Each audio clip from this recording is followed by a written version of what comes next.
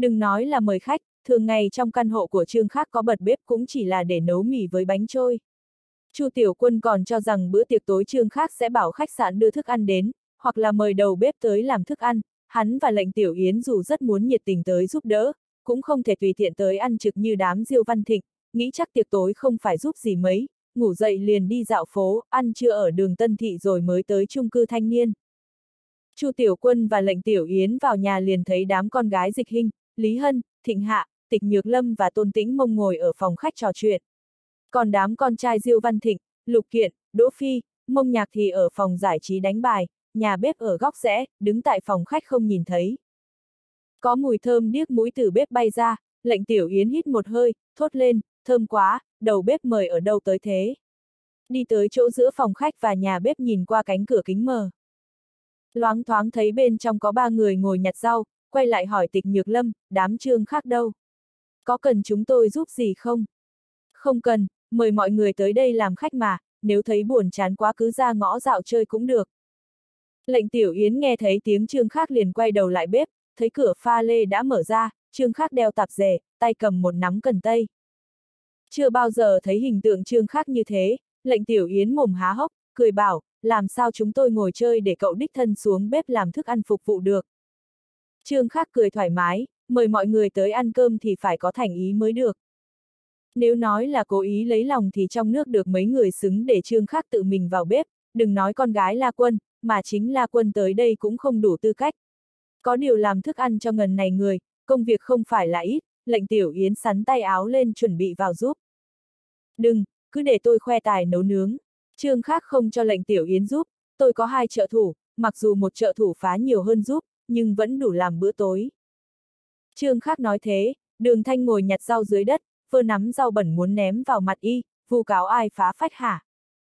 Trừ chị Tiểu Lan, chẳng lẽ còn ai ngoài bạn? Trương khắc cười, tiếp tục ngồi xuống nhặt rau. La Kỳ và Triệu Lưu Vũ chừng 3 giờ lái xe tới nơi, Trương Khắc ra chào một tiếng rồi quay về bếp làm việc, chẳng ai có tư cách trách y lạnh nhạt, Triệu Lưu Vũ cũng là một thành viên giới công tử kinh thành, dù hơi ít tuổi nhưng cũng quen đám lục kiện, Đỗ Phi đứng dậy nhường hắn đánh bài. Có lẽ ở trước mặt Trương Khác và La Quân không thể nói ra tâm ý, áp lực tâm lý của Triệu Lưu Vũ rất lớn, lúc này ngồi xuống đánh bài, thấy xung quanh xem bài là Chu Tiểu Quân, Đỗ Phi còn cả mông nhạc đang đánh bài đều là bạn Trương Khác muốn giới thiệu cho mình, Triệu Lưu Vũ khi đánh bài tranh thủ nhắc tới hắn có cơ hội điều tới Hoa Hy công tác. Điều tới Hoa Hy thì không có vấn đề gì, quan trọng có được cơ hội phát triển hay không thì phải nhìn sắc mặt của cầm hồ. Siêu Văn Thịnh thấy Triệu Lưu Vũ tỏ rõ ý tứ cũng tốt, y sẽ làm trung gian chuyển lời, đối diện với kẻ mới nổi như Trương Khác, rất nhiều quý tộc Bắc Kinh không bỏ thể diện xuống được. chương 998, không có tiền vẫn có thể đọc sách.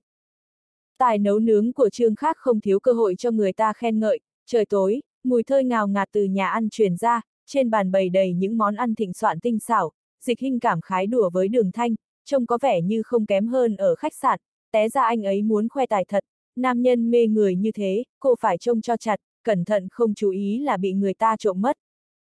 Cô nào muốn là tôi thảo luận bán cho ngay. Đường thanh kiêu ngạo chun mũi nói. Tôn tính mông lại trột dạ né tránh ánh mắt của đường thanh, cô định buổi chiều trốn về trường, dù sao bữa tiệc mang tính chất xã giao này, Trần Phi Dung và Lý Hinh Dư đều không tham gia, vệ lan danh nghĩa là chị của Trương Khác, phải giúp y chuẩn bị bữa dối, cô cũng có thể không tham gia, nhưng đường thanh rất nhiệt tình mời, cô không từ chối được, làm cả chiều tim giật thon thót cứ như tiểu thiếp đứng trước mặt đại phu nhân vậy. Ăn tối xong lại mời La Kỳ và Triệu Lưu Vũ tới 1978 chơi, cơm thừa canh cặn đã có nhân viên thu dọn hộ, trên đường đi mọi người còn không ngớt miệng khen cơm ngon, đường thanh khoác cánh tay trương khác đi sau, hỏi, nếu mình không chú ý, liệu bạn có bị người khác trộm mất không? Trương khác nhìn đôi mắt long lanh dưới ánh đèn của đường thanh lúc này phủ một lớp xương, nhát thời chẳng biết nói gì, khẽ xiết vòng eo nhỏ của cô, nói, mình ư, ai mà thích trộm mình chứ? Bất kể là ai, đường thanh mím môi, nhẹ giọng nói, thế nào bạn cũng phải để mình tìm lại được bạn.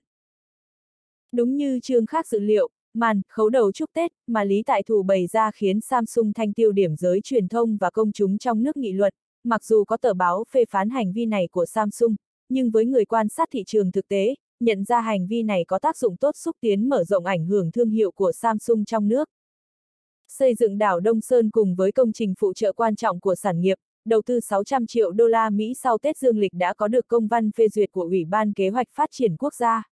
Các lãnh đạo Đảng Chính phủ Đông Hải, Giang Nam ngày 8 tháng 1 tập trung ở nhà máy điện Đông Sơn, long trọng cử hành lễ khởi công, điều này có nghĩa là kế hoạch xây cảng trấn hưng kinh tế Giang Nam đã chính thức được khởi động. Trừ nhà máy điện, công trình mở rộng Lữ Dương hỗ trợ cho cảng Đông Sơn cũng tổ chức trong cùng một ngày. Là người đứng đằng sau màn thúc đẩy, Trương Khác không có lý do xuất hiện ở buổi lễ này. Và lại công trình cảng Đông Sơn do một loạt hạng mục chung và lớn tổ hợp thành công trình siêu quy mô, không phải là một hai năm có thể xây xong, muốn có biến hóa lớn, phải 7, 8 năm mới thấy được, trong thời gian đó bao nhiêu lẽ khởi công. Trương Khác lấy đâu ra thời gian rảnh mà tham gia, nên quyết định ngay từ đầu không tham gia cho xong, người ta khỏi so bì mình bên trọng bên khinh. Đường Thanh không thể ở bên Trương Khác suốt kỳ nghỉ, cô phải tới Kim Sơn an ủi nỗi nhớ mong của mẹ cô, Trương Khác thì ở lại kiến nghiệp, chuyên tâm chuẩn bị thi cuối kỳ. Mặc dù cũng đơn giản thôi, nhưng vẫn phải bỏ thời gian ra chuẩn bị, những sách vở này ôn tập lại một lần cũng không phải là vô ích. Làm người ta đau đầu nhất là kỳ thi cuối kỳ này rất rời rạc, không tập trung vào 2-3 ngày thi cho hết mà 7-8 môn kéo dài tới hơn nửa tháng mới xong, trong hơn nửa tháng này, chương khác không thể rời kiến nghiệp. Phòng đọc sách kín người hết chỗ, cuối kỳ mọi người đều bận rộn ôn tập chỉ là một nguyên do, mùa đông kiến nghiệp năm nay lạnh khác thường, liên tục xuất hiện nhiệt độ dưới không, ở ký túc xá hoặc phòng học, đều lạnh buốt xương, thư viện có điều hòa tất nhiên là chỗ tránh rét tốt nhất. Lúc này cảm thấy phòng đọc của thư viện quá nhỏ, đúng là nhỏ tẹo, cả sinh viên lẫn nghiên cứu sinh trong trường gần 2 vạn người, mà phòng đọc sách chỉ có hơn 200 chỗ ngồi. Quy mô thế này đừng nói kỳ thi, thường ngày cũng không đủ dùng, chỉ là thường ngày mọi người còn có thể ở trong phòng học, lúc này trời lạnh run, chỉ có nơi này để đi. Trương Khác kẹp sách dưới nách, đứng ở cửa phòng đọc sách, nhìn thấy rất nhiều người đi tới lại lắc đầu quay về, có điều bọn họ đều có chuẩn bị, mang áo khoác bông dày theo, thấy ở đây chật kín, liền tới phòng học. kiếp trước Trương Khác cũng thế, mùa đông giá lạnh ôm loại áo bông dày này tới phòng học ôn bài. Đi thôi, chúng ta tìm chỗ khác ôn tập, Trương Khác quay đầu lại nói. Trần Phi Dung cũng đành lùi ra, chẳng muốn tới phòng học chịu tội, tới nhà sách hoặc phòng trà ngõ học phủ cũng có thể yên tĩnh ôn bài.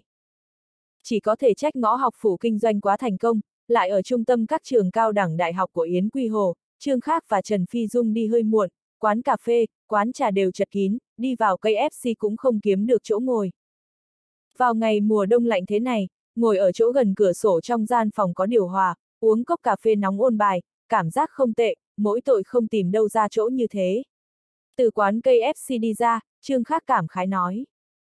Hay là tới giảng đường đi, mình về phòng lấy áo khoác dày một chút là được, mình không yếu ớt như bạn nghĩ đâu. Trần Phi Dung tựa hồ cố ý quên đi tới chung cư thanh niên càng thoải mái hơn. Đi cùng mình tới chỗ này đã. Trương khắc nói rồi ôm lấy sách của Trần Phi Dung, bạn cho tay vào túi đi, đừng để bị lạnh. Ừ, Trần Phi Dung xoa xoa hai bàn tay bị lạnh tới bỏ ửng, cho vào trong túi theo Trương Khác đi qua ngõ. Lúc này gió bắc đang mạnh, bị gió quất vào mặt cảm giá như dao cắt, Trương Khác thấy Trần Phi Dung rất khổ cực, quay lại giúp cô đội mũ áo khoác lên, cố gắng che kín khuôn mặt xinh đẹp, nói, bạn nấp sau lưng mình đi, có thể che được gió. Trần Phi Dung nấp sau lưng Trương Khác đi theo y, tới con đường giữa đợi ết Đông Hải và học viện âm nhạc tiếp tục đi về phía tây, trên đường cả người lẫn xe đều rất ít. Giữa chung cư thanh niên và cổng bắc Đỡ ết Đông Hải vốn là khu nhà dân, hiện những căn nhà này đều bị dùng vôi viết đầy chữ, giải tỏa, có một số cái đã bị phá, chỉ có điều hôm nay trời quá lạnh, những công trình ngoài trời đều đã đình công. Dừng lại ở nơi này, Trương Khác nói với Trần Phi Dung, đôi khi mình nghĩ, nếu như mình không có tiền, không thể tới quán Internet, không thể tới sàn nhảy, không thể tới quán cà phê đốt thời gian như những người trẻ có gia đình khá giả, mình hy vọng có thể có một thư viện để mình yên tĩnh đọc sách, mùa hè không sợ nóng, mùa đông không sợ lạnh. Ngõ học phủ phồn hoa như gấm, nhưng rốt cuộc là chỗ tiêu khiển của những sinh viên có tiền, khu Yến Quy Hồ có gần 10 vạn sinh viên, đừng nói gia đình bình thường, mà sinh viên nghèo khó có tỷ lệ rất cao, phải tới 2-3 vạn, đối với họ mà nói, ngõ học phủ là nơi không tới được. Nhưng mình hy vọng thành phố này có thể lớn tiếng nói với họ, không có tiền, không sao cả, có thể đi đọc sách. Trương Khắc giang tay ra nói đầy hào hứng, chỉ khu nhà dân hỏi, mình xây một cái thư viện ở đây, bạn thấy sao? Thực sự sẽ xây thư thư viện sao? Trần Phi Dung phấn khích hỏi, thế thì tốt quá. Trước kia nghe Đỗ Phi nói nơi này là ngõ học phủ kéo dài mà. Bọn họ còn lập kế hoạch xây một cái quán nét sáng vực ở đây. Mình kệ bọn họ trước kia tính toán thế nào. Vừa rồi mới đột nhiên thấy nơi này nên xây một thư viện, nên mới kéo bạn tới xem cùng, bạn thấy sao? Nếu bạn cũng tán đồng quan điểm của mình, vậy mình sẽ gọi điện cho Thiệu Chí Cương, bảo anh ấy ném quy hoạch cũ vào bếp. Trương Khắc đứng trong gió lạnh nói lớn, bạn quyết định đi. chương 999, lợi ích thương nghiệp. Tựa hồ một quyết định lớn thế là rơi lên vai mình, Trần Phi Dung nhìn Trương Khắc đứng trong gió lạnh, nắm đấm siết chặt dơ lên, bị y làm kích động theo, hét lớn, chúng ta lấy miếng đất này đi, xây thư viện, chỗ này nên xây thư viện. Trương Khắc mỉm cười gật đầu, lập tức lấy di động ra, gọi cho Thiệu Chí Cương, hỏi hắn ở đâu, Thiệu Chí Cương nói đang họp nghiên cứu làm sao thúc đẩy tiến độ khai phát mảnh đất phía đông bắc đỡ ết Đông Hải. Không cần họp nữa, cũng không cần thảo luận kế hoạch phát triển gì nữa, mảnh đất này chúng tôi lấy rồi, tôi ở ngay đây, trước kia có tính toán gì bỏ hết đi, tổn thất bao nhiêu tiền tôi bù cho anh, tôi muốn xây một cái thư viện, ít nhất phải có một vạn chỗ đọc sách. Anh muốn tới à, trời lạnh thế này, anh bắt tôi đợi giữa đồng không mông quạnh bao lâu. Vậy được, đợi anh 10 phút, tôi tới quán nhỏ bên đường tránh gió. Chúng ta tìm chỗ tránh gió một chút đi. Trương Khắc cúp điện thoại, bảo Trần Phi Dung cho tay vào túi, đi tới cửa bắc trung cư thanh niên, tầng dưới cùng kề sát phố là mấy cửa hàng, nơi này nối liền với ngõ học phủ, tiếp tới là khu nhà dân, dỡ đi kéo dài phố thương nghiệp ngõ học phủ đúng là rất tốt, có điều hiện trương khắc muốn lấy xây thư viện. Mảnh đất này chưa tới 30 mét vuông, là một mảnh đất hoàn chỉnh khá lớn, Đại học Đông Hải trước giờ rất có hứng thú với nó, có điều sau khi Thế kỷ Cẩm Hồ đề xuất muốn lấy nó, đợi ết Đông Hải không tranh giành với họ. Ngõ học phủ có thể nói là tác phẩm kinh điển của sản nghiệp địa ốc kiến nghiệp trong những năm qua, sau khi cải tạo mở rộng, diện tích kiến trúc của ngõ học phủ tăng lên gấp đôi, thêm vào quy hoạch và vận hành, hơn một năm qua ngõ học phủ phồn hoa hơn trước kia, giá thuê cửa hàng tăng lên gấp đôi. Trước kia đem chuyển nhượng cửa hàng cho thế kỷ cẩm hồ với giá 1 mét vuông 8.000 đồng, những hộ cầm lấy mấy chục vạn thậm chí trăm vạn bồi thường khi đó hiện giờ mua thuốc hối hận cũng đã muộn, giá thuê tăng lên gấp đôi, tức là giá bán cũng tăng lên gấp đôi. Thế nên nội bộ thế kỷ cẩm hồ cực kỳ hứng thú với hạng mục kéo dài ngõ học phủ, chỉ riêng phương án khai phát đã xóa bỏ hai lần. Lần này thảo luận phương án thứ ba, Thiệu Chí Cương bỏ thời gian tham gia cuộc họp, không ngờ giữa chừng nhận được điện thoại của Trương Khác, đặt điện thoại xuống, gập sổ ghi chép vào, đứng dậy tuyên bố tạm thời đóng băng hạng mục. Mặc dù Thiệu Chí Cương có uy tín cực cao trong công ty, nhưng đột nhiên tuyên bố đóng băng hạng mục bao người phấn đấu vì nó hơn hái tháng, phía dưới lập tức bàn toán xôn xao. Thiệu Chí Cương cũng chẳng giải thích, hắn cũng đang một bụng nghi hoặc đây, bảo giám đốc khai phát cung hào theo mình đi gặp trương khác. Vì sao đột nhiên đóng băng hạng mục, trình tự thao tác của chúng ta đâu có vấn đề gì, phía đợi ết Đông Hải không có ý kiến, không phải có kẻ ngáng chân chứ. Cung hào là người cũ theo thiệu chí cương từ lúc khai phát trung tâm ẩm thực cầu Tứ Phượng, lên xe rồi không nhịn được hỏi. Khác thiếu ra nhìn chúng mảnh đất đó, cậu ấy muốn xây thư viện. Hả, cung hào ngớ người, ông chủ lớn muốn xây thư viện, hắn không thể bình luận gì, cũng không thể nói gì trước mặt thiệu chí cương, chỉ cảm thấy đáng tiếc, nói, chỗ đó 30 mẫu, riêng đất thôi cũng hơn 26 triệu, sau khi xây lên, lãi dòng tuyệt đối không ít hơn 40 triệu, đem đi xây thư viện có tiếc quá không?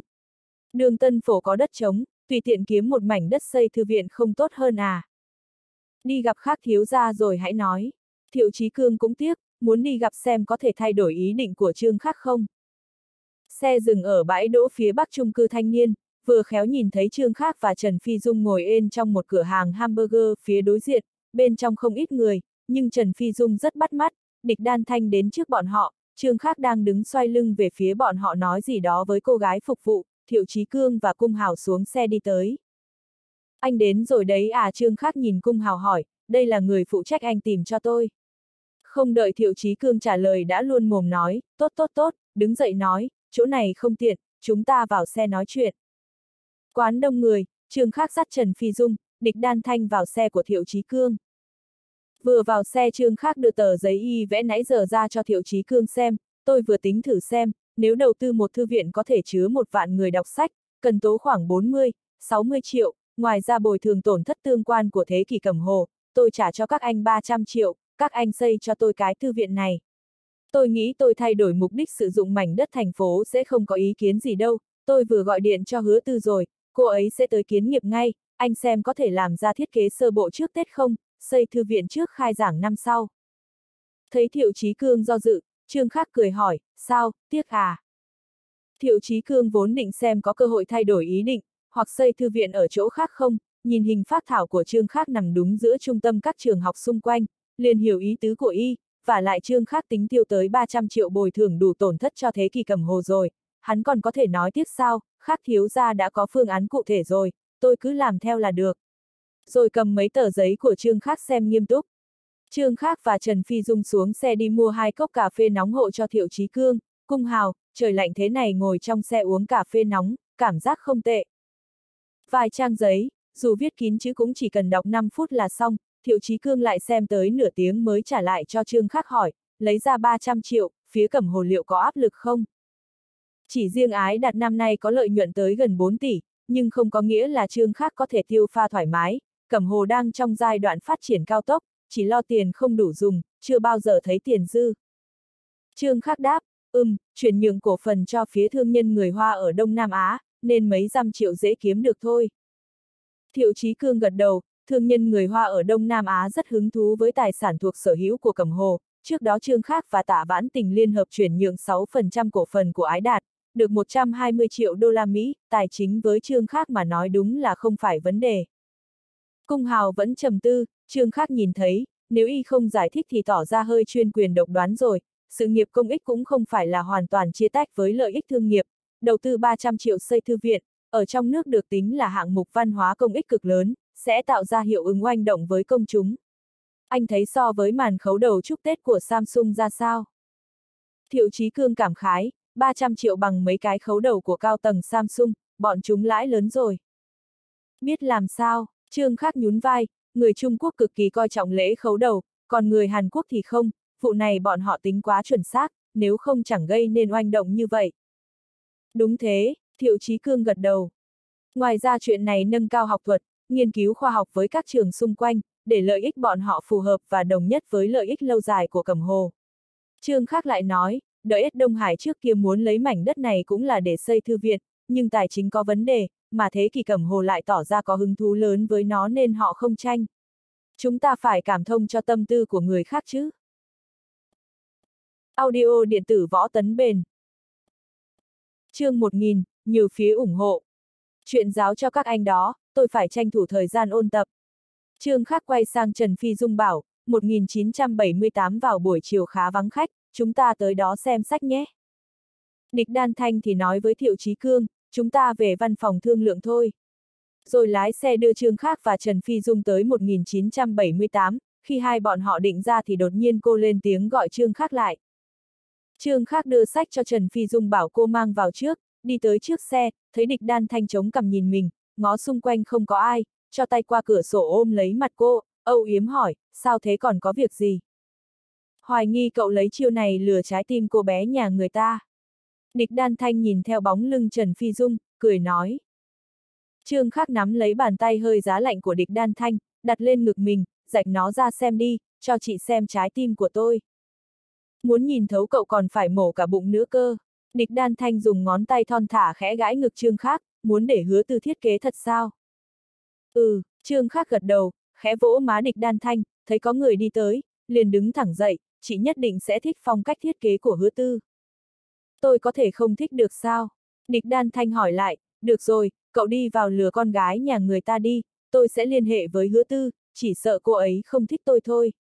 Việc phụ trách phối hợp với Thế kỷ cẩm hồ xây thư viện chủ yếu sẽ do địch đan thanh phụ trách, để phòng thiết kế của hứa tư phụ trách thiết kế, tức là hai bọn họ sẽ phải làm việc với nhau trong khoảng thời gian dài. Trương Khắc đứng nhìn địch đan thanh lái xe đi xa mới vào 1978. Bất kể đằng sau ẩn chứa bao nhiêu lợi ích thương nghiệp hay do chủ nghĩa lý tưởng của Trương Khắc phát tác, địch đan thanh đều tận tâm giúp Trương Khắc làm việc này. Địch đan thanh về văn phòng thì Thiệu Chí Cương và Thôi Quốc Hằng đã đợi sẵn rồi, Thiệu Chí Cương hỏi, có cần thông báo cho người khác không? Cho dù là do Trương Khắc tự móc túi ra, nhưng danh nghĩa thuộc về tập đoàn Ái Đạt, một hạng mục lớn như thế, phải thông báo cho cao tầng của Cẩm Hồ biết. Địch Đan Thanh gật đầu, giám đốc Thiệu và viện thôi thấy cần thiết, vậy tôi sẽ liên hệ, xem bao nhiêu người có thể bỏ thời gian ra họp điện thoại đột xuất. Ai, khác thiếu ra thật nhàn nhã, cậu ấy tùy ý nói hơn 20 phút, chúng ta không biết tốn bao nhiêu thời gian cụ thể hóa suy nghĩ của cậu ấy rồi mới đưa vào thao tác cụ thể được. Địch Đan Thanh lập tức bảo nhân viên công tác gọi điện liên hệ với đám Diệp Kiến Bân, mở cuộc họp điện thoại ngắn. Xây dựng thư viện đâu phải đơn giản là xây một tòa nhà, trang thiết bị hiện đại hóa cũng dễ dàng thôi, nhưng nguồn sách ngay từ đầu đã là một vấn đề trọng điểm cần suy tính, nhất là sách cũng có giá trị, cần các thư viện và nhà xuất bản chi viện, chất lượng sách mới chính là thứ quan trọng hàng đầu của một thư viện. Tài trợ hạng mục văn hóa lớn như thế, hiệu quả thương nghiệp trực tiếp lớn nhất là tăng thêm sức ảnh hưởng xã hội của Cẩm Hồ, có tác dụng chính diện với thương hiệu ái đạt, phải trao đổi với ban ngành chính phủ, các trường cao đẳng đại học, giới truyền thông ra sao, sẽ quyết định có làm lợi ích đạt mức cao nhất hay không.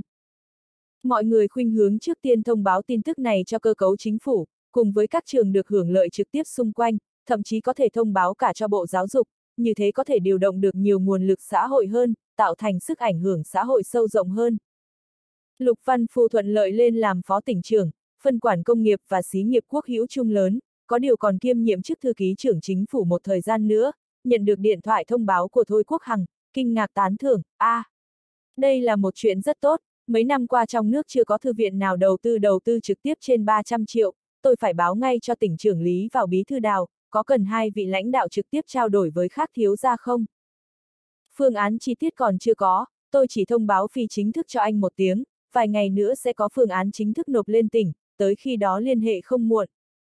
Thông qua Lục Văn Phu là để đem tin tức phi chính thức truyền lên tỉnh, dựa vào phản ứng cụ thể để tiện cho việc định ra kế hoạch chi tiết. Tin tức mau chóng lan đi, La Quân hay tin hưng phấn nói với Vương Duy Quân trong điện thoại, nhìn lại con số tài chính đầu tư văn hoa mấy năm qua thì trương khác đang quất roi vào mông chúng ta đấy. Anh xem xem có nên mở cuộc họp thường ủy khẩn cấp thảo luận một chút vấn đề này không? Ý kiến của tôi thế này, mảnh đất kia khu lấy được của thế kỷ cẩm hồ bao nhiêu thì trả lại đúng chừng ấy, không thể để cẩm hồ tự bỏ tiền ra hết được. Mấy ngày nữa tôi kiếm cơ hội trao đổi với bí thư đào tấn, anh nên cân nhắc kỹ làm sao để mở một cuộc họp liên tịch giữa ban ngành văn hóa, cục giáo dục thảo luận làm sao hỗ trợ tốt nhất cho cẩm hồ. Còn phải mới các trường được lợi trực tiếp tham gia. 300 triệu cơ à? Lý Hồng Minh nghe Thôi Quốc Hằng báo cáo, hít một hơi, kìm chế không kéo ngay trường khác tới trước mặt hỏi cho kỹ, số tiền này quá lớn, vẫn ngờ vực hỏi, 300 triệu thật sao? Phương án sẽ được lập trên con số này, hiện mới chỉ là suy nghĩ, cuối cùng đầu tư sẽ tranh lệnh một chút, nói ra còn có khả năng đầu tư nhiều hơn. Chức vụ chính của Thôi Quốc Hằng vẫn là Viện trưởng Viện Thương mại Quốc tế, buổi tối tới nhà hiệu trưởng Lý Hồng Minh bái phỏng, sự hỗ trợ của đỡ Đông Hải là rất quan trọng với việc xây thư viện. May mà nhường mảnh đất đó cho thế kỷ cầm hồ. Lý Hồng Minh cười vui vẻ, trước kia tôi cũng tính lấy nó xây thư viện mới, đáng tiếc kinh phí dự toàn 60 triệu không được duyệt, nên không tranh với thế kỷ cầm hồ. Cẩm Hồ quyên tặng xây dựng một thư viện lớn như thế, không chỉ trường ta không cần tính tới việc mở rộng thư viện mà đỡ sư phạm, học viện chính pháp, đợi đỡ khoa học công nghệ cũng không cần đau đầu vì thư viện nữa, Đợi đỡ lâm nghiệp, nông nghiệp ở xa hơn cũng được hưởng lợi. Cẩm Hồ quyên tặng một thư viện lớn như thế, sáng tạo bao nhiêu giá trị cho xã hội thì Lý Hồng Minh không tính được, nhưng ông ta có thể khẳng định tất cả các trường cao đẳng đại học xung quanh khu vực Yến Quy Hồ đều được hưởng lợi trực tiếp. Hỏi, xây dựng thư viện là một hệ thống công trình phức tạp, không biết Cẩm Hồ có chỗ nào cần chúng ta giúp đỡ không? Những trường khác tôi không dám khẳng định, tôi có thể nhờ cậu đại biểu cho đỡ Đông Hải chính thức trả lời với Cẩm Hồ, trưởng ta sẽ ủng hộ xây dựng hệ thống này hết mức có thể. chương 1001, dụ dỗ con gái nhà lành. Chuyện xây dựng thư viện mặc dù còn chưa chính thức công bố với giới truyền thông, nhưng đã gây xôn xao không nhỏ ở kiến nghiệp, trương khác rất nhàn nhã, mặc dù nói là chuẩn bị thi, nhưng lại có thể tạm thời đùn đẩy việc ở cẩm hồ, thực tế thoải mái hơn nhiều. Mùa đông trời tối sớm, thi xong môn xác suất thì mặt trời sắp lặn xuống núi, bầu trời trong xanh trên đỉnh đầu phủ thêm một màu hồng nhạt. Trương khắc rời khỏi phòng học, hít sâu một hơi, không khí lạnh chui vào dạ dày, đầu óc hơi váng vất tức thì tỉnh táo lại. Có vài câu Đỗ Phi trả lời không chắc lắm, hắn giữ thẩm tiêu lại đứng ở cửa phòng học đối chiếu đáp án, Lục Thiên Hữu kiên nhẫn đứng một bên đợi. Tôi có lửa bán mất tiểu tiêu đâu, cậu có cần theo sát vậy không? Đỗ Phi trêu Lục Thiên Hữu, hai người lát nữa hẹn hò à? Tôi đợi thẩm tiêu cùng về nhà tôi ăn cơm. Lục Thiên Hữu nghiêm túc đáp. Ấy, sâu xấu sắp đi gặp cha mẹ chồng đấy à? Trương khác không ngờ Lục Thiên Hữu dẫn thẩm tiêu về nhà trước khi tốt nghiệp, đi tới chọc ghẹo, thảo nào tôi thấy tiểu tiêu ngồi làm bài mà có vẻ thiếu tập trung. Không thể nào, cậu cách bạn ấy những mấy bàn, cậu lại nhìn trộm bài bạn ấy hả? Lục Thiên Hữu nghiêm mặt lại. Tôi cải tà quy chính lâu rồi. Trương Khác thở dài, tiểu tiêu viết chữ nhỏ quá, cách xa như thế làm sao thấy được. Hơn nữa ánh sáng trong lớp lại không tốt lắm. Nghe Trương Khác không hề che giấu ý đầu nhìn trộm bài, Lục Thiên Hữu môi giật giật nhưng không nói gì, nhận lấy cặp của thẩm tiêu khoác lên vai chuẩn bị đi trước. Nghe mày nói như thế trong lòng tao dễ chịu hơn chút rồi, vì thi cái môn này hôm qua tao thức suốt đêm. Đỗ Phi dụi mặt, ngay cả sức đi ăn chưa cũng không còn nữa, chỉ muốn về ngủ, hỏi Lục Thiên Hữu đang định kéo thẩm tiêu đi, này, hôm nay đưa tiểu tiêu về nhà ăn cơm, không phải định chúc mừng ông già cậu lên phó tỉnh trưởng đấy chứ. Lục Thiên Hữu nghi hoặc nhìn Đỗ Phi, sau sự kiện gian lận thi cử năm ngoái, quan hệ giữa hắn và đáp Đỗ Phi, Trương Khác khá hài hòa, có điều hắn không rõ lắm thân phận của đám Trương Khác, chuyện cha hắn lên làm phó tỉnh trưởng trong trường không mấy người biết, sao Đỗ Phi trông có vẻ như đã biết từ lâu. Lục Văn Phu hy vọng con trai có thể quan hệ bình đẳng với Trương Khác ở trường, không có gánh nặng tâm lý, nên ở nhà tuyệt đối không nói tới chuyện cầm hồ. Cái gì, cha anh là phó tỉnh trưởng, sao anh không nói với em? Thẩm tiêu chỉ biết Lục Thiên Hữu gia cảnh dư giả, cũng gặp cha hắn trong trường, rất hiền hòa, giống một giáo viên trung học, không ngờ lại là một phó tỉnh trưởng. Trước đó cô băn khoăn rất lâu có theo Lục Thiêu Hữu về nhà ăn cơm không, khó khăn lắm mới lấy được dũng khí, giờ thì hay rồi, nghe Đỗ Phi nói như thế, liền đánh chống rút lui, Lý Nhí nói, hay là anh tự về nhà anh cơm đi, em thì thôi. Lục Thiên Hữu tức tối chừng mắt lên nhìn Đỗ Phi, hắn phải rất tốn công mới thuyết phục được thẩm tiêu nhận lời về nhà hắn ăn cơm, không ngờ Đỗ Phi chạy tới phá đám, nhìn dáng vẻ tội nghiệp của thẩm tiêu, không biết phải nói sao luôn. Nếu như là chúc mừng cha cậu làm phó tỉnh trưởng, vậy chúng tôi góp vui không bị ghét chứ? Trương Khắc cười hỏi, có cần mang quà tới không? Nói ra thì Cẩm Hồ và Lục Văn Phu có quan hệ sâu xa, một thời dài vì Cẩm Hồ và Lý Viễn Hồ xung đột, thân là đại quản gia chính phủ tỉnh, Lục Văn Phu khó trách khỏi có khoảng cách với Cẩm Hồ. Hiện khoảng cách này không còn nữa, và lại Lục Văn Phu lại lên làm phó tỉnh trưởng phân quản công nghiệp, phạm vi công tác sẽ có liên hệ càng mật thiết với Cẩm Hồ, cũng nên để quan hệ tư nhân trở nên bình thường hóa. Không cần quà đâu, nhà tôi cũng rất vui nếu có bạn cùng tới. Với Lục Thiên Hữu mà nói, chỉ cần thẩm tiêu không rút lui, hắn đương vui vẻ muốn đám trương khác, Đỗ Phi cùng tới góp vui để yểm hộ giúp thẩm tiêu, dù sao cũng ăn ở khách sạn, thêm hai người tới cũng không sao. Có cơm ăn trực là tốt rồi, tôi đi lấy ra, mọi người ra cửa đông đợi nhé. Đỗ Phi nói. Trương khác, Đỗ Phi mặt dày tới nhà Lục Thiên Hữu ăn trực, thẩm tiêu thì thấp thỏm không thôi. Do thường ngày lái xe tới trường, xe của Đỗ Phi cũng là một chiếc Audi xám, không gian bên trong hơi nhỏ, có điều đủ dùng rồi. Xe rẽ vào ngõ học phủ, thấy ở cửa ngõ Trần Phi Dung đang nói chuyện với một nam một nữ, nam chừng 25 tóc dài che kín tai, nữ tuổi cao hơn một chút, trang điểm rất đậm, nhìn không ra tuổi thật. Đỗ Phi ngạc nhiên hỏi Trương Khác, hai người đó là ai, sao Phi Dung lại quen loại người đó?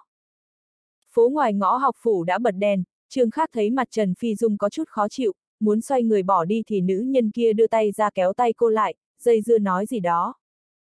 Trương Khắc định bảo Đỗ Phi lái xe tới đón Trần Phi Dung đi thì nhìn thấy chủ tịch hội sinh viên Trần Dũng đứng bên cửa nhìn Trần Phi Dung hao háu, Trương Khắc liền bảo Đỗ Phi dừng xe bên đường, xem ba kẻ kia định làm trò gì. Đó không phải là Phi Dung sao? Thẩm tiêu thấp thỏm vì chuyến đi gặp cha mẹ Lục Thiên Hữu nãy giờ, nên mãi mới thấy Trần Phi Dung, nhòi người ra phía trước, kinh ngạc kêu lên, a, à, là bọn họ. Bạn quen hai người đó à? Trương Khắc hỏi. Hình như là người phụ trách tuyển người của City giải trí Vân Mộng các gì đó, thường tới đây mời sinh viên tới câu lạc bộ làm phục vụ, tiền lương tốt hơn trong ngõ nhiều. Nghe nói còn có bầu ơ, rất nhiều cô gái động lòng tới đó, nghe nói chỗ đó không chính quy lắm. Mình ở sáng vực làm việc rất tốt, nên không đi. Trương Khác gọi điện cho Phó Tuấn, có hai người làm phiền Trần Phi Dung ở cửa ngõ học phủ, anh bảo cảnh sát tới bắt chúng về điều tra. Sau sự kiện Trương Khác bị uy hiếp, đồn cảnh sát đường Mã Liên phái thêm cảnh sát tuần tra, hai phút sau liền có một xe cảnh sát tuần tra đi tới, cảnh sát đi xuống muốn bắt đôi nam nữ kia vào xe, hai kẻ đó vùng vẫy lớn tiếng nói, các người dựa vào cái gì muốn bắt chúng tôi. Có người tố cáo các người tới đây tuyển người phi pháp, mời về đồn hiệp trợ điều tra. Cảnh sát ấn đầu hai nam nữ đó vào xe. Trần Phi Dung không hiểu chuyện gì xảy ra, thấy cảnh sát đi tới, vội vàng lấy thẻ sinh viên. Phi Dung, Trương Khác thò đầu ra cửa xe gọi. Sao lại là bạn, thì môn xác suất sao rồi? Trần Phi Dung mừng rỡ đi tới, nhìn thấy Trương Khác ra hiệu cho cảnh sát, hỏi, vừa rồi là chuyện gì thế? Thi cử với mình là chuyện vặt, lên xe rồi hãng nói, người ta đợi bọn mình tới ăn cơm đấy. Trương Khác mở cửa xe để Trần Phi Dung ngồi ghế sau với Lục Thiên Hưu, không vội giải thích cho cô mà gọi điện Trần Bình Đức. Kiểu tuyển người này của bọn chúng là mồi nhử. Đỗ Phi giải thích cho Trần Phi Dung, đợi các cô gái không chống nổi cám dỗ tới đó sẽ có công tác mỗi tháng mấy vạn đồng đợi bọn họ, rất nhiều cô gái tưởng rằng mình có thể rút khỏi vũng bùn mà không nhuốm bẩn, ha ha ha. Có bao nhiêu cô gái có thể không bị kéo xuống bùn đây? Những cô gái xinh đẹp ở Vân Mộng Các đều được niêm yết giá công khai, trong số bọn họ có mấy người là bị kề dao vào cổ ép làm nghề này. Thời buổi này ép con gái nhà lành làm gái ít lắm, bọn chúng chuyển sang dụ con gái nhà lành làm gái, dụ dỗ không phạm pháp. Tôi chỉ lạ là, bọn chúng mù mắt hay sao mà tới tìm bạn. Xong trách nhiệm rồi nhé. chương 1002, gà chó thăng thiên.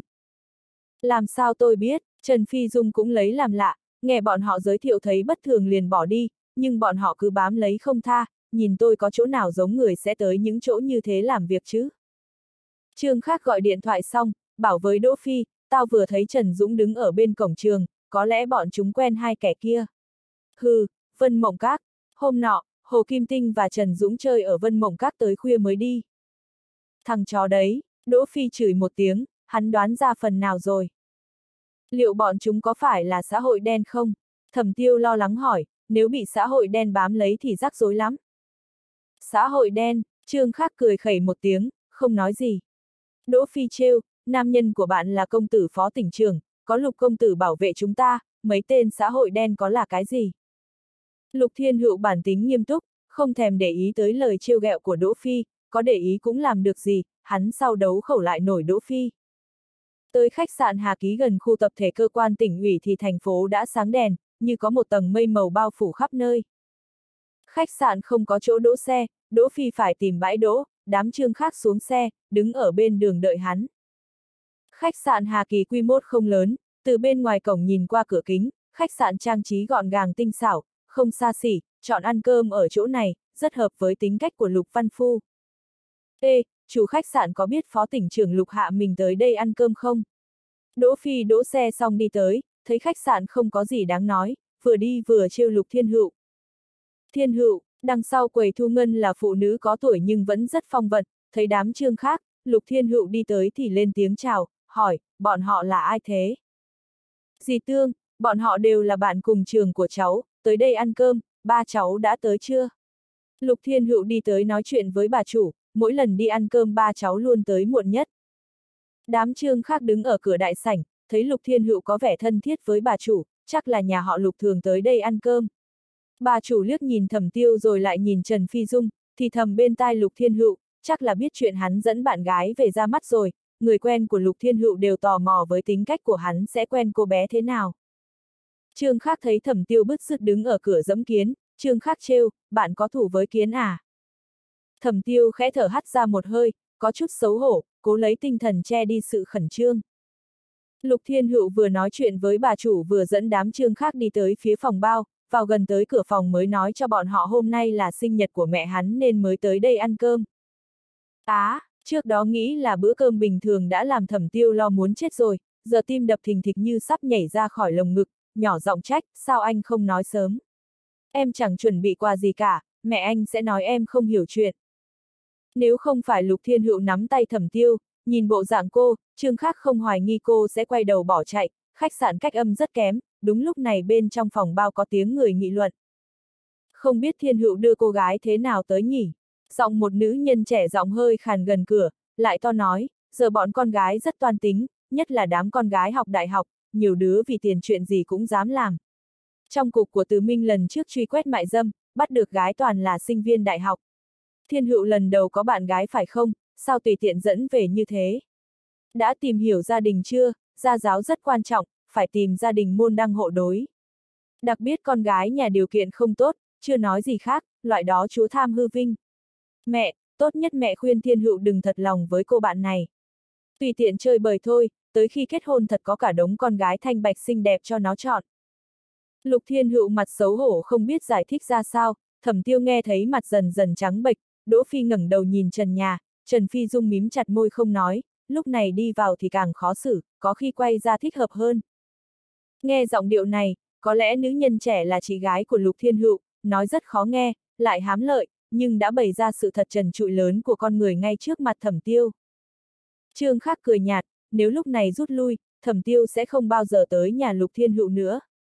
Đừng suy nghĩ quá thuần khiết về xã hội này, thành kiến thế tục và khoảng cách giữa người với người là có. Đây là thứ quá mức bình thường, chẳng cần phải sợ. Trương Khắc đi tới kéo cửa sầm một cái, thanh thế rất lớn. Trong phòng bao trang trí trang nhã, bảy bốn bàn tiệc, bánh trái đã được đưa lên, khách cũng đã đến gần đủ, bàn gần cửa có một đám nữ nhân hoặc đúng hoặc ngồi, bị động tác kéo cửa của Trương Khắc bị làm giật mình đồng loạt quay đầu lại. Một thiếu phụ trẻ trung và một phụ nữ trung niên được đám nữ nhân vây ở giữa, chị em Lục Thiên Hữu thừa hưởng rất nhiều đặc trưng di truyền từ mẹ. Trương Khắc nghĩ thiếu phụ và phụ nữ trung niên kia là chị và mẹ của Lục Thiên Hữu rồi. Bọn họ thấy Trương Khắc lạ mặt đều nghi hoặc nhìn nhau, vợ Lục Văn Phu nghĩ là khách của chồng, đứng dậy gọi Lục Văn Phu đang nói chuyện với người trong góc, lão Lục. Lão Lục. Lục Thiên Hữu cùng thẩm tiêu vẻ mặt miễn cưỡng đi vào, giới thiệu cho mẹ hắn, mẹ, đây là thẩm tiêu, còn đây là ba người bạn cùng trường của con, cũng tới ăn cơm cùng. Ban đầu ánh mắt chị Lục Thiên Hữu bắt chết ngay lên người Trần Phi Dung, một vẻ đẹp khiến người ta như tắm trong gió xuân, cô ta tưởng cô gái khí chất bất phàm này là bạn gái của em mình, thầm nghĩ không tệ, trang phục bình thường nhưng gia cảnh nhìn là biết cũng khá.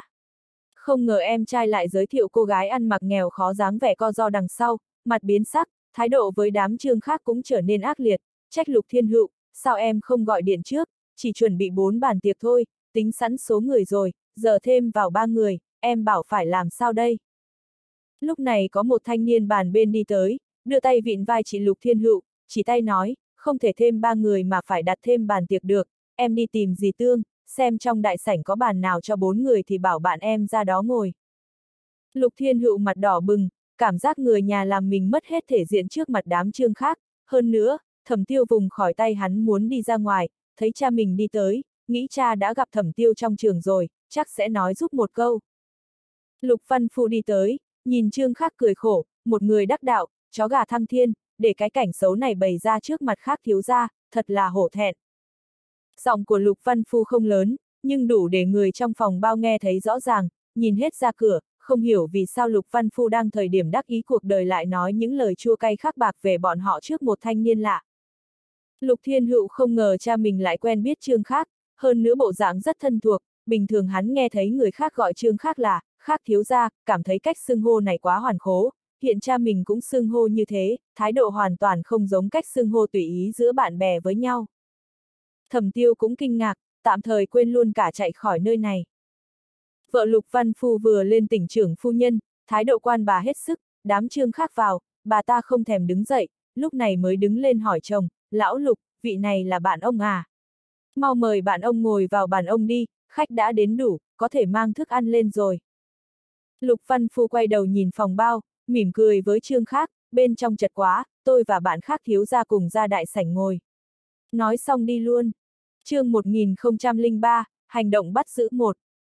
Người trong phòng bao đều bàng hoàng, vợ Lục Văn Phu mặt còn khó coi hơn cả khóc, con gái ông ta mắt đỏ hoe rồi, bọn họ không ngờ Lục Văn Phu vì thanh niên này làm bọn họ bẽ mặt như vậy. Trương khác tới đây không phải là để tranh chấp gì, cùng Lục Văn Phu ra đại sảnh ăn cơm, không cần để ý tới đám người kia tất nhiên là thoải mái, nhưng không có ích lợi gì cho thẩm tiêu. Nhìn vợ con Lục Văn Phu mặt mày xấu hổ đứng chơ ra đó, Trương Khác gọi ông ta lại, nói, mọi người chen chúc một chút là được, mỗi bàn thêm một ghế, chúng tôi chỉ có ba người thôi mà.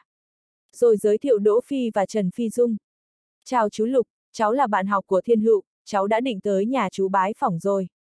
Đỗ Phi rất ngoan ngoãn, ở trương mặt Lục Văn Phu, hắn biết mình chưa có tư cách bày ra thái độ giống trương khác. Trần Phi Dũng sắc mặt bình đạm, chào một tiếng rồi ra đứng cùng thẩm tiêu. Trương khác lại giới thiệu thẩm tiêu, thầy hứa mỗi lần tặng tỉnh trưởng Lục Sơn trà đều là từ chỗ cha của tiểu tiêu đấy. Tỉnh trưởng Lục sau này nếu muốn uống sơn trà, cứ bảo tiểu tiêu mang tới. a à, cháu là con gái của thẩm ước. Lục Văn Phu ngạc nhiên nhìn thẩm tiêu, lại cảm thấy hỏi thế quá đột ngột, cười giải thích, lần trước chú và tỉnh trưởng Lý tới lâm trường Hồng chỉ xem xét tình hình trồng rừng, còn nghỉ chân ở quán cờ của ba cháu, tiếc là thời gian gấp gáp, chỉ đánh được nửa ván cờ. Lần đó mang sơn trà về đã uống gần hết rồi, đúng là muốn nhờ cháu mang cho chú thêm hai cân. Lần sau tới chơi với thiên hữu mang cho chú nhé, chú trông đợi vào cháu đó, chứ lấy trà từ hứa hồng bá, ông ấy còn đau khổ hơn bị xẻo thịt. Vâng ạ, thẩm tiêu vành mắt hơi đỏ, không biết phải nói gì, chỉ gật mạnh đầu. Lục Văn phù dẫn Trương Khác vào trong phòng bao, người hai bên không hiểu thân phận của y, nhưng thái độ này của Lục Văn Phu làm bọn họ đứng cả dậy tươi cười đón tiếp. Trương Khác còn giải thích vì sao thẩm tiêu không mang quà, vừa đi vừa nói, thiên hữu chỉ nói qua qua, tôi còn tưởng là tiệc chúc mừng tỉnh trưởng Lục thăng chức, nghĩ mang quà không thích hợp, nên chỉ tới tay không. Tới đây thiên hữu mới nói là sinh nhật của dì Lục, định mua quà, lại không muốn để mọi người phải đợi. Đúng là trái phải đều khó. Đứng lại cười nói, chúng tôi tới tay không, dì Lục đừng trách nhé. Vợ Lục Thiên Hữu thái độ thay đổi hẳn, vội cười tươi nói, đều là bạn của Thiên Hữu cả, tới ăn cơm chung vui là tốt rồi, tôi sao dám thu quà của các cậu. Hôm nay lão Lục định ra quy củ, cho dù có người mang quà tới, ăn xong cũng phải mang về. Chị Lục Thiên Hữu là Lục Nhất Đình, anh rể từ Minh vẫn xấu hổ không mặt mũi nào đi theo, đứng ở đằng sau, nhìn từ xa xa, thì thầm, ai thế nhỉ, không phải là con trai của của Tổng Bí Thư chứ? Ai mà biết được? Bọn họ lúc này tuyệt đối không dám hỏi thân phận của Trương khác, máy móc gọi phục vụ mang thêm ba cái ghế tới, chỗ ngồi đã an bài cả rồi, nhưng nhìn cha dẫn đám Trương khác tới bàn tiệc chính, như vậy năm người ban đầu phải an bài ngồi bàn khác, may là khách khứa hôm nay không ai so đo chỗ ngồi với lục gia, mấy người chủ động nhường chỗ. Trương khác không hề khách khí cùng Đỗ Phi ngồi xuống, rồi nháy mắt với Trần Phi Dung, là bạn thân lâu năm rồi, Trần Phi Dung hiểu ý ngay, khoác tay thẩm tiêu nói, ngồi bàn này phải uống rượu, chúng ta ngồi cùng với dì Lục đi. Cô vừa nói thế chiếc bàn gần cửa lập tức có hai người đứng dậy nhường chỗ cho họ. Thẩm tiêu không ngờ cha Lục Thiên Hữu lại quen cha mình, mà trong lời nói lại còn chống lưng cho mình, thẩm tiêu không còn quá sợ nữa, và lại vừa rồi mẹ Lục Thiên Hữu mặt lãnh đạm như gió bắc ngoài trời, lúc này ôn hòa tươi cười, liền theo Trần Phi Dung tới ngồi cùng bàn với mẹ và chị Lục Thiên Hữu. Lục Thiên Hữu lo thẩm tiêu bị chị mình bắt nạt, thì thoảng lại quay đầu sang nhìn, trong lòng vừa nghi hoặc sao cha lại quen trương khác, vì sao trước kia hoàn toàn không nhắc tới với mình. Có những chuyện nếu không có ai giúp, người trong cuộc khó mà nhìn ra manh mối, năm ngoái sự kiện gian lận thi cử được giải quyết thuận lợi, Lục Thiên Hữu luôn tưởng rằng mình đứng ra, tự thú, nên thôi quốc hằng nể mặt cha hắn xử nhẹ. Bà chủ khách sạn đi tới, chỉ huy phục vụ thêm ghế thêm bát, nhìn thấy vợ con Lục Văn Phu ôn hòa niềm nở với hai cô gái Lục Thiên Hữu dẫn tới, trong lòng rất ngạc nhiên. Trương Khác vẫn để ý tới thẩm tiêu nên nhìn thấy sự ngạc nhiên của bà ta, trong lòng thầm thở dài, nhưng không nói gì. Lục Văn Phu là người đáng tín nhiệm, ông ta cẩn thận làm công tác chính phủ thời gian dài, nhưng tính cách vẫn rộng rãi và thành thật, nhưng chẳng mong người nhà ông ta đều có giác ngộ cao như vậy, thói đời luôn đóng dấu giai tầng lên người ta, người nhà ông ta không thích ứng tốt lắm. Trần Dũng ngồi taxi tới khách sạn Bắc Cát, lấy di động gọi điện cho Hồ Kim Tinh, tìm tới phòng bao, nhìn thấy Vương Kiến Lâm đã tới rồi. Bà nó chứ, con điếm non Trần Phi Dung đó đã động lòng lắm rồi, đột nhiên có xe cảnh sát đi tới, nói đao tử và chị Thanh tuyển người phi pháp, dẫn bọn họ đi, mẹ nó tiếc thật. Trần Dũng ngồi xuống ghế, mở chai bia, nốc liền một hơi nửa chai, xem ra lần sau phải đổi cách rồi. Thấy góc bàn xếp mấy chai bia, hỏi, buổi tối còn ai nữa à? Tôi có vài người bạn muốn làm quen với các cậu, sau này có chuyện gì cứ tìm bọn họ, họ có thể giải quyết cho các cậu. Vương Kiến Lâm nói, hắn chẳng bận tâm chuyện cảnh sát bắt thuộc hạ của mình, tới ngõ học phủ lôi kéo người tới ngõ học phủ tới hộp đêm làm phục vụ viên, tuy có chút không chính quy, nhưng cách phạm pháp còn xa, vài tiếng sau chắc là thả thôi, hắn lười nhờ người giúp. Trần Dũng nhếch mép không nói gì, những năm qua đủ các loại nhân vật xun xoe lấy lòng hắn, loại chuyện này quen rồi, khinh khỉnh nói, bạn anh giới thiệu có thể giải quyết được con điếm non của Kim Tinh không?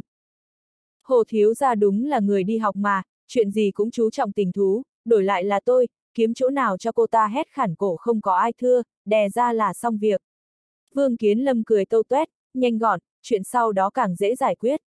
Có cần tôi giới thiệu cho các cậu người có kinh nghiệm vụ này không? Chuyện này bỏ chút công sức tốt hơn. Hồ Kim Tinh lắc đầu, hắn cũng nghe nói con gái sau khi bị hiếp dâm, người nhà thường lo cho thanh danh rất ít người báo cảnh sát, nhưng không báo cảnh sát không có nghĩa là là không bị báo thù. Người không quyền thế đã đành, Hồ Kim Tinh theo đuổi Trần Phi Dung sao không biết cô thường xuyên tới thư viện với Trương Khác, hắn không cho rằng mình chọc nổi Trương Khác.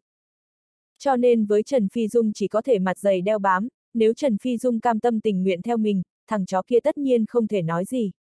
Có điều nghĩ cũng thật đáng hận, Hồ Kim Tinh biết mỹ nữ vây quanh trương khác không chỉ có mỗi Trần Phi Dung, còn có bông hoa của học viện âm nhạc, mầm họa của đỡ sư phạm, mỹ nữ tuyệt sắc Hàn Quốc, không một ai không phải là tuyệt đại mỹ nữ. Đặc biệt là cô em Hàn Quốc kia, bộ ngực đó nhìn thôi chảy nước rãi, nếu đem chơi bắn pháo thì sướng phải biết. Hình như các cô gái xinh đẹp trong thiên hạ đều vì tên nhãi đó mà tụ tập tại kiến nghiệp vậy, làm người ta tức điên. Cũng chẳng phải ngoài đỡ Đông Hải, đỡ sư phạm thì không kiếm được gái đẹp, nhưng đem so mấy cô gái bên người với Trần Phi Dung, Hồ Kim Tinh cứ luôn cảm thấy thiêu thiếu cái gì đó, có phải là thứ không thể có được mới cảm giác tốt nhất.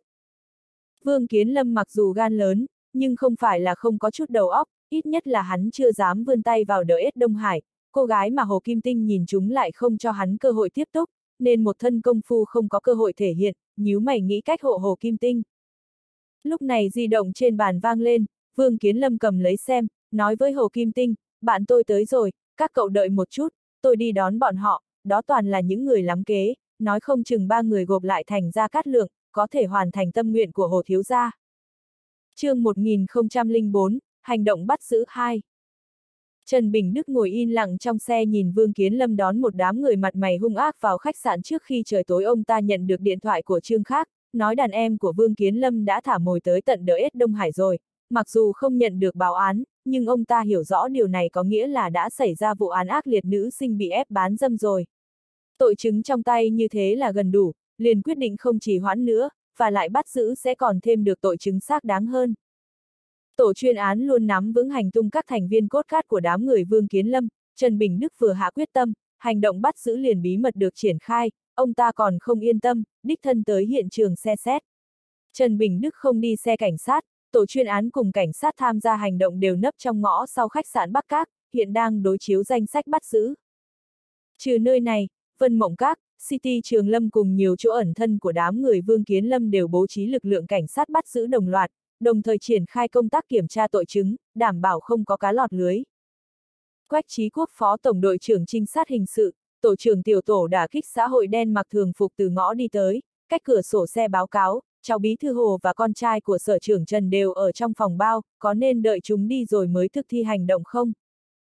Trần Bình Đức xoa cằm ngẫm nghĩ, nếu để đám Hồ Kim Tinh đi trước, thì đám người kia cũng ăn no uống say lên xe đi rồi, sao có thể dễ dàng hốt trọn ổ, hơn nữa có thể làm cháu Hồ Tôn Khánh dính líu vào, chắc chắn Dư Khánh Lâm rất vui vẻ, nhìn đồng hồ nói, 20 phút nữa thực hiện hành động bắt giữ, tôi về cục đợi tin thành công của các đồng chí. Rồi hạ cửa xe xuống quay về cục công an. Quách trí quốc thầm mắng một tiếng lão hồ ly, nếu muốn giữ mình, không đắc tội với ai sao còn hạ quyết tâm lật cái ổ này. Trần Bình Đức Đại Khái sẽ không thừa nhận mình báo cáo với ông ta chuyện này, nếu Hồ Tôn Khánh nổi giận ông ta lôi Hồ Kim Tinh vào, chắc ông ta vờ tỏ ra đáng thương giải thích tất cả là ngoài ý muốn. Thế thì coi như chuyện ngoài ý muốn đi. Quách trí quốc nghĩ thế, nhìn xe hai bên chạy nhanh về xe, chuẩn bị tiến hành bố trí cuối cùng. Đang uống tới say sưa thì Hồ Kim Tinh nghe thấy bên ngoài có tiếng bước chân hỗn loạn, hắn không để ý, rượu đang lên, cực kỳ phấn khích, cổ động Trần Dũng và Vương Kiến Lâm đấu rượu, đột nhiên dầm một tiếng lớn, phòng bao bị người ta đá văng từ bên ngoài, đờ người ra, chưa kịp phản ứng, thì không biết bao nhiêu cảnh sát vũ trang ùn ùn kéo vào hét lớn, đứng im, không được động đậy. Hồ Kim Tinh không biết chuyện gì xảy ra, theo bản năng cầm lấy di động trên bàn định gọi, nhưng bị một dùi cui quất vào tay, tiếp đó một cảnh sát túm tóc kéo ra ngoài, người trong phòng báo thấy tình thế bất ổn, mở cửa sổ định nhảy ra ngoài, mới thấy ngoài cửa sổ âm u cũng đứng đầy cảnh sát vũ trang. Theo trình tự thông thường, xác nhận thân phận của Hồ Kim Tinh, Trần Dũng xong liền báo cáo cho Hồ Tôn Khánh và người nhà của chúng. Hồ Tôn Khánh đang ở City Hải Thúc ăn mừng công trình kỳ 1 của sản nghiệp phần mềm hoàn thành đúng thời hạn, nhận được điện thoại cũng không rõ tình hình nghiêm trọng cỡ nào, vội vàng bảo thư ký nói với Lâm Tuyết một tiếng, ông ta phải tới cục công an ngay, sợ để lâu cho Dư Khánh Lâm kiếm được cơ hội dở trò. Hoạt động đả kích tội phạm này tổ chức từ bao giờ thế? Lâm Tuyết vội vàng đuổi theo, thấy Hồ Tôn Khánh đã lên xe, cũng chui vào, ngồi sát người ông ta. Tin tức của cô không chậm đâu. Hồ Tôn Khánh ngạc nhiên, nghe đâu ra vậy? Rắn chuột tự có đường riêng, nếu tôi đem tin tức nói cho ông, chẳng phải làm ông cũng không sạch sẽ theo sao? Lâm Tuyết cười duyên, hay là tôi đi cùng ông một chuyến? Có điều tới cục công an tôi không xuống để người ta chỉ trỏ đâu. Bữa tiệc mừng công đã tới hồi kết, người còn lại đều không phải là nhân vật có trọng lượng lắm, để cho Vương Hải Thúc ứng phó là được, hơn nữa cô ta và Hồ Tôn Khánh ở lại lâu như thế, vốn là định che tai mắt người khác tìm chỗ giao hoan. Chính phủ thành ủy không có chút gió lay cỏ động nào, chắc là cục công an tự ý hành động. Hồ Tôn Khánh lắc đầu, lo lắng trên mặt không giảm chút nào, ông ta lo chuyện này dính líu tới Hồ Kim Tinh, nên cục công an mới tổ chức hành động này, ông ta biết bối cảnh của Lâm Tuyết không sạch sẽ, nên hết sức mẫn cảm với chuyên án hành động tương tự. Lâm Tuyết nghĩ Hồ Tôn Khánh sẽ không lừa mình, không có thành ủy hỗ trợ, chỉ riêng cục công an tự ý hành động, vậy không thể đi sâu được, lại nghĩ, nếu thực sự đào sâu vào, thì chỉ e hệ thống công an bị chấn động lớn nhất, Trần Bình Đức sẽ vác đá đập chân mình. Trần Bình Đức uống nhầm thuốc à? Lâm Tuyết biết một chút về nhân vật xã hội đen ở Thành Nam, đằng sau băng trường Lâm là Tiền Quế Hoa và Phó Chủ tịch Chính hiệp khu Nam, liền lấy điện thoại ra gọi, một lúc sau mặt trầm lại nói, chuyện này không đơn giản đâu, hoàn toàn là có dự mưu từ trước, những quan viên có trọng lượng liên quan chuyên án hành động này đều đã được điều ra nước ngoài khảo sát từ trước, đây là kế điệu hổ ly sơn. Mặc cho đám lâm tuyết, Hồ Tôn Khánh vắt hết óc cũng chẳng thể liên hệ với trương khác, trừ người bên phía trương khác, thì người biết y có dính líu vào chỉ có Dư Khánh Lâm, Trần Bình Đức, Trương Trí. Xe mau chóng tới được cục công an, Lâm Tuyết ở lại xe, Hồ Tôn Khánh đẩy cửa đi xuống, thấy đám Trần Bình Đức đứng ở bậc thềm nghênh tiếp, mặt âm trầm hỏi, Phó Bí Thư Dư đâu? Tôi cũng vừa được tin tổ chuyên án bắt được cháu Bí Thư, còn chưa kịp báo cáo thành quả hành động hôm nay với Bí Thư Dư. Trần Bình Đức cẩn thận nói, Hồ Kim Tinh có phạm sai lầm lớn cũng không thể đả kích trực tiếp Hồ Tôn Khánh, huống hồ Hồ Kim Tinh và Trần Dũng quá nửa là ham chơi mới đi cùng đám người Vương Kiến Lâm, chẳng thể cố hất nước bẩn lên người bọn chúng. Hồ Tôn Khánh ánh mắt sắc bén nhìn chằm chằm Trần Bình Đức, nhưng nhìn không ra hư thực của câu này, nếu Trần Bình Đức biết rõ Hồ Kim Tinh là cháu mình còn muốn làm chuyện ẩm ý tới cục công an, mưu tính không đơn giản. Lúc này không nhìn ra sơ hở, Hồ Tôn Khánh không dám tùy tiện phát tác, ông ta còn sợ Trần Bình Đức lôi Dư Khánh Lâm ra. Muộn thế này rồi không cần làm phiền tới bí thư Dư nữa. Hồ Tôn Khánh giơ tay lên, trước tiên làm rõ vụ án đi đã rồi hãng báo cáo cho bí thư Dư cũng không muộn, vấn đề của Kim Tinh, các đồng chí cũng phải điều tra thật rõ ràng, tôi tuyệt đối không mềm lòng bao che. Hồ Tôn Khánh lúc này muốn dẫn cháu đi, cho Trần Bình Đức hai cái gan cũng không dám ngăn cản, nhưng chuyện nhìn qua có vẻ không đơn giản dẫn người đi là xong, phải đề phòng Trần Bình Đức dở trò đằng sau. Lúc này có một chiếc xe đi vào bãi, Hồ Tôn Khánh quay đầu lại nhìn, thấy phó sở trưởng sở giáo dục Trần mặc mày nhíu chặt bước xuống xe, liền Đức lại đợi. Trần Bình Đức là cán bộ cấp chính cục, tương đương với Trần Mặc, do quan hệ tới chức vụ, Trần Bình Đức rõ ràng ở thế cao hơn, đợi Trần Mặc đi tới nơi mới lạnh nhạt nói, chuyện lần này thật đáng tiếc, Bí thư Hồ vừa chỉ thị cho chúng tôi phải làm rõ vấn đề của Trần Dũng và Hồ Kim Tinh trước mới có thể cho dẫn người đi. Ở đây Hồ Tôn Khánh có cấp bậc cao nhất, thấy ông ta im lặng không tỏ vẻ gì, Trần Mặc cũng không nói gì thêm. chương 1005, nghe trộm. Trong phòng bao khách sạn Hà Ký, đa phần là bạn bè thân thích Lục Gia, Trương Khác và Lục Văn Phu ngồi cùng bàn tùy ý nói chuyện, đúng lúc này nhận được điện thoại của Trần Bình Đức. Lục Văn Phu quan sát thần sắc của Trương Khác, tựa hồ tối nay đang đợi cú điện thoại này, nhìn y dò hỏi, Trương Khác không coi ông ta là người ngoài, hơi ngả người tới, nói nhỏ, điện thoại của Cục trưởng Trần, cháu của Hồ Tôn Khánh bị dính líu vào chuyên án hành động của Cục Công an, Hồ Tôn Khánh đã tới Cục Công an để bảo vệ thằng cháu cưng. Lục Văn Phu không hỏi kỹ, biết trên bàn tiệc khó nói rõ vấn đề được, Cẩm Hồ lấy Hải Châu và Kiến Nghiệp làm gốc rễ, hơn nữa trọng điểm đang chuyển rời sang Kiến Nghiệp, nhưng Kiến Nghiệp có tính độc lập về chính trị, không bị tỉnh kiềm chế nhiều, cho dù lãnh đạo tỉnh ngả hẳn về phía Cẩm Hồ cũng không có nghĩa là Cẩm Hồ có thể đứng vững chân ở Kiến Nghiệp, nên tin tức vừa rồi chắc có liên quan lớn tới y. Lục Thiên Hữu buổi tối muốn ngủ ở nhà, sau bữa tiệc, đám trương khác đưa thẩm tiêu về thẳng trường, người thân thích cũng giải tán, Lục Thiên Hữu cùng người nhà đi bộ về khu tập thể trực thuộc cơ quan thành ủy cách đó không xa. Lục Nhất Đình và Từ Minh cũng không vội về nhà, theo bọn họ.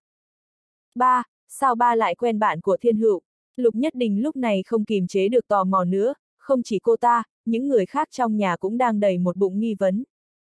Lục Văn Phu đứng lại, nhìn vợ con gái nói, cả hai nên xem lại bản thân đi, làm như hận không thể cho cả thiên hạ biết mình là vợ là con gái phó tỉnh trưởng vậy. Rồi phất tay, đi trước cả đi, tôi có việc phải nói với thiên hữu. Từ Minh đành theo mẹ vợ và vợ đi trước, Lục Thiên Hữu ngoan ngoãn theo sau lưng cha, thầm nghĩ thân phận của Trương khác phải kinh khủng lắm. Năm 94 khi ba làm thư ký trưởng cho tỉnh trưởng từ học binh đã quen Trương Khác, mỗi lần con kể về đứa bạn cùng lớp, ba biết ngay là cậu ta rồi. Ban đầu con có cảm quan không tốt với cậu ta, sao ba không định thay đổi cái nhìn của con? Lục Thiên Hữu thắc mắc. Chuyện phức tạp hơn con tưởng tượng nhiều. Lục Văn Phu nhớ lại chuyện xảy ra mấy năm qua, thở dài, lần này ba có thể thuận lợi lên làm phó tỉnh trưởng, quen biết Trương Khác là một nhân tố quan trọng. Sao có thể như thế được? Lục Thiên Hữu tròn mắt không tin. Mấy năm qua kinh tế Đông Hải có biến hóa lớn so với trước kia, do một người đứng trong bóng tối chủ đạo sự biến hóa này. Lục Văn Phu khoác vai con, vừa đi vừa kể một vài chuyện của Cẩm Hồ. Trương khác không giải thích với thẩm tiêu vì sao lại quen Lục Văn Phu, hơn nữa có thể làm Lục Văn Phu dùng tư thái đó tiếp đãi, thẩm tiêu không dám hỏi nhiều. Đưa Trần Phi Dung về ký túc xá trước, tới dưới chung cư, nhìn thấy phòng của địch đan thanh sáng đèn, Trương Khác thấy lòng kích động, vừa rồi thấy vệ lan ở quán nét, thời gian qua tìm cách gạt bỏ vệ lan để vụng trộm với địch đan thanh thật khó khăn. Bước thật nhanh lên lầu, gõ cửa phòng địch đan thanh, thấy mắt mèo tối đi, Trương Khác lánh người qua một bên, đợi địch đan thanh mở cửa. Địch đan thanh chỉ hé một khe cửa nhỏ, chặng cười sau cửa, cười khúc khích hỏi, muộn thế này sao không về ngủ đi. Tới quan tâm đến vấn đề xây thư viện một chút, Trương Khác nói dối không chớp mắt, thấy địch đan thanh chặn cửa không cho vào, định trêu chọc cô vài câu, nhưng nhìn nụ cười của cô hơi quỷ dị, hạ giọng hỏi, ai ở bên trong thế? Coi như cậu tinh, địch đan thanh cười khẽ, giờ mới mở cửa. Trương Khác nhìn thấy hứa tư ngồi ở phòng khách, ngạc nhiên nói, chị tới mà cũng không nói cho em một tiếng, tới khi nào vậy? Vốn cũng không định tới hôm nay, ngồi trên xe thấy di động hết pin, nên không gọi cho cậu. Hứa tư nhoẻn miệng cười, chỉ đống giấy tờ bừa bộn trên bàn, chúng tôi đang thảo luận phương án thiết kế, cậu tới đúng lúc lắm. Không thể bỏ địch đan thanh ở lại đây đưa hứa tư tới căn nhà bên hồ được, cả hai cô gái đều làm y nảy sinh lòng hưu dạ vượt, tiếc là cả hai ở một chỗ, y chẳng thể làm gì nổi, đành ngồi xuống chăm chú xem bản phát thảo. Đột xuất nảy ý tới kiến nghiệp, tới nơi luôn ở cùng địch đan thanh, cơ hội gọi điện cho trương khác không có, hơn nữa mai đường thanh cũng tới, hứa tư do dự không biết nên tìm trương khác không, cứ thế liền cùng địch đan thanh thảo luận thiết kế thư viện, lúc ấy không cảm thấy có gì thiếu tự nhiên, hiện thêm trương khác, ba người cùng phòng bắt đầu hơi đau đầu. Địch đan thanh uể oải vặn mình nói, không còn sớm nữa, tôi buồn ngủ rồi, hai người đừng ở đây bàn việc nữa. Đi tới dọn dẹp đống giấy tờ bừa bộn, lấy luôn cả tờ trong tay trương khác, xem ra muốn đuổi khách rồi. Hứa tư vào phòng vệ sinh, trương Khắc ôm lấy vòng eo địch đan thanh, hỏi nhỏ, cùng đi ăn khuya nhé. Cậu tưởng tôi là cô bé con à? Địch đan thanh cười nhỏ, ôm má trương Khắc, cọ đầu vào cầm y, giữ cậu lại có lợi gì? Lại còn tranh gối với tôi, chẳng bằng ngủ một mình cho thoải mái. Hứa tư đi ra, định cầm lấy giấy tờ mang theo, địch đan thanh ngăn lại, nói không chừng tôi ngủ dậy buồn chán còn lấy nó xem giết thời gian. Hứa tư đỏ mặt, cầm lấy túi sách theo Trương khác, vào trong xe mời thở phào, so với đan thanh, tôi chẳng giúp được gì đậu ở công việc cả. Trương khác chỉ có thể cười trừ, hiện y không thể nói câu, tìm trợ thủ chứ không phải tìm người yêu, nữa, ai bảo y đã biến địch đan thanh thành tình nhân. Cảnh vừa rồi đúng là đau đầu, mà ngay mai đường thanh lại từ Kim Sơn về. Trương khác đỗ xe ở siêu thị thời đại trước ngõ, định cùng cô mua ít đồ ăn uống mang về căn nhà gỗ thì thấy hai chiếc xe màu đen rẽ từ đường Đông Hoa ra, cũng đỗ trước siêu thị thời đại. Hồ Kim Tinh và Trần Dũng lần lượt từ hai chiếc xe đi ra, chiếc Audi đen không dừng lại mà đi trước, tiếp đó Hồ Tôn Khánh và Lâm Tuyết từ chiếc BMW đi ra. Trương khác không ngờ Hồ Tôn Khánh đưa Hồ Kim Tinh ra nhanh như vậy, chắc hành động vừa rồi không tóm được thóm của hắn, giữ tay hứa tư lại, bảo cô đừng vội xuống xe, không muốn bọn chúng nhìn thấy, loại người này gặp mặt đã thấy khó chịu rồi. Đám Hồ Tôn Khánh đi về phía siêu thị, tới trước siêu thị không vội đi vào, mà đứng trước xe Trương Khác nói chuyện. Xe của Trương Khác lắp kính một chiều, nếu không dí sát mặt vào cửa kính, thì không nhìn thấy người bên trong, Lâm Tuyết còn dựa mông vào cửa xe đứng, chắc là đi giày cao gót cả ngày, mỏi chân đứng lại nghỉ. Mông Lâm Tuyết tròn mà căng, cực đẹp, nhưng nữ nhân này tâm địa rắn rết, thủ đoạn tàn nhẫn, làm người ta khó mà sinh ra dục vọng bình thường, Trương Khác chỉ bận tâm xem bọn chúng nói gì. Nếu thành phố không có kế hoạch thống nhất đả kích tội phạm, khả năng Vương Kiến Lâm đắc tội với ai đó. Xem ra bọn chúng nghi ngờ hành động lần này rồi, Trương Khác nghe Lâm Tuyết nói vậy thì thầm nghĩ, từ thân hình phán đoán, đứng bên trái Lâm Tuyết là Hồ Tôn Khánh, bên phải là Hồ Kim Tinh, Trần Dũng đứng phía đối diện. Cháu nghe thủ hạ Vương Kiến Lâm nói bọn chúng từ Bắc Kinh về hôm Tết Dương Lịch, trên tàu hỏa gặp một mỹ nữ xinh đẹp, không kiềm chế được quấy nhiễu người ta mấy lần, trên tàu có xung đột, xuống tàu còn làm ẩm ý tới đồn công an. Khi đó Trần Bình Đức thay mặt đối phương giải quyết, mọi người nói xem liệu có liên quan tới chuyện này không. Hồ Kim Tinh lên tiếng. Trương khác không ngờ thủ hạ Vương Kiến Lâm lại đem chuyện trên tàu hỏa kể ra cho Hồ Kim Tinh nghe, xem ra đám này dính líu tới nhau không ít, nghe xem bọn chúng có lần theo manh mối tới mình được không. chương 1006, bỏ trốn. Lúc này thấy mông của Lâm Tuyết vặn vẹo, té ra Hồ Kim Tinh lần tay từ đùi cô ta mò lên, cười thầm, cô ả này loại nam nhân nào cũng thích ứng được. Hồ Kim Tinh mặc áo rộng, nghĩ người khác không nhìn thấy hành động của mình, không ngờ trong xe có người. Lần trước là Trần Bình Đức, lần này cũng là Trần Bình Đức, trong này không có vấn đề mới là lạ. Lâm Tuyết nắm lấy tay Hồ Kim Tinh, không cho hắn sờ mó lung tung, vì Hồ Tôn Khánh ở một bên đang dùng đầu gối cọ vào đuổi cô ta, nếu ông ta cũng đưa tay ra sờ, hai chú cháu nhà này tóm được tay nhau trên mông mình thì vui phải biết. Ai có thể sai phái Trần Bình Đức? Hồ Tôn Khánh lẩm bẩm. Nghe bọn chúng kể cô gái kia khi xuống tàu hỏa dùng tiếng Hàn gọi điện, tiếng phổ thông không tiêu chuẩn, có lẽ là người Hàn Quốc. Hồ Kim Tinh nhớ lại, nghe bọn chúng miêu tả, cô gái Hàn Quốc đó hẳn cực đẹp. Lâm Tuyệt đột nhiên đứng thẳng dậy, mông rời khỏi cửa sổ xe, có phải cô gái đó ngực rất to không? Nghe tới đây Trương Khác biết hỏng rồi, không thể bịt tai hứa tư, lại không thể lái xe bỏ đi. Nếu bọn chúng quấy nhiễu người Hàn Quốc thật, không đúng, thành phố không biết, Trần Bình Đức nhiệt tình ra mặt cho người Hàn Quốc là sao? Nếu xảy ra sự kiện ngoại giao, hắn ta đâu thể giấu thành phố tự quyết. Hồ Tôn Khánh thấy chuyện này có nhiều chỗ không hợp lý.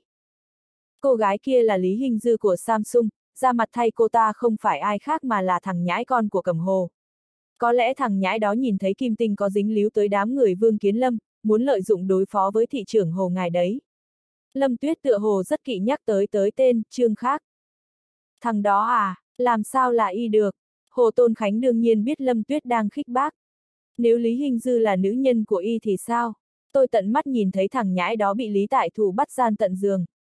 Lâm Tuyết khinh bỉ nói, thằng nhóc đó là cái giống phong lưu, Cẩm Hồ và Samsung đấu đá nhau dữ dội, hai bên đã ở thế không đội trời chung, vậy mà y có thể đưa được báu vật của Samsung lên giường.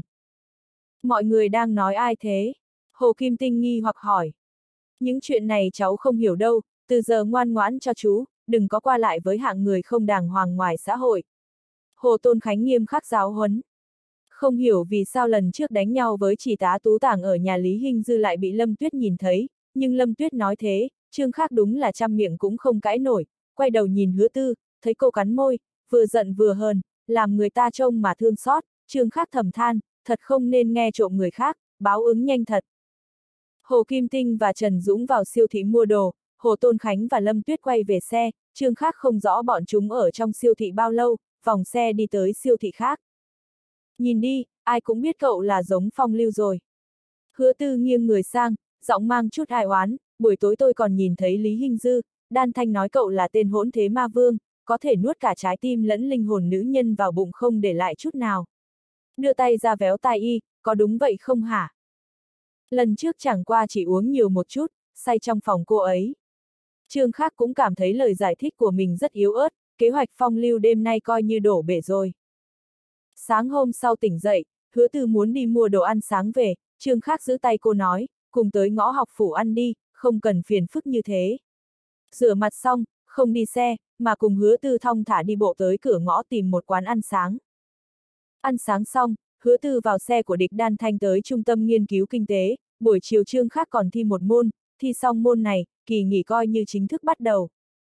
Trương khác còn tưởng cho dù Hồ Tôn Khánh biết mình đứng đằng sau hành động đả kích tội phạm này sẽ không để lại hậu họa gì, đáng tiếc hiện thực không được như ý.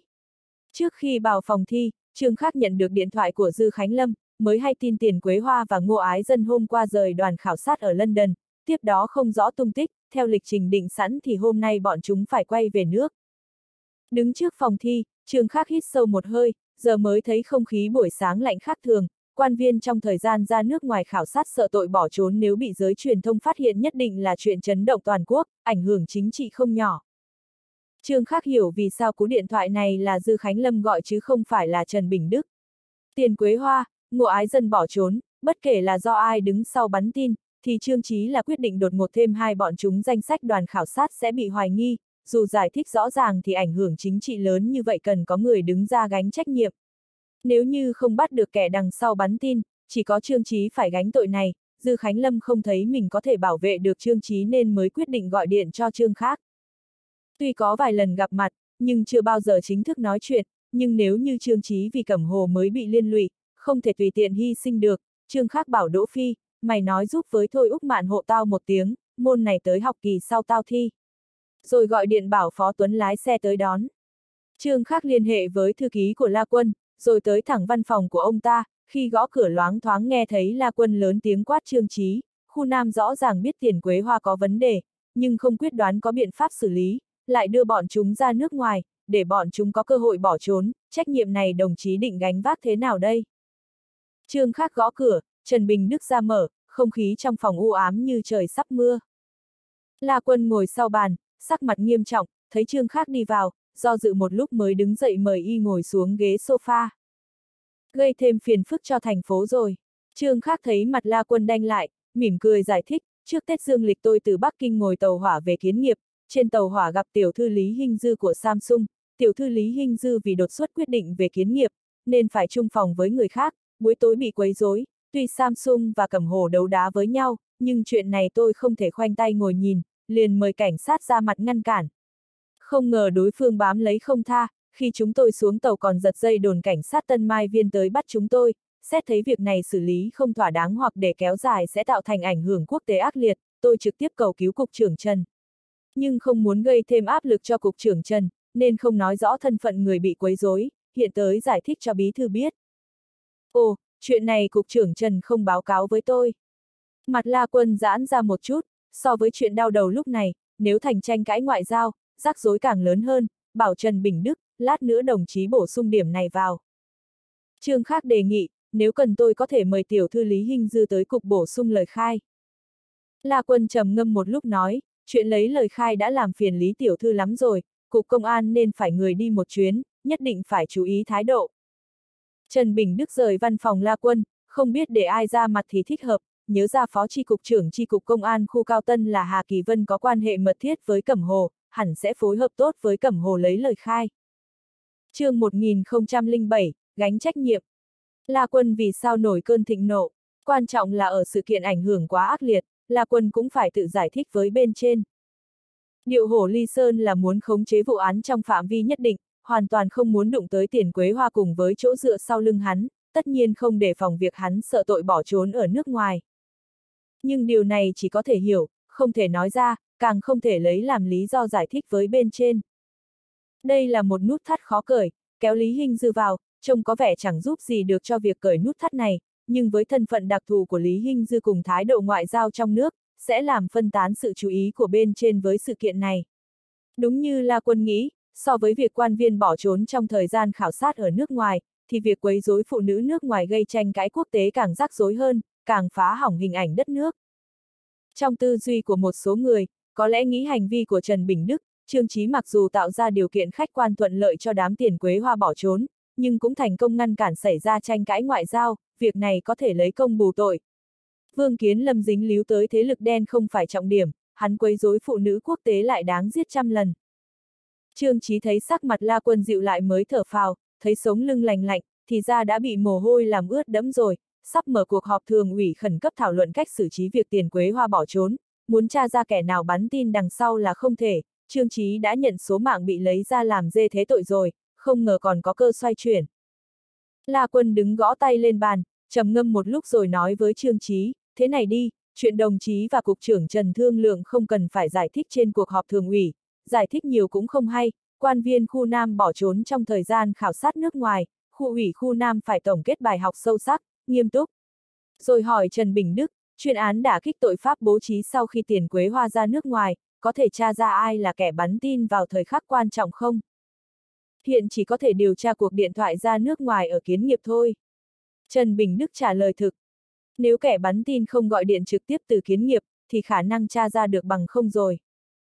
Trương Khác hoài nghi Hồ Tôn Khánh và Lâm Tuyết, mặc dù khả năng bọn chúng dính líu tới tiền quế hoa rất ít, nhưng bọn chúng đoán được chuyên án cục điển tra có liên quan tới mình, nói không chừng bọn chúng nghĩ thông điểm mấu chốt, thuận nước đẩy thuyền gây rắc rối cho mình. Chuyện này rất phiền phức, mặc dù La Quân ôm lấy việc này hết mức có thể thì Trương Chí vẫn phải gánh trách nhiệm nhất định, trách nhiệm của Trần Bình Đức nhẹ hơn, dù sao ông ta công bằng phá án, còn lập công ngăn ngừa sự kiện ngoại giao. Mặt khác đám Hồ Tôn Khánh sao bỏ qua cơ hội tốt này được.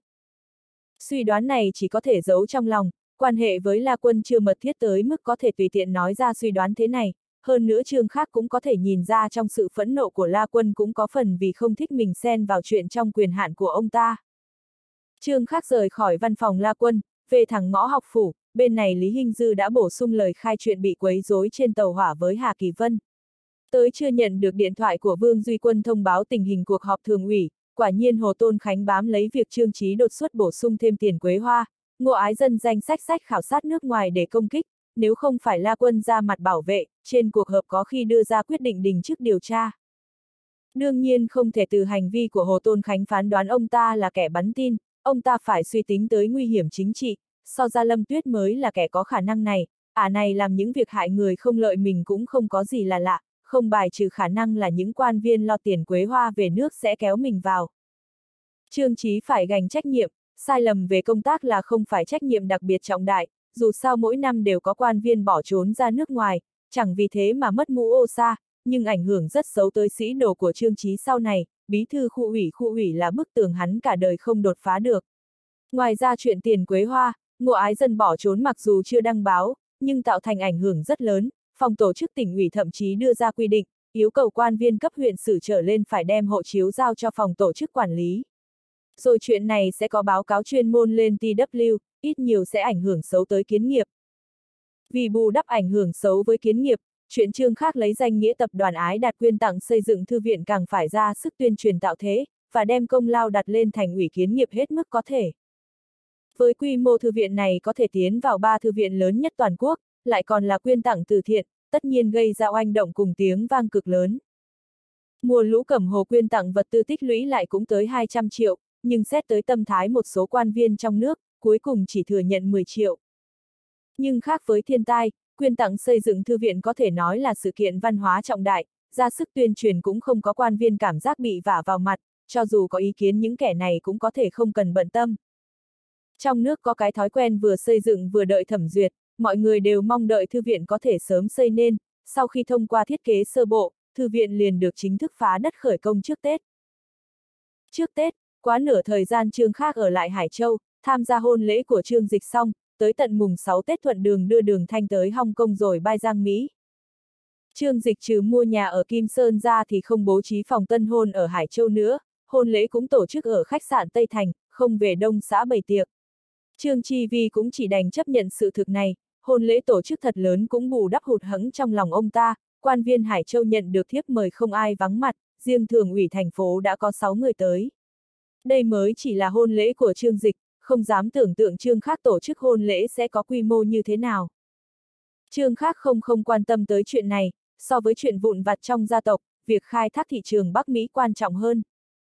Từ Hong Kong bay tới San Francisco mất 12 tiếng, trong khoang hạng nhất không cảm thấy khó đốt thời gian lắm, trừ Tiêu Tấn Thành và Phó Tuấn ra, địch đan thanh cũng có danh nghĩa chính đáng để đi theo. Ngoài ra còn có mông nhạc và tịch nhược lâm. Mông nhạc chỉ còn nửa năm nữa là tốt nghiệp, qua Tết là học kỳ cuối cùng rồi, an bài của trường cũng lấy luận văn tốt nghiệp làm chủ. Trương Khắc hy vọng hắn và tịch nhược lâm sang Bắc Mỹ công tác một thời gian, đây là thời kỳ quan trọng cẩm hồ khai thác thị trường Bắc Mỹ, có thể rèn luyện năng lực con người một cách tốt nhất.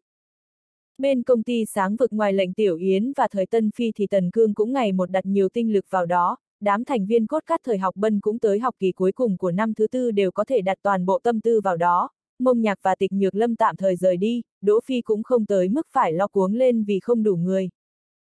chương 1008, tin tức xấu. Bắt đầu từ tháng 10, Cẩm Hồ liền đặt trọng điểm khai thác e-player tại Bắc Mỹ, sau khi hấp thụ hết kỹ thuật flash memory của Toshiba, giá flash memory chip 32M của trung tinh vi tâm giảm từ 100 đô la Mỹ ban đầu tới chưa đến 10 đô la Mỹ. Các nhà phân phối các nơi như uống thuốc kích thích, chưa tới 4 tháng, Cẩm Hồ đã lập nên mạng lưới tiêu thụ tương đối hoàn thiện, lượng tiêu thụ e-player của ái đạt ở Bắc Mỹ hàng tháng từ 1 vạn nhanh chóng tăng lên 3 vạn. Ở thị trường toàn cầu, lượng tiêu thụ của e-player không thể so với máy nghe nhạc MD, nhưng ở thị trường Bắc Mỹ đã đánh vào trung khu thần kinh của của trận doanh của doanh nghiệp kinh doanh MD. Do kỹ thuật MD nằm trong tay doanh nghiệp điện tử Nhật, nên trận doanh MD chủ yếu là doanh nghiệp Nhật, điều này hạn chế MD phổ biến ở Bắc Mỹ. Vào tháng 1 năm 99, lương tiêu thụ MD ở Bắc Mỹ chưa tới 30 vạn, còn lượng tiêu thụ e-player của Toshiba là 6 vạn, của CQ là 5.6 vạn, thêm vào Samsung vươn lên mạnh mẽ, tổng lượng e-player tiêu thụ đã gần 20 vạn chiếc. Có thể dự kiến năm 99, ít nhất ở Bắc Mỹ, e-player sẽ hoàn toàn vứt bỏ MD lại phía sau, tại đây giá cả không phải nhân tố quyết định, chất lượng sản phẩm và mức độ áp ứng nhu cầu thị trường mới là pháp bảo để giành phần thắng. Nếu Trương Khác có ý định dùng sách lược lợi mỏng bán nhiều ở Bắc Mỹ, giá triệt e-player phổ thông trong vòng một năm có thể giảm xuống còn 120, 130 đô la Mỹ, nhưng mục tiêu của Trương Khác hy vọng bán e-player ở phân khúc cấp cao với giá 500 đô la Mỹ thậm chí cao hơn nữa.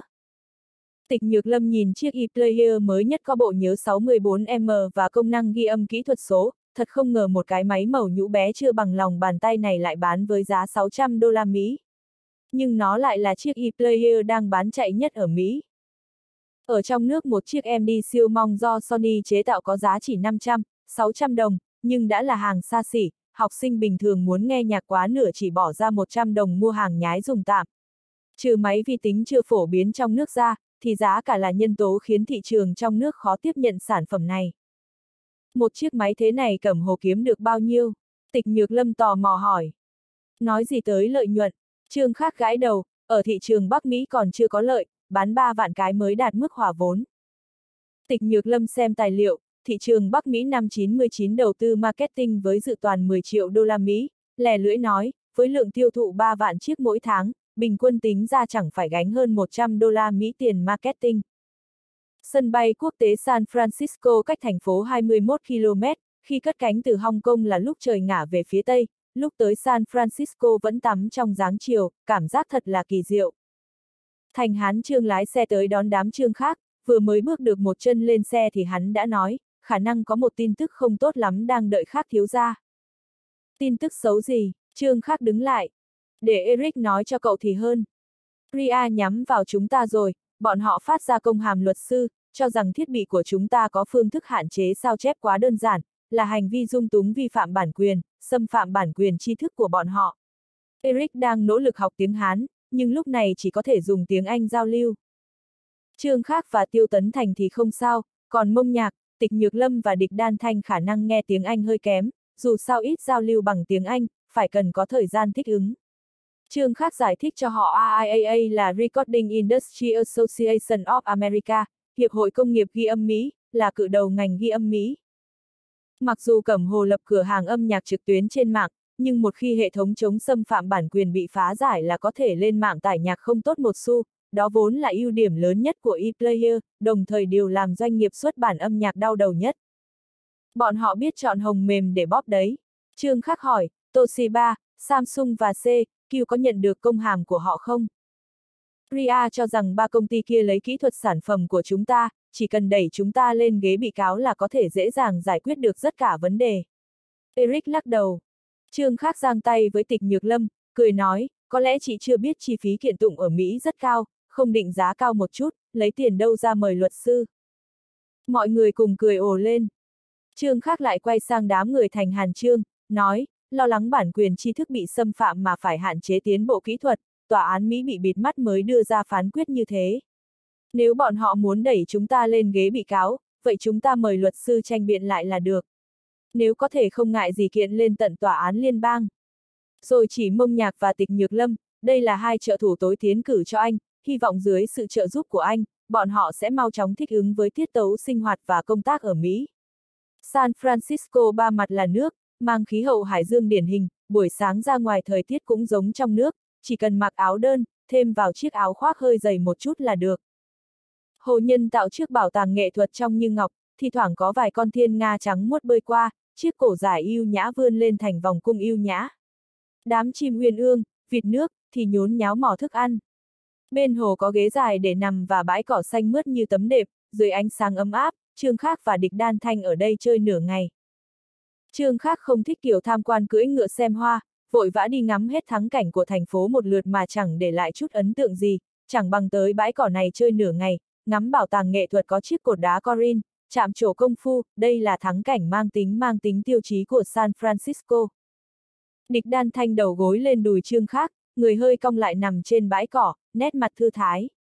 Trương khác thu ánh mắt từ bảo tàng nghệ thuật lại, ngầm nhìn khuôn mặt mang chút lười nhác của địch đan thanh, xinh đẹp cao quý như thiên nga, đôi mắt đẹp đa tình như viên ngọc thuần khiết không chút tỉ vết, làm người ta nhìn điên đảo tâm hồn, chỉ là cô mặc chiếc áo khoác rộng, che đi thân hình gợi cảm mê người. Được rồi, Trương khắc khẽ vỗ gò má mềm mại của địch đan thanh, bọn họ đang chờ chúng ta tới ăn cơm đấy. Rời quảng trường trước bảo tàng nghệ thuật, lên xe đi tới bến tàu số 39 trừ danh của San Francisco, đây là nơi có không khí giải trí nhất thành phố, nó vốn là cửa cảng ngư dân Italia ra biển đánh cá, nổi tiếng với hải sản tươi, ngày nay trừ thưởng thức hải sản, nơi này là khu mua sắm tấp nập. Trong một nhà hàng hải sản ở bến tàu số 39,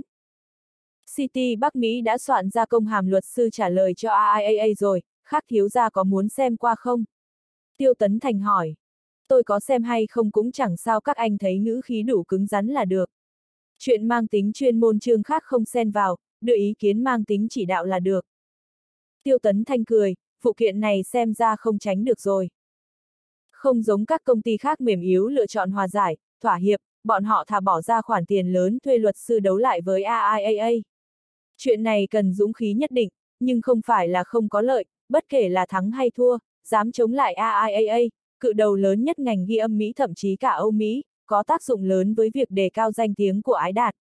Ngoài ra Cẩm Hồ sở hữu mạng âm nhạc bản quyền trực tuyến lớn nhất thế giới, cho dù có thua kiện, cùng lắm phải áp dụng biện pháp chống xâm phạm bản quyền nghiêm ngặt hơn, chứ không có khả năng bị cấm tiêu thụ. Hiện cần phải tính là vấn đề chi phí tố tục cực lớn, phụ kiện càng kéo dài, có lẽ càng có lợi cho Cẩm Hồ, nhưng phải lấy tiền ra từ dự toán marketing ở thị trường Bắc Mỹ. Trương Khắc quay sang hỏi Mông Nhạc và Tịch Nhược Lâm cảm giác tham quan công ty Bắc Mỹ vào buổi sáng ra sao. Còn chưa bắt đầu công tác, chỉ tham quan qua đã cảm thấy áp lực rồi. Mông Nhạc thở hắt ra, còn tưởng Mỹ là thế giới phồn hoa, một tuần làm việc 5 ngày, mỗi ngày làm việc 6 tiếng thật thư thái. Nhưng hoàn toàn không phải vậy, ở đây chỉ hơi buông lỏng một chút thôi, ngày mai có khả năng bị đuổi việc rồi. Ha ha, có người thống kê, thu nhập bình quân của thung lũng Silicon năm 98 là 96.000 đô la Mỹ, tới năm 99 có thể lên tới 100.000 đô la Mỹ, cầm lương cao như thế, làm sao thiếu áp lực được. Trương Khắc mỉm cười. 100.000 đô la Mỹ. Tịch Nhược Lâm thốt lên, chúng tôi ở sáng vực có được chút cổ phần, ai nấy đều nghĩ phát tài lớn rồi, ra ngoài mới biên, thế giới rộng lớn ra sao. Ở thung lũng Silicon có bao nhiêu nhân tài khoa kỹ? Nhân viên nghiên cứu thì chừng một triệu. Thành Hán Trương trả lời hộ, đều là tinh anh các nước, quá nửa sinh viên tốt nghiệp đỡ ết Thanh Hoa, Bắc Kinh sớm muộn cũng tới đây làm việc, đó là hướng đi chủ yếu của họ. Ai công tác ở đây cũng cảm thấy áp lực, hai người từ từ cảm thụ đi. Trương Khắc vỗ vai mông nhạc nói. Ở kiến nghiệp không biết bao người mong mỏi được vào cầm hồ công tác. Tịch nhược lâm than, ai ngờ tranh lệch lớn như thế. Ở trong nước thì lương bổng của cẩm hồ cũng khá rồi, không cần tự khiêm tốn. Nhân viên nghiên cứu vườn sồi tuyển dụng có mức lương chừng 100.000 nghìn, vào năm 99 đó là mức lương cao rồi, trừ đi tranh lệch vật giá, bằng 1 phần 3 đến 1 tháng 2 lương bình quân ở Mỹ, tranh lệch không phải quá lớn. Trong suy tính của chương khác, vườn sồi phải duy trì chừng trên 2 vạn nhân viên nghiên cứu mới đảm bảo được cẩm hồ có khả năng phát triển độc lập, có hệ thống kỹ thuật hoàn chỉnh, đảm bảo cẩm hồ đứng vững chân ở thị trường điện tử tiêu dùng. Trương khác lần này tới San Francisco ngoại trừ thị sát công tác ở bên này thì chủ yếu là chiêu mộ nhân tài đang thiếu cho phương hướng phát triển tương lai của Cẩm Hồ, ví dụ Jeff Goodfellow chuyên gia tên tuổi trong lĩnh vực kỹ thuật điện tử di động, liền hỏi Thành Hán Trương về việc này. Tôi đã tiếp xúc với Jeff Goodfellow nhiều lần. Thành Hán Trương tiếc nuối nói, ý ông ấy là hy vọng chúng ta tài trợ cho công ty của ông ấy, chứ không phải là mua lại. chương 1009, thành tích tốt quá cũng đau đầu.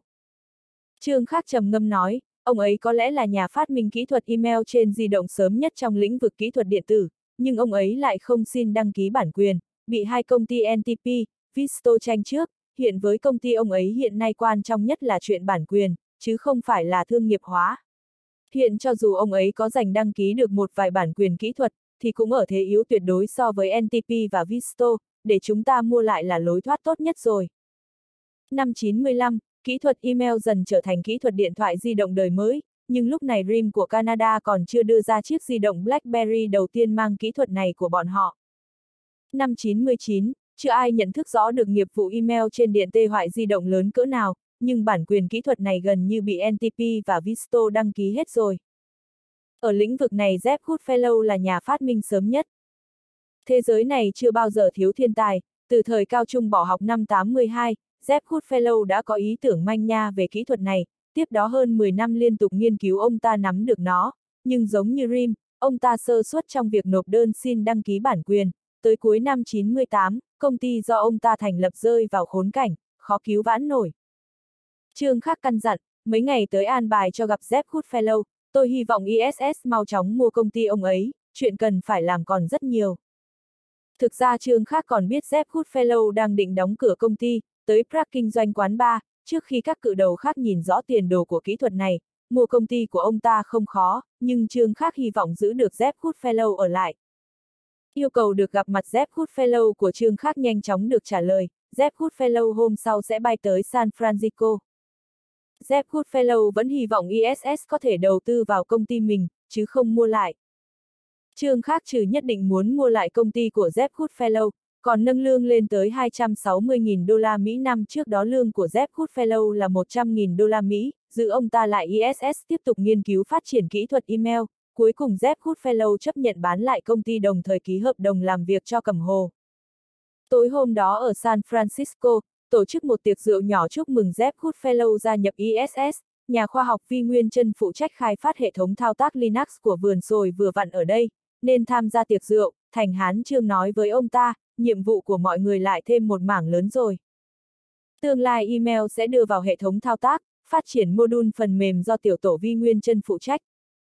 Tốc độ phát triển của ái đạt đang có thể thấy được bằng mắt, chúng tôi làm nghiên cứu cảm giá bị bị đuổi đằng sau. Vi Nguyên Trân cười nói. Công ty RIM hiện cũng đang phát triển sản phẩm email di động cầm tay. Thành Hán Trương hỏi Trương Khác, chúng ta có theo sau không? Trương Khác lắc đầu, tiếp theo đàm phán với NTP, Visto để được cấp quyền kỹ thuật tương quan rồi hãng nói.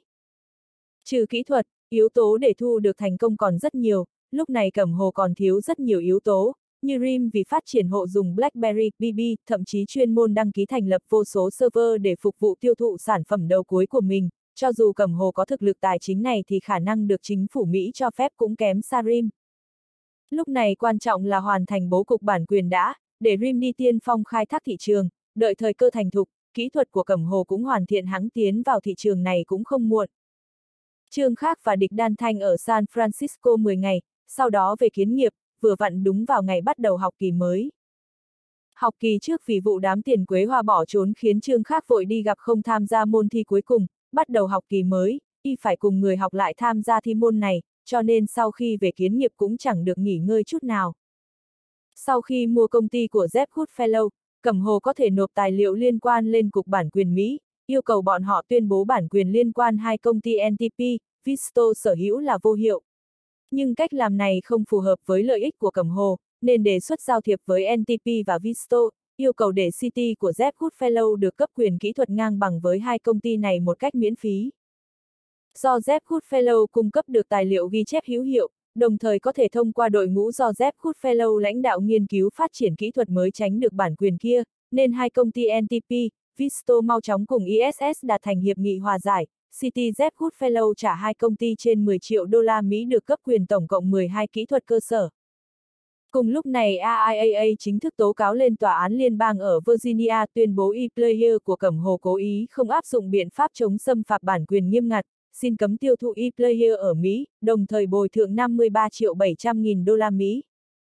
Cẩm Hồ thông qua công ty Bắc Mỹ yêu cầu tòa án phản bác kiện cáo của AIAA, tuyên xuyên không thể lấy cái cớ bảo hộ trí thức bản quyền ngăn cản tiến bộ kỹ thuật, yêu cầu AIAA xem xét lại ý nghĩa tích cực với việc truyền bá tác phẩm âm nhạc thông qua mạng Internet của ePlayer.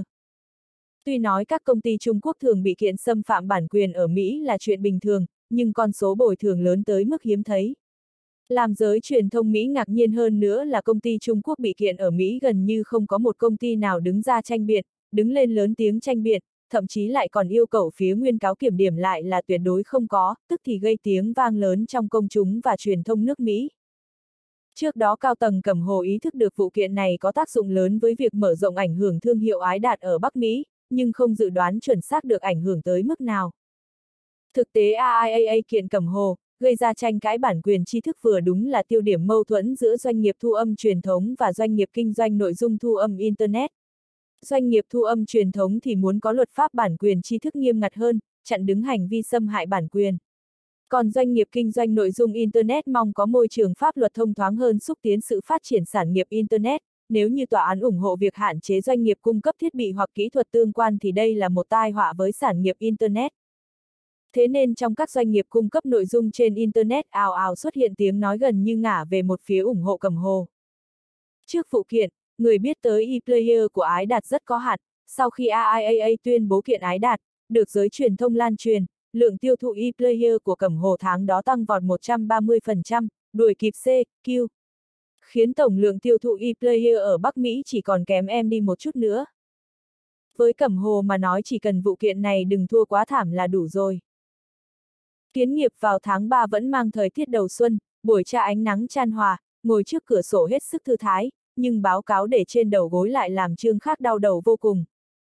Đã giảm tới mức không thể giảm được nữa rồi. Trần Tín Sinh ngồi đối diện với trương khác, cười khổ, năm 98, di động tiêu thụ trong nước là 15 triệu chiếc, phân ngạch thị trường chúng ta chiếm 13,4%, riêng thị trường trong nước tiêu thụ được 2 triệu chiếc, khó mà khống chế doanh thu dưới 10 tỷ. Ngoài ra Bộ Thông tin sẽ thu thập con số thuế má, nên chúng ta không thể tùy tiện giảm xuống được.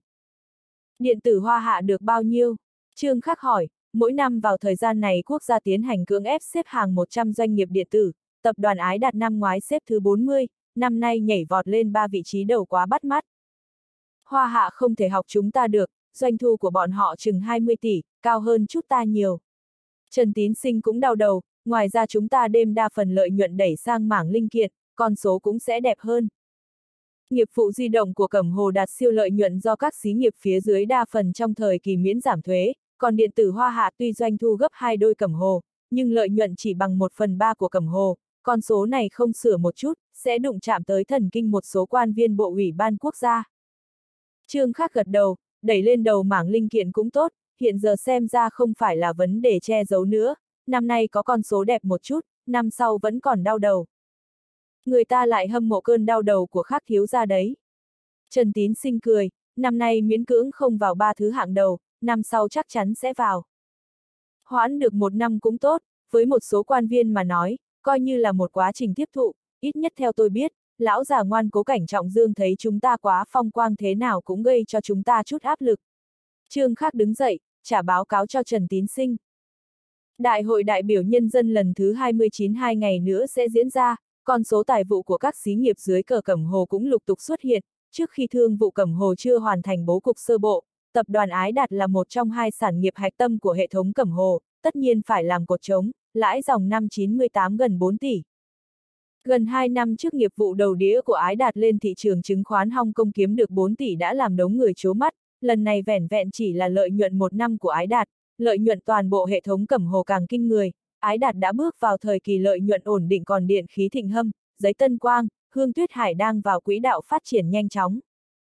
Nói tới Hương Tuyết Hải, trong thời gian tới trương khác phải tới Huệ Sơn một chuyến, Hương Tuyết Hải có 24% cổ phần do Cục Công nghiệp nhẹ Huệ Sơn nắm, phải xử lý rõ quan hệ cổ phần này, về sau mới có thể thuận lợi lên thị trường chứng khoán Hong Kong.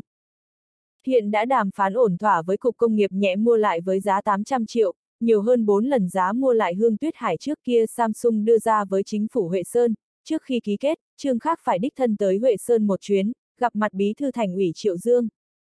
Một nghìn rồi, sợ thật. Mai tiếp nhé. chương 1010, lỗ hổng hé mở.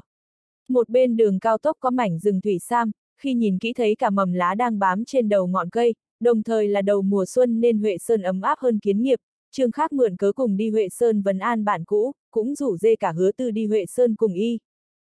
Trong tiểu viện tử trúc viên ngoại thành phía Nam Huệ Sơn, hoa viên đã được tu sửa tăng thêm sự độc đáo mà lại hoang dã, đầu xuân, trong bụi cỏ rậm rạp có mấy bông hoa nhỏ màu tím đang nở rộ.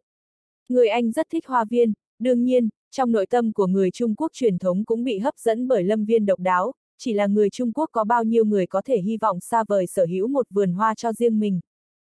Lần này Trương Khác đến Huệ Sơn là do nhận lời mời của Triệu Dương, chúc mừng cho sinh nhật tuổi 40 của Triệu Tử, bà chủ Triệu Tử.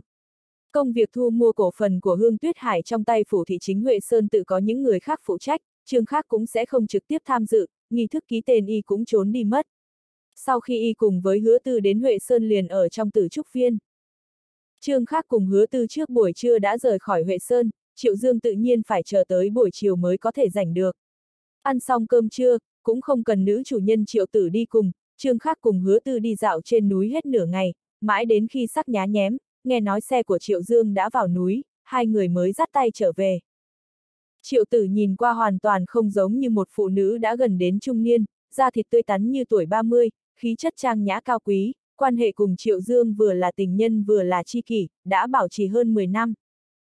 Trương Khác cùng hứa tư trở lại từ trúc viên, Triệu tử cũng đang ở cửa đợi Triệu Dương đến, nhìn thấy bộ dạng thân mật của Trương Khác cùng hứa tư, cô cười nói, tôi ở Văn Châu cũng xây một tòa tử trúc viên, gặp lại lần tới chỉ sợ phải đợi ở Văn Châu rồi. Triệu tử nói như vậy, cũng là ám chỉ Triệu Dương sẽ đến Văn Châu nhậm chức, trạm kế tiếp của Triệu Dương chính là tại Chiết Đông, mặc dù chức vụ cụ thể còn khó có thể biết, chí ít cũng là phó bí thư tỉnh ủy. Trương Khắc gật đầu, cười nói, khí hậu của Văn Châu còn tốt lành hơn so với Huệ Sơn, là một địa phương tốt. Quan viên cấp bậc như Triệu Dương, lên chức điều động đều do TW trực tiếp nắm giữ, Trương Khắc tự nhiên không thể sớm nghe được tin tức gì, cho dù Đào Tấn, Lý Viễn Hồ biết công việc điều động của Triệu Dương cũng không cần phải thông báo cho Trương Khác, như vậy ít nhiều có vẻ giọng khách hát giọng chủ rồi. Cẩm Hồ tại Huệ Sơn vẫn lấy đầu tư thực nghiệp là chủ, quan hệ cùng chính phủ có hơi xa cách, trong hệ thống Cẩm Hồ, địa vị của Huệ Sơn yếu hơn Hải Châu, kiến nghiệp rất nhiều, lần này tỉnh cầu đối với cổ phần của Hương Tuyết Hải, sẽ khiến quan hệ cổ phần của Hương Tuyết Hải suôn sẻ hơn, biến hóa về bố cục quyền lực của Huệ Sơn không tạo thành ảnh hưởng quá lớn đối với Cẩm Hồ. Trương khác lại nghĩ đến Triệu Dương đến Chiết Đông nhậm chức, con trai của Vương Húc Sâm là Vương Trí cũng ở lại Văn Châu công tác, cũng có thể mời Triệu Dương chiếu cố một chút, đợi sau khi Triệu Dương đến Văn Châu nhậm chức, không ít lần còn phải đích thân đến Văn Châu một chuyến. Y vừa cười vừa nói với Triệu Tử, đường đi Văn Châu cũng gần, tử trúc viên ở Văn Châu của chị Triệu khi nào khai trương, nhất định phải nói cho em biết một tiếng, hiện tại em luôn muốn tìm cơ hội chuồn ra ngoài đi chơi. Tôi nhớ kỹ rồi, không thiếu phần cậu đâu. Triệu tử cười nói. Hai người đang nói chuyện gì vậy? Triệu Dương ngồi xe chạy tới, thấy mấy người trương khác đang chờ trước vườn, hắn xuống xe cười hỏi. Đang bàn tử trúc viên ở Văn Châu khai trương, cũng phải mời trương khác cùng hứa tư qua đó giúp đỡ. Ở trước mặt Triệu Dương, Triệu tử luôn nói nặng dịu dàng hơn. Được đấy.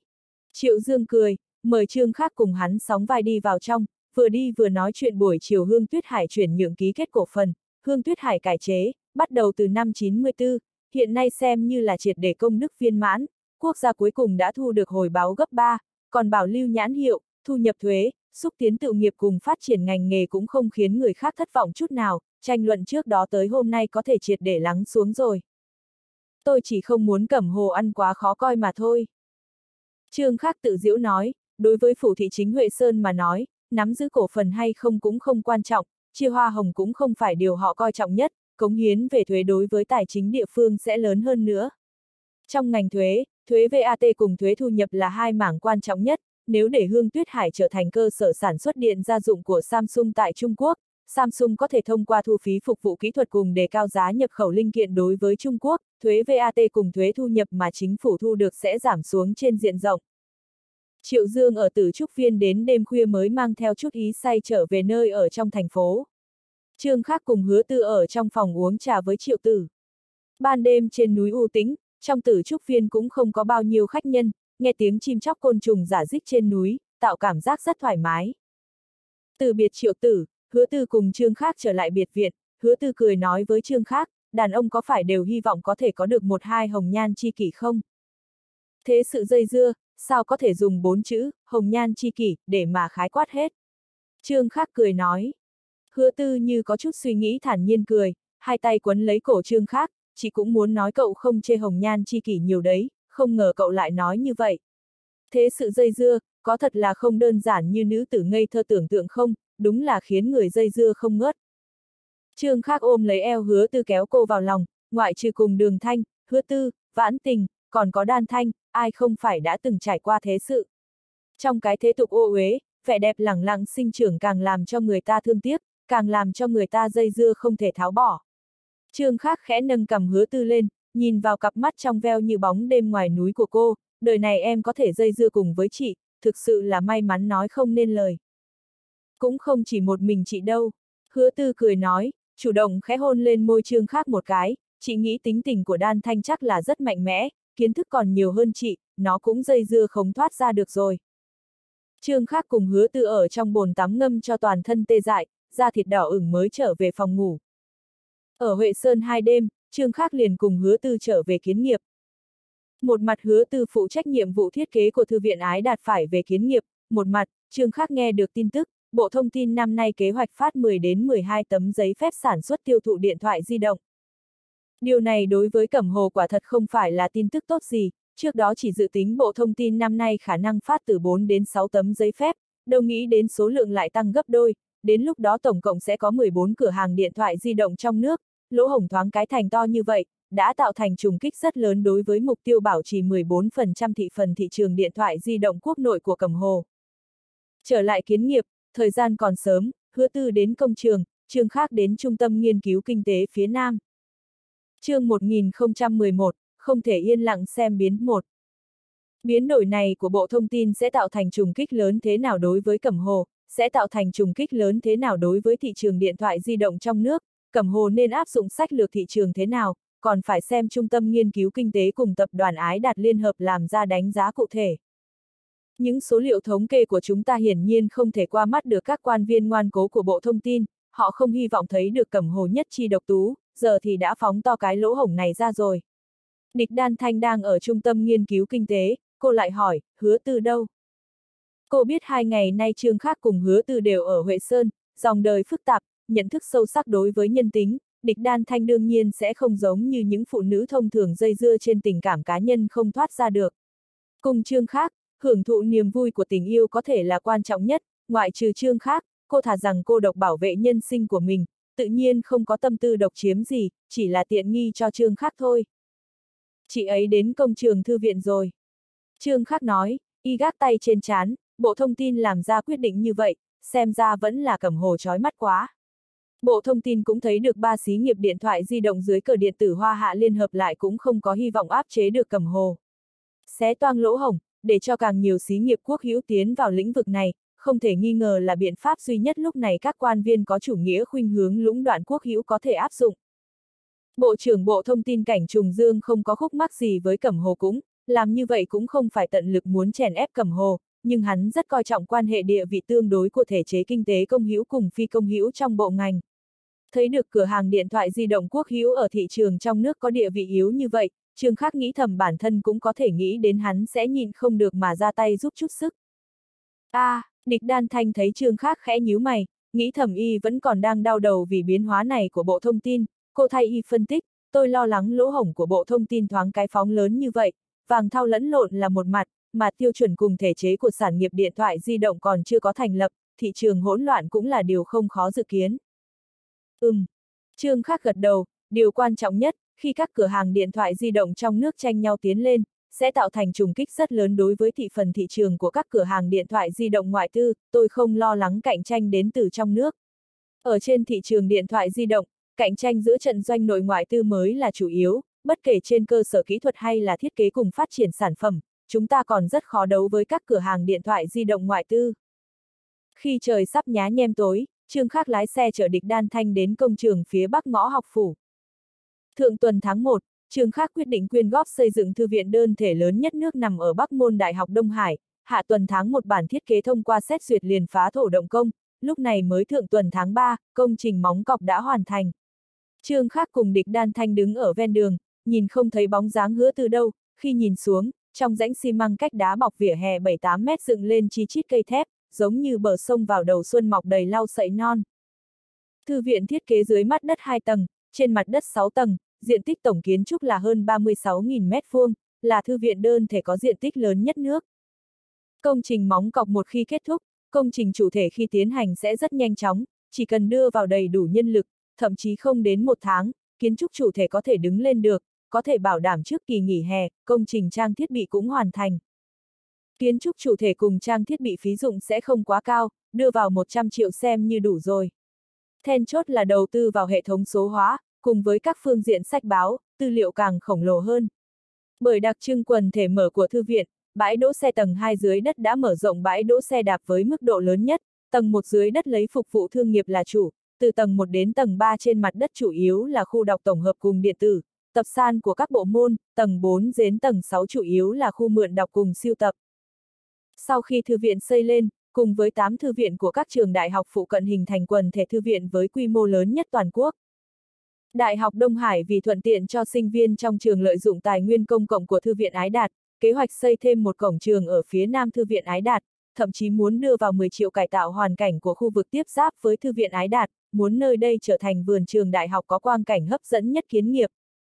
Trong số các trường đại học cao đẳng ở kiến nghiệp, Đại học Đông Hải nhận được sự giúp đỡ của Cẩm Hồ với mức độ lớn nhất. Vì giúp một nhóm trường đại học cùng ngành học trọng điểm có thể được chú trọng bồi dưỡng, căn cứ vào các vấn đề nhân tài cùng kiến thiết kinh tế quốc gia, phát triển khoa học công nghệ, năm 93 Trung ương khởi động, công trình 211, hướng tới thế kỷ 21, tập trung lực lượng các phương diện, trọng điểm kiến thiết khoảng 100 trường đại học cùng ngành học trọng điểm.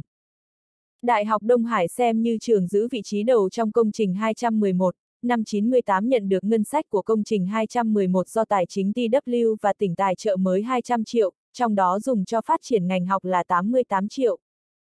Trừ điều đó ra, Đại học Đông Hải cùng chính phủ TP, kiến nghiệp tại khu Nam Hồ Yến quy thành lập khu sáng nghiệp khoa học công nghệ Đông Hải, quỹ đầu tư mạo hiểm vườn sồi đưa vào 50 triệu để xúc tiến khu sáng nghiệp phát triển, xúc tiến Đại học Đông Hải phát triển ngành nghề hóa. Mặt khác, vườn sồi còn cùng Đại học Đông Hải tại các lĩnh vực chuyên nghiệp như công trình thông tin, công trình tài liệu, công trình vi điện tử thành lập một nhóm phòng thí nghiệm liên hợp, tài chính đưa vào cũng gần 100 triệu. Ngoại trừ tại các bộ môn tương quan toàn diện phổ biến chế độ song đạo sư, vườn sồi còn có một nhóm khoa học gia nhận được Đại học Đông Hải mướn đảm nhiệm giáo sư giảng dạy. Nhiều loại điều kiện liên hợp thúc đẩy, nội bộ Đại học Đông Hải cho rằng lay động địa vị của Thanh Hoa tại công trình vi điện tử, máy tính, công trình phần mềm, công trình tin tức cũng không phải là mộng tưởng không thể đạt được. Đại học Đông Hải thậm chí cũng có thể hùng hồn cho rằng Thư viện Ái Đạt là xây vì Đại học Đông Hải, dù sao sau khi Thư viện Ái Đạt xây lên, chỉ cách khu vực ký túc xá Đại học Đông Hải có một bước, sau đó tân đại môn xây lên, sinh viên Đại học Đông Hải đến Thư viện Ái Đạt còn tiện hơn rất nhiều so với đến Thư viện trường.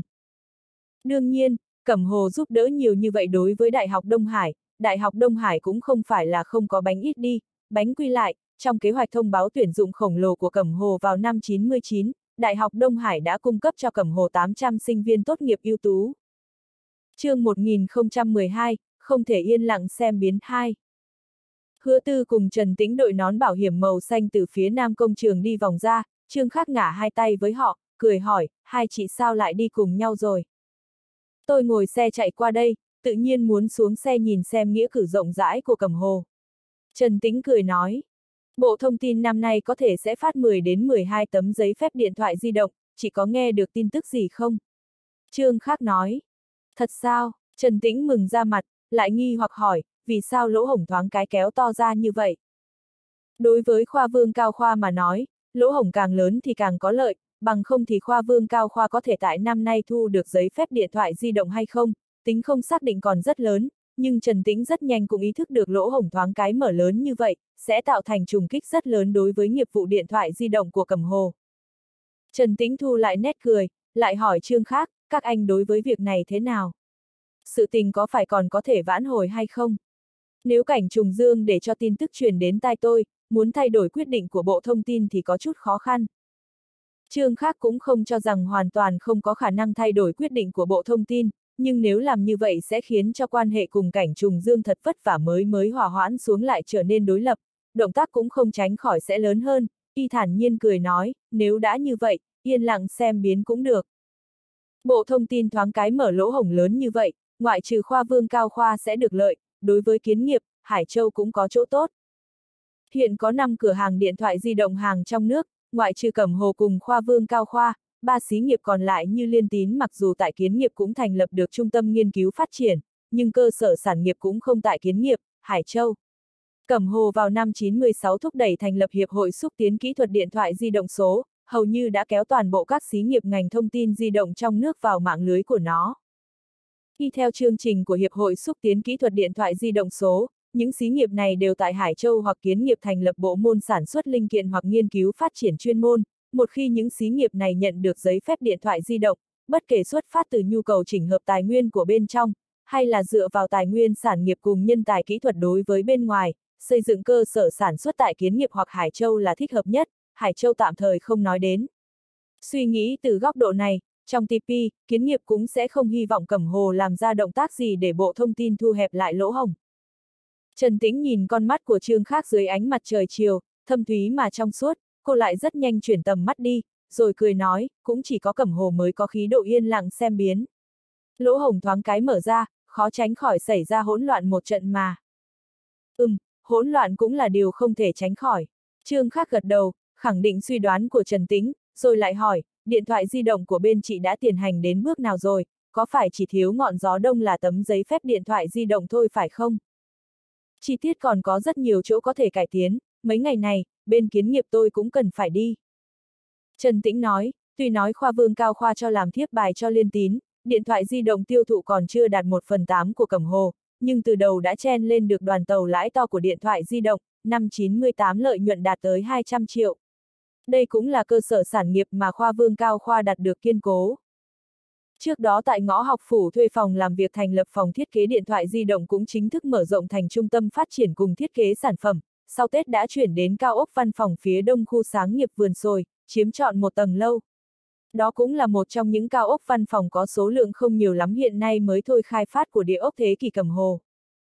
Trương Khác còn dự định mời Trần Tĩnh cùng họ ăn một bữa cơm, tuy nhiên trước khi y mở lời thì điện thoại của Trần Tín Sinh gọi qua. Trần Tín Sinh cùng Tô Tân Đông còn có Trương Á Bình ngày hôm nay vừa lúc đều tại Hải Châu, lúc này họ đã đến Huệ Sơn rồi, có thêm một giờ nữa là có thể chạy tới kiến nghiệp thương nghị đối sách, bộ thông tin thoáng cái kéo lỗ hổng to ra như vậy, cho dù Cẩm Hồ không muốn đi ảnh hưởng đến quyết định của bộ thông tin, cũng không thể hoàn toàn không làm ứng đối. Lúc này hứa tư trên cơ bản không tham dự vào sự vụ của nội bộ Cẩm Hồ, cho dù cá nhân cô vẫn nằm trong 10 người nắm giữ cổ phần nhiều nhất của Cẩm Hồ, cô liền mời Trần Tĩnh đến ngõ học phủ cùng nhau dùng cơm. Trong khoảng thời gian này hứa tư tại Hải Châu cũng tiếp xúc khá nhiều với Trần Tĩnh. Cẩm Hồ sẽ không sợ cạnh tranh đến từ trong nước, mà là lo lắng trước khi bố cục sản nghiệp hoàn thành, dòng nước sẽ bị quấy đục rồi, lực trùng kích của cửa hàng điện thoại di động hải ngoại đối với thị trường điện thoại di động Trung Quốc sẽ càng mạnh, thế cục sẽ không dễ dàng nắm chặt như vậy nữa. Dựa vào Hiệp hội xúc tiến kỹ thuật điện thoại di động số, tại kiến nghiệp, Hải Châu đã thành lập cơ sở sản nghiệp linh kiện điện thoại di động với quy mô nhất định, nhưng một số linh kiện chính có tính then chốt vẫn còn chưa hình thành quy mô lớn bao nhiêu. Các cửa hàng điện thoại di động hàng trong nước thoáng cái tăng đến 14 đến 16 nhà, nhu cầu đối với linh kiện của nó, năng suất ở hai nơi kiến nghiệp, Hải Châu không thể duy trì được, tất sẽ khiến một bộ phận cửa hàng điện thoại di động này chuyển hướng tìm kiếm phương án giải quyết kỹ thuật điện thoại di động khác, do đó phá vỡ kế hoạch trước đó của Trương Khác ý đồ mượn Hiệp hội xúc tiến điện thoại di động số đi khống chế bố cục kỹ thuật điện thoại di động hàng trong nước.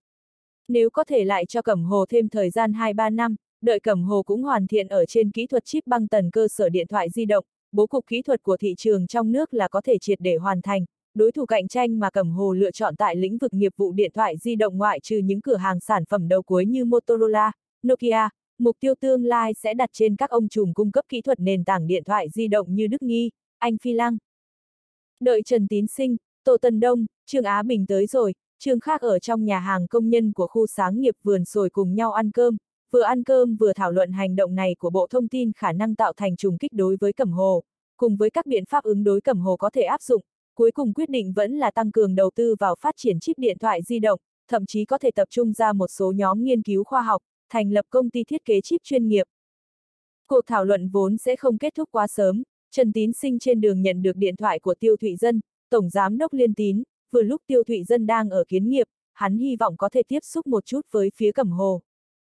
Lần này Bộ Thông tin muốn thoáng cái phát ra 10 đến 12 tấm giấy phép, tuy nói Cẩm Hồ sẽ nhận được trùng kích, nhưng chí ít ở trên biểu hiện, điện tử hoa hạ dưới cờ sở hữu ba xí nghiệp điện thoại di động sẽ nhận được trùng kích lớn hơn nữa, thế nhưng việc phía sau không hề đơn giản như trên biểu hiện.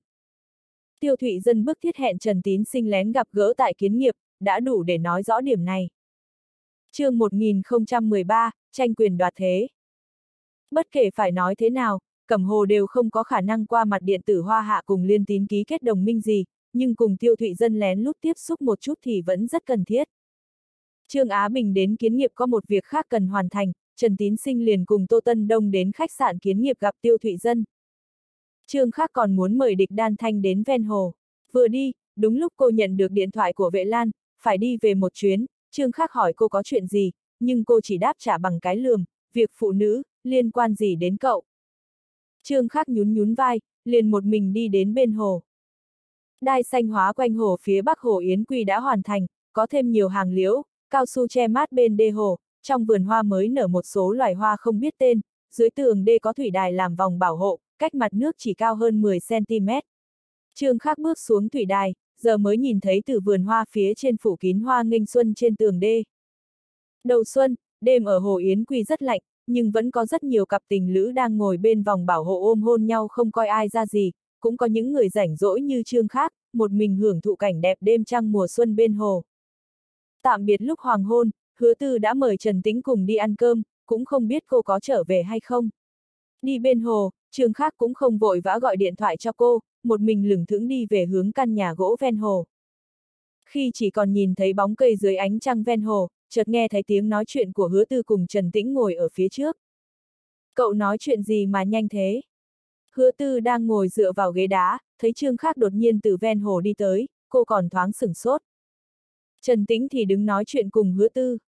Tiêu thụy dân của Liên Tín đột nhiên gọi điện thoại qua đây, hắn đang ở kiến nghiệp, Trần Tín sinh cùng Tô Tân Đông liền đến đó gặp hắn rồi. Em cũng được rảnh rang. Trương Khác đi tới giữa hứa tư cùng Trần Tĩnh, ngồi vào bên phải Trần Tĩnh, giúp cô ngăn gió sông lạnh lẽo thổi tới, ngồi dựa vào lan can, nghiêng người hỏi họ, hai chị ăn cơm xong chắc lại ra ngoài đi lung tung hả? Tử ra cũng không có ở kiến nghiệp, tôi vốn định ban đêm cùng trợ thủ về Hải Châu, ở trước sư đại Nam Môn lại xảy ra va quẹt với xe của người khá, trợ thủ ở lại đó xử lý rồi, tôi chỉ có thể ở lại kiến nghiệp một đêm. Trần Tĩnh nói, ở chỗ này hơi lạnh, chúng tôi đang định trở lại đây. Được Trương Khác hỗ trợ cản gió, cảm giác không còn quá lạnh nữa, Trần Tĩnh cảm giác ấm áp trong lòng, nghĩ thầm tiêu thụy dân của liên tín lén tiếp xúc với Cẩm Hồ chắc là việc rất bí mật. Trương Khác cũng không ngại để cho mình biết, loại cảm giác được tín nhiệm này rất tuyệt vời, dưới ánh trăng nhìn Trương Khác, cô khống chế không được tăng thêm vài phần tình nghĩa với y. Trương Khác không biết tạ tử ra bởi vì chuyện gì mà không ở kiến nghiệp, lúc này cần phải là thời khắc then chốt nhất khoa vương cao khoa phát triển điện thoại di động bảo thạch, xem như người phụ trách tạ tử ra không nên tùy tiện rời khỏi kiến nghiệp. Y nhìn con mắt hứa tư đang nhìn qua đây mỉm cười, nghĩ thầm cô nhất định bảo Trần Tĩnh ngủ lại căn nhà gỗ ven hồ. Hứa tư cũng không nói gì muốn giữ Trần Tĩnh ngủ lại một đêm, chỉ là khó hiểu hỏi, lúc này tiêu thụy dân tới đây tìm làm gì. Nội bộ bộ thông tin cũng là phe phái phức tạp, tràn ngập mâu thuẫn. Trương Khắc nói, Liên Tín, Liên Tấn, Đông Hưng, ba nhà xí nghiệp mặc dù đều thuộc điện tử Hoa Hạ, trên thực tế, ba xí nghiệp này lại là lá chắn cực mạnh của nội bộ điện tử Hoa Hạ. Điện tử Hoa Hạ là chỉnh hợp gần 20 xí nghiệp trực thuộc Bộ Bưu điện, Bộ Công nghiệp điện tử mà thành. Năm 98 doanh thu vừa mới đột phá 20 tỷ. Trong 20 tỷ này, Liên Tín, Liên Tấn, Đông Hưng đã chiếm hơn phân nửa. Năm 98 điện tử Hoa Hạ lợi nhuận đạt được 1.8 tỷ. Ba xí nghiệp này đã chiếm 2 phần 3. Cường thế như Liên Tín, Liên Tấn, Đông Hưng, lực ràng buộc của Tổng bộ Tập đoàn Điện tử Hoa Hạ đối với ba xí nghiệp này cực kỳ hữu hạn, thậm chí ngay cả quyền hạn tài vụ, nhân sự cũng không thu hồi, muốn nói Cát Kiến Đức không có cái nhìn đối với nhóm tiêu thụy dân, vậy quá ngây thơ rồi. Bộ Thông tin lần này kế hoạch phát 10 đến 12 tấm giấy phép điện thoại di động, nhìn qua có phần bất lợi đối với điện tử Hoa Hạ, nhưng đối với các kiến đức và cao tầng điện tử Hoa Hạ của hắn thì có thể mượn cái này để áp chế liên tín, liên tấn, đông hưng, hơn nữa, cho dù phát 10 đến 12 tấm giấy phép, trong đó đại đa số cũng là rơi vào trong tay các xí nghiệp có quan hệ với Bộ Thông tin. Nhiều giấy phép phát ra như vậy, có thể làm thành công mấy nhà, tương lai một mệnh lệnh hành chính cũng có thể chỉnh hợp đến dưới cờ điện tử Hoa Hạ, trên thực tế lại tăng cường thực lực của điện tử Hoa Hạ trên nghiệp vụ tại điện thoại di động, đây là cảnh trùng dương đang đi trên lộ tuyến đường cong cứu quốc, hắn cũng không cho là chúng ta ngu bao nhiêu. Chỉ là cái cổ của chúng ta đã bị hắn nắm trong tay, trên chuyện này không thể vùng vẫy được.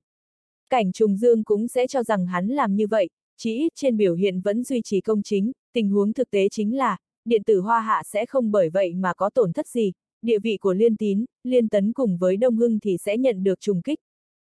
Ôi, đúng là phức tạp. Trần Tĩnh mơ hồ cảm thấy phương diện này có rất nhiều vấn đề, chỉ là không thấy được thấu triệt như Trương Khắc thôi. Bộ thông tin thoáng cái phóng đại lỗ hổng tiến vào sản nghiệp điện thoại di động, ngoại trừ áp chế cẩm hồ, cũng tràn ngập nội bộ tranh quyền đoạt thế. Hứa tư dịu dàng cười, cô thà rằng đơn giản sinh sống dưới sự che chở của Trương Khắc, cũng không muốn đi suy nghĩ những cảnh lục đục phía sau này.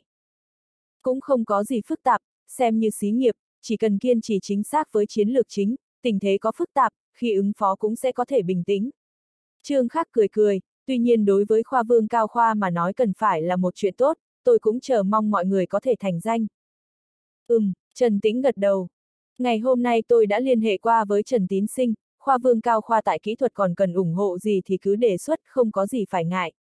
Khoa vương cao khoa có thể ở trên thị trường thu được thành công, cũng là cơ hội tốt để Cẩm Hồ mở rộng kỹ thuật, điểm này, nội bộ Cẩm Hồ đã có chung nhận thức, cũng không phải tình cảm giữa chúng ta mà thiên vị cho mọi người.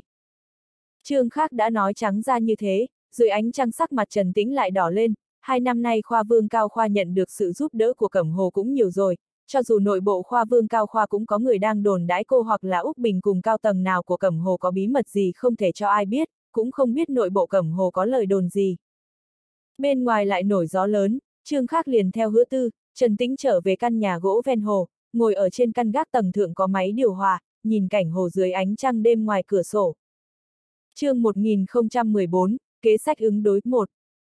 Trần Tĩnh ngồi chỉ chốc lát, liền muốn cáo từ ra về, hứa tư nói, đã nói là đêm nay ở lại đây mà, sao lại còn muốn ở khách sạn. Ngày mai tôi cũng về Hải Châu, còn phải ngồi nhờ xe của cô đấy. Đúng vậy, đúng vậy, Trương Khắc nói, lầu 2 có một phòng vốn dùng để làm phòng khách, phòng đó có ghế sofa, mở rộng ra là một chiếc giường. Để tôi giúp chị đi trải chăn. Trương khắc vừa nói đã chạy xuống lầu giúp Trần Tĩnh trải giường rồi. Trương khắc mới bưng chăn đi ra thì hứa tư đã từ phía sau đi tới cười véo y, tiểu vô lại, cậu mặt dày ở chỗ này làm cái gì? Ban đêm lạnh như thế, chị và Trần Tĩnh ngủ cùng một chăn là được rồi. Quan hệ giữa hai chị lúc này trở nên mật thiết thế rồi. Trương khắc đặt chăn lên ghế sofa, ưỡn mặt cười nói, Đan Thanh cũng biết em ngủ ở đây, trung quy không thể để cho chị ấy biết em bị một phụ nữ khác đuổi ra ngoài mà. Hứa tư trợn mắt nhìn Trương khắc, cũng hết cách, đành giúp y trải chăn. Mặc dù hứa tư cùng địch Đan Thanh ở chung không ngại, nhưng ít nhiều trong lòng có chút mâu thuẫn, căn nhà gỗ ven hồ này cô chưa từng mời địch Đan Thanh qua làm khách, thực sự là đuổi Trương khắc trở lại, để địch Đan Thanh biết là mình cho Trần Tĩnh ngủ lại ở chỗ này, có thể sẽ nảy sinh khúc mắc. Trải giường xong, hứa tư vỗ người đứng lên, chỉ vào giường và Trương Khác, tối nay cậu ngủ ở đây. Trương Khác vô lại nở nụ cười, liền tiến tới ôm hứa tư vào lòng, cũng phải xem bản thân Trần Tĩnh có không biết xấu hổ khách lấn át chủ hay không chứ. Hứa tư bực tức chừng mắt với Trương Khác, cùng tên vô lại này đôi khi không thể nói lý. Hứa tư lấy tay chống ngực Trương Khác, dẫy khỏi lòng y, chốc lát còn nói thêm, vừa rồi ở bên hồ, cậu cố ý ngồi bên phải Trần Tĩnh, có phải là giúp người ta cản gió có phải không? a à, có sao? Trương Khắc giả vờ hồ đồ hỏi. Cậu biết quan tâm như thế cũng rất tốt. Hứa tư thân mật vỗ vỗ má y, chỉ là người như cậu sẽ rất dễ làm cho nữ nhân thích, đến lúc đó, cậu không phải lại phải cắt thêm một miếng thịt ra ngoài. Nhìn mình bị cắt mỗi nơi mỗi khúc, thực sự là đáng thương. Trương Khắc ra vẻ đáng thương, y quả thật còn chưa dám tùy tiện đi trêu chọc Trần Tĩnh. Được tiện nghi còn khoe mã. Hứa tư cười mắng, rồi cùng Trương Khác dắt trên đi lên lầu. Trương Khác biết tin tức Bộ Thông tin lần này mở rộng lỗ hổng là từ chỗ Thứ trưởng Bộ Thông tin Dịch Vân Phi, hắn cũng không thể đem một số khúc chiết phía sau màn phỏng đoán được phân tích cho Trương Khác nghe qua điện thoại, dù sao hắn không phải là Thứ trưởng phân công quản lý mảng này, nhưng sau khi Trần Tín Sinh, Tô Tân Đông cùng Tiêu Thụy Dân gặp mặt, mới từ trong miệng Tiêu Thụy Dân chứng thực suy đoán trước đó của Trương Khác. Căn gác trên tầng đỉnh của căn nhà gỗ ven hồ là một không gian trống trải nghiêng một góc 25 độ do các song cửa sổ lắp nghiêng cấu thành, giá sách hình ô vuông đỏ đen phủ kín hai bên tường, từ thang cuốn đi lên, trên sàn nhà ngoại trừ tường hình cung mà đặt một bộ ghế sofa, ngoài ra không có đồ đặc gì khác, trên sàn nhà trải thảm thảm màu xi, măng, ba ly thủy tinh chân cao cùng một bình rượu đỏ đang mở đặt ở trên sàn nhà, hứa tư cùng Trần Tĩnh ngồi ở trên thảm nhung, Trương Khác đứng ở phía trước cửa sổ tiếp điện thoại của Trần Tín Sinh. Ừm, khi phía trên phê giấy phép phát xuống, ngay lúc đó bộ bưu điện thiết lập ba cánh cửa, tài chính đăng ký phải đạt trên 200 triệu, liên tục kinh doanh trên 2 năm, có cơ sở nghiên cứu phát triển để chứng thực các vấn đề tương quan như bảo vệ môi trường, chất lượng. Chuyện này, chúng ta không muốn thử đi ngăn cản, nhưng chúng ta cũng không thể ngồi nhìn tiêu chuẩn nhập môn bị giảm xuống. Còn Hiệp hội xúc tiến kỹ thuật điện thoại di động số, cũng nên phát huy tác dụng trên việc xét duyệt các điều kiện như cơ sở nghiên cứu phát triển. Trương khác ở trong điện thoại không che giấu yêu cầu Trần Tín Sinh lợi dụng thế lực của Cẩm Hồ đi gây ảnh hưởng cho hành động đại quy mô phát giấy phép lần này của Bộ Thông tin, làm cho chính quy, sẽ có cửa hàng điện tử có thực lực nhất định tiến vào, trung quy tốt hơn so với những kẻ đầu cơ. Cuối cùng lại nhấn mạnh một câu, chỉ ít cảnh trùng dương cũng sẽ không hy vọng ngành điện thoại di động trong nước bị kẻ đầu cơ làm hỏng. Trần Tĩnh cùng hứa từ ngồi ở một bên yên lặng nghe Trương Khắc cùng Trần Tín Sinh nói chuyện, hai người lười biếng ngồi ở đó, cũng không có ý muốn tránh đi. Cát Kiến Đức đã tuyên bố, muốn vào năm tới, doanh thu sẽ nhảy vọt trên cơ sở 20 tỷ, đạt được 40 tỷ. Năm 2002, muốn đạt được 70 tỷ. Trương Khắc treo điện thoại, giới thiệu cho Trần Tĩnh một số tin tức mà y vừa mới lý giải được, lời nói của Trần Tín Sinh ở trong điện thoại, Trần Tĩnh ở một bên vẫn nghe không được, điện tử hoa hạ muốn trở thành xí nghiệp tiến vào 500 cường của thế giới sớm nhất. 500 cường của thế giới à? Trần Tĩnh Huệ oải rũi người, lại cảm thấy ở trước mặt trương khác, hứa tư như vậy có vẻ tùy tiện quá, nếu như đến năm 2002 nhập bảng tiêu chuẩn còn đình trệ ở trên trình độ của năm 98, điện tử hoa hạ có thể sẽ đạt được doanh thu 70 tỷ, miễn cưỡng đủ tư cách rồi. Tâm tính của một số người trong nước cũng có vẻ nóng vội quá rồi. Trương Khắc ném đem điện thoại di động xuống sàn nhà rồi ngồi xuống cạnh hứa tư, thị trường trong nước lớn như vậy, các ngành như viễn thông, thông tin di động, dầu mỏ lại bị mấy xí nghiệp lũng đoạn kinh doanh, sớm muộn cũng sẽ chen vào 500 cường. Nếu nói 500 cường, Cẩm Hồ cố gắng một chút, trước 2 năm, hẳn là có thể đạt được mục tiêu này mà. Không có lý thú gì, Cẩm Hồ không tranh cái này. Trương Khắc lắc đầu cười cười, xác nhập điện tử ái đạt cùng với số liệu của bộ môn linh kiệt, doanh thu thực tế của tập đoàn ái đạt năm 98 tương đương với điện tử hoa hạ, có 20 tỷ. Thị trường DVD player mặc dù rất khó tăng trưởng nhanh, nhưng nghiệp vụ điện thoại di động cùng với e-player và USB flash drive đều có không gian phát triển rất lớn. Mục tiêu doanh thu của tập đoàn ái đạt vào năm 99 định tại 34 tỷ đến 36 tỷ. Công ty giấy Tân Quang, sau khi sở hữu hai cơ sở sản xuất lớn Hải Châu cùng Kim Sơn, mục tiêu tiêu thụ năm 99 là 6 tỷ. Năm 99 quy mô tiêu thụ của Điện Thịnh Hâm cũng muốn vượt qua hơn 10 tỷ, tái xác nhập với số liệu của các xí nghiệp thương vụ Cẩm Hồ, Thế kỷ Cẩm Hồ, Trung tinh Vi Tâm, năm 99 miễn cưỡng đạt được tiến nhập tiêu chuẩn 500 cường của thế giới, nhưng làm như vậy không có ý nghĩa chút nào, ngoại trừ phong quang mặt ngoài, chỉ nhắc nhở một số người trong nước sản sinh cảnh giác mà thôi đối với Cẩm Hồ. Muốn vào 500 cường, cũng phải chờ tới lúc xí nghiệp dưới cờ nào đó có có tư cách độc lập tiến nhập bài danh, khi đó mới tính chân chính đứng vững, hơn nữa cơ cấu của hệ thống cẩm hồ cũng không cần trải đến dưới phạm vi nhìn của giới truyền thông cùng công chúng. Trương khác lại nói với Trần Tĩnh, hai người Tô Trần cũng có chút ý nghĩa giống tôi, không mưu mà hợp, chính là hy vọng thấy được khoa vương cao khoa có thể trở nên vẻ vang. Đương nhiên rồi, ở trong điện thoại Trần Tín Sinh nói rất thẳng với tôi, nếu như khoa vương cao khoa có thể dựa vào kỹ thuật của chúng tôi, chúng tôi có thể cung cấp ủng hộ kỹ thuật với mức độ lớn nhất. Việc này, tôi sẽ bảo Trần Tín Sinh sau đó liên hệ với chị chương 1015, kế sách ứng đối 2. Chương khác còn chưa nói hết, điện thoại di động trong tay Trần Tĩnh đã vang lên, Trần Tĩnh cầm lấy nhìn qua, nói, nhắc Tào Tháo, Tào Tháo liền đến rồi. Hứa tư cười khẽ kéo cánh tay Trương khác, gối đầu lên bờ vai của y, ghé sát đến bên tai Trương khác khẽ nói, họ cũng thật không biết điều, cậu không ám chỉ một chút, Trần Tĩnh đang ở cùng với cậu sao? Có thể giải thích rõ ràng sao? Trương khác rất hoài nghi, chỉ là nghe Trần Tĩnh ngồi ở chỗ đó làm bộ lần đầu tiên nghe được việc này, cùng Trần Tín sinh thảo luận việc hợp tác kỹ thuật qua điện thoại. Bộ thông tin thoáng cái mở rộng lỗ hổng, ý đồ nhằm vào cẩm hồ đã rõ ràng, thế nhưng người ở dưới mái hiên, không thể không cúi đầu, đối kháng cùng bộ thông tin, trung quy không có lợi đối với cẩm hồ. Dù sao bộ thông tin là bộ môn chủ quản ngành nghề, cẩm hồ muốn phát triển ở trên lĩnh vực điện tử thông tin, hầu như mỗi một một động tác trọng đại đều không thoát khỏi, chiếu cố của bộ thông tin.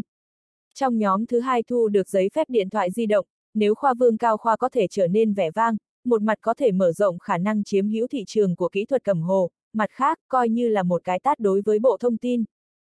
Nghĩ như vậy, trường khác lại rất chờ mong biểu hiện của tạ tử gia ở trên thương nghiệp, khái niệm điện thoại di động bảo thạch đích thật là một kế hoạch rất kinh diễm, tuy nhiên cũng phải nhìn xem năng lực chấp hành của khoa vương cao khoa.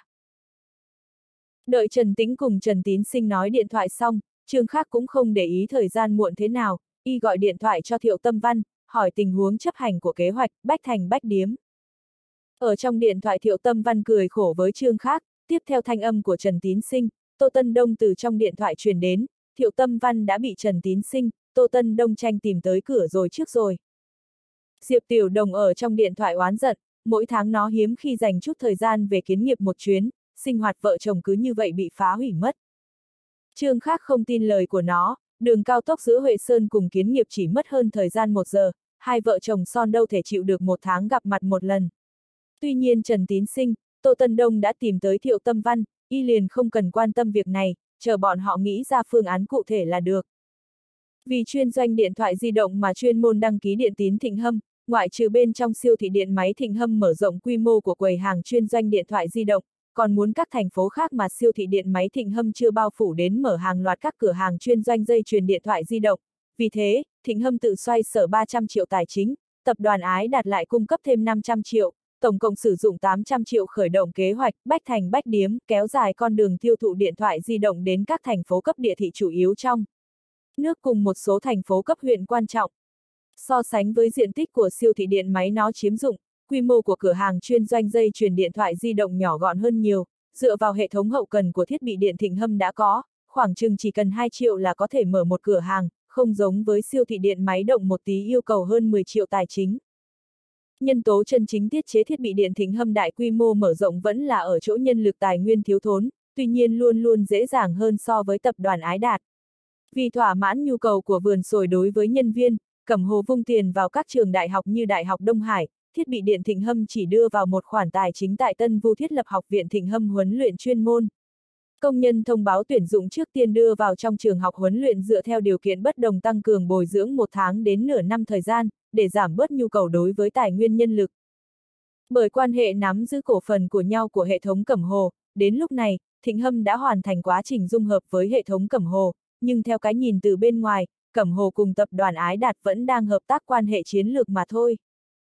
Kế hoạch, Bách Thành Bách Điếm, có thể thuận lợi thực thi sẽ là con đường tiêu thụ điện thoại di động bao trùm thị trường trong nước, chỉ ít trước khi Bộ Thông tin thình lình xảy ra biến cố vẫn vãn hồi chút hoàn cảnh xấu, cũng có thể thông qua con đường này tăng cường quyền tiếng nói ở trong ngành điện thoại di động.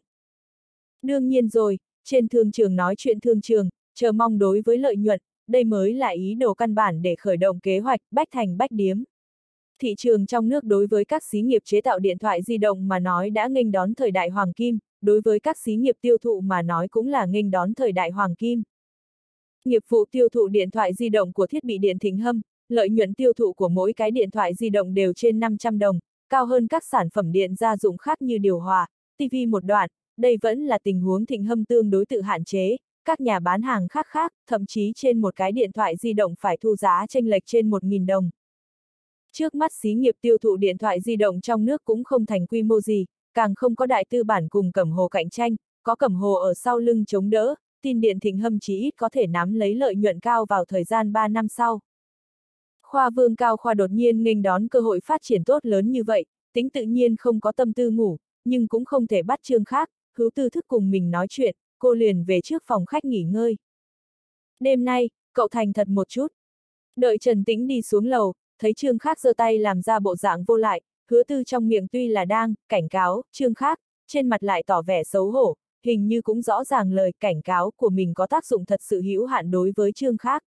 Chỉ là nhà gỗ này dùng gỗ để kiến tạo, phòng khách Trần Tĩnh ngủ nằm kề với phòng ngủ, hình như hiệu quả cách âm không phải quá lý tưởng, hứa tư trong lòng tự nhiên không muốn có động tĩnh gì bị Trần Tĩnh nghe được. chương 1016, Mộng Xuân. Két. Trần Tĩnh mơ mơ màng màng nghe có âm thanh gì từ sát phách truyền đến, lòng cô đánh thoát một cái, biết Trương Khác cùng hứa tư ở sát phách đang làm chuyện tốt gì. Mặc dù Trần Tĩnh chưa đem thân thể tùy ý hiến cho người đàn ông nào, nhưng cũng không có bảo thủ đối với việc nam nữ không hề hay biết gì, thậm chí có đôi khi sẽ lấy ngón tay mà xoa lên đầu vú, hoặc đem góc chăn kẹp giữa hai chân để thu được một số khoái cảm khôn kể. Đêm khuya người tính, giống như sát phách một cây kim rơi vào sàn nhà cũng có thể nghe rõ, tiếng hôn môi chụt chịt, còn có tiếng vang lạ kèm theo tiếng nước, rõ ràng là thanh âm của nam nữ giao hợp. Tiếng rên rỉ khẽ khàng của hứa tư như ánh trăng vẩy vào bên trong phòng, thanh âm này rõ ràng đến mức khiến người nghe gần như có thể tưởng tượng ra tình cảnh hai người sát phách giao hợp, Trần Tĩnh đều cảm giác được mặt mình đã bỏng như lửa đốt. Hình như là bị bóng đè, Trần Tĩnh mơ mơ màng màng từ trên giường đứng lên, len lén đi tới sân thượng, cửa sổ sát vách không có kéo rèm lên, dưới ánh sáng nhạt lờ mờ, hai chân của hứa tư bị quàng lên vai trương khác, trương khác đứng ở dưới giường, tay vỗ về eo hứa tư, hạ thân đưa đẩy vào giữa hai chân cô, tiếng giao hợp kích thích là không ngừng truyền đến từ nơi đó, giường đang lắc lư. Tiếng rên rỉ của hứa tư như tiếng ngâm ca rất kiều mị động nhân, lúc này nghe ra càng rõ ràng hơn, a, à, ư. Chịu không nổi, a, à, cậu đến sát phách đi, biết cậu thèm Trần Tĩnh từ lâu rồi, cậu đi ăn cô ấy đi. Trần Tĩnh hoảng hốt, hạ thân không khỏi ẩm ướt, cô cố gắng khắc chế không đưa tay đi kiểm tra nơi đầm nước mẫn cảm, nhìn Trương Khác muốn xoay người lại, cô liền như kẻ trộm trốn về phòng, chui vào trong chăn, vừa muốn nhắm mắt cố ngủ đi thì cảm giác phía sau có đôi tay nóng hổi duỗi qua nắm lấy đôi gò bồng đào to tròn của mình, nhìn lại, gương mặt anh Tuấn khiến mình ngày nhớ đêm mong đang nở nụ cười tà khí rơi vào mi mắt cô. Trần Tĩnh đang do dự có nên giấy dụa hay không, chỉ ít cũng phải giấy dụa một chút chứ, thì cái thứ cứng cứng đã chui vào nơi ướt át của mình, có cảm giác đau đớn như bị xé rách, nhưng toàn thân tê dại, cảm giác như bị điện giật, thân thể trong nháy mắt đã nhũn ra. Bị chậm rãi đâm vào, xúc cảm liền đạt đến cực hạn, lại cảm giác được một luồng nhiệt lưu từ bên trong tràn ra, người liền tỉnh lại. Trần Tĩnh trợn mắt nhìn trần nhà ánh sáng lờ mờ, ánh trăng từ ngoài cửa sổ chiếu vào, rơi vào trước giường, đêm khuya người tính, chỉ có tiếng của hồ nước từ ngoài cửa sổ truyền đến, sát phách chìm trong tĩnh lặng, chắc hẳn hứa tư cùng trương khác đều đã chìm vào trong giấc ngủ. Chỉ là bị vật cứng của trương khác đụng phải cùng với bị vật cứng đó chậm rãi đâm vào, cảm giác thật rõ ràng sáng tỏ, thật không giống như là đang trong mộng, trước đó cũng từng mơ mấy lần như vậy, nhưng không rõ ràng như lần này, tư vị tuyệt vời hình như vẫn còn lâng lâng trong ký ức, chưa tiên tan, chỉ là không biết thực sự phát sinh có thể tuyệt vời như vậy hay không, Trần Tĩnh thầm mắng mình, dâm dãng không biết xấu hổ.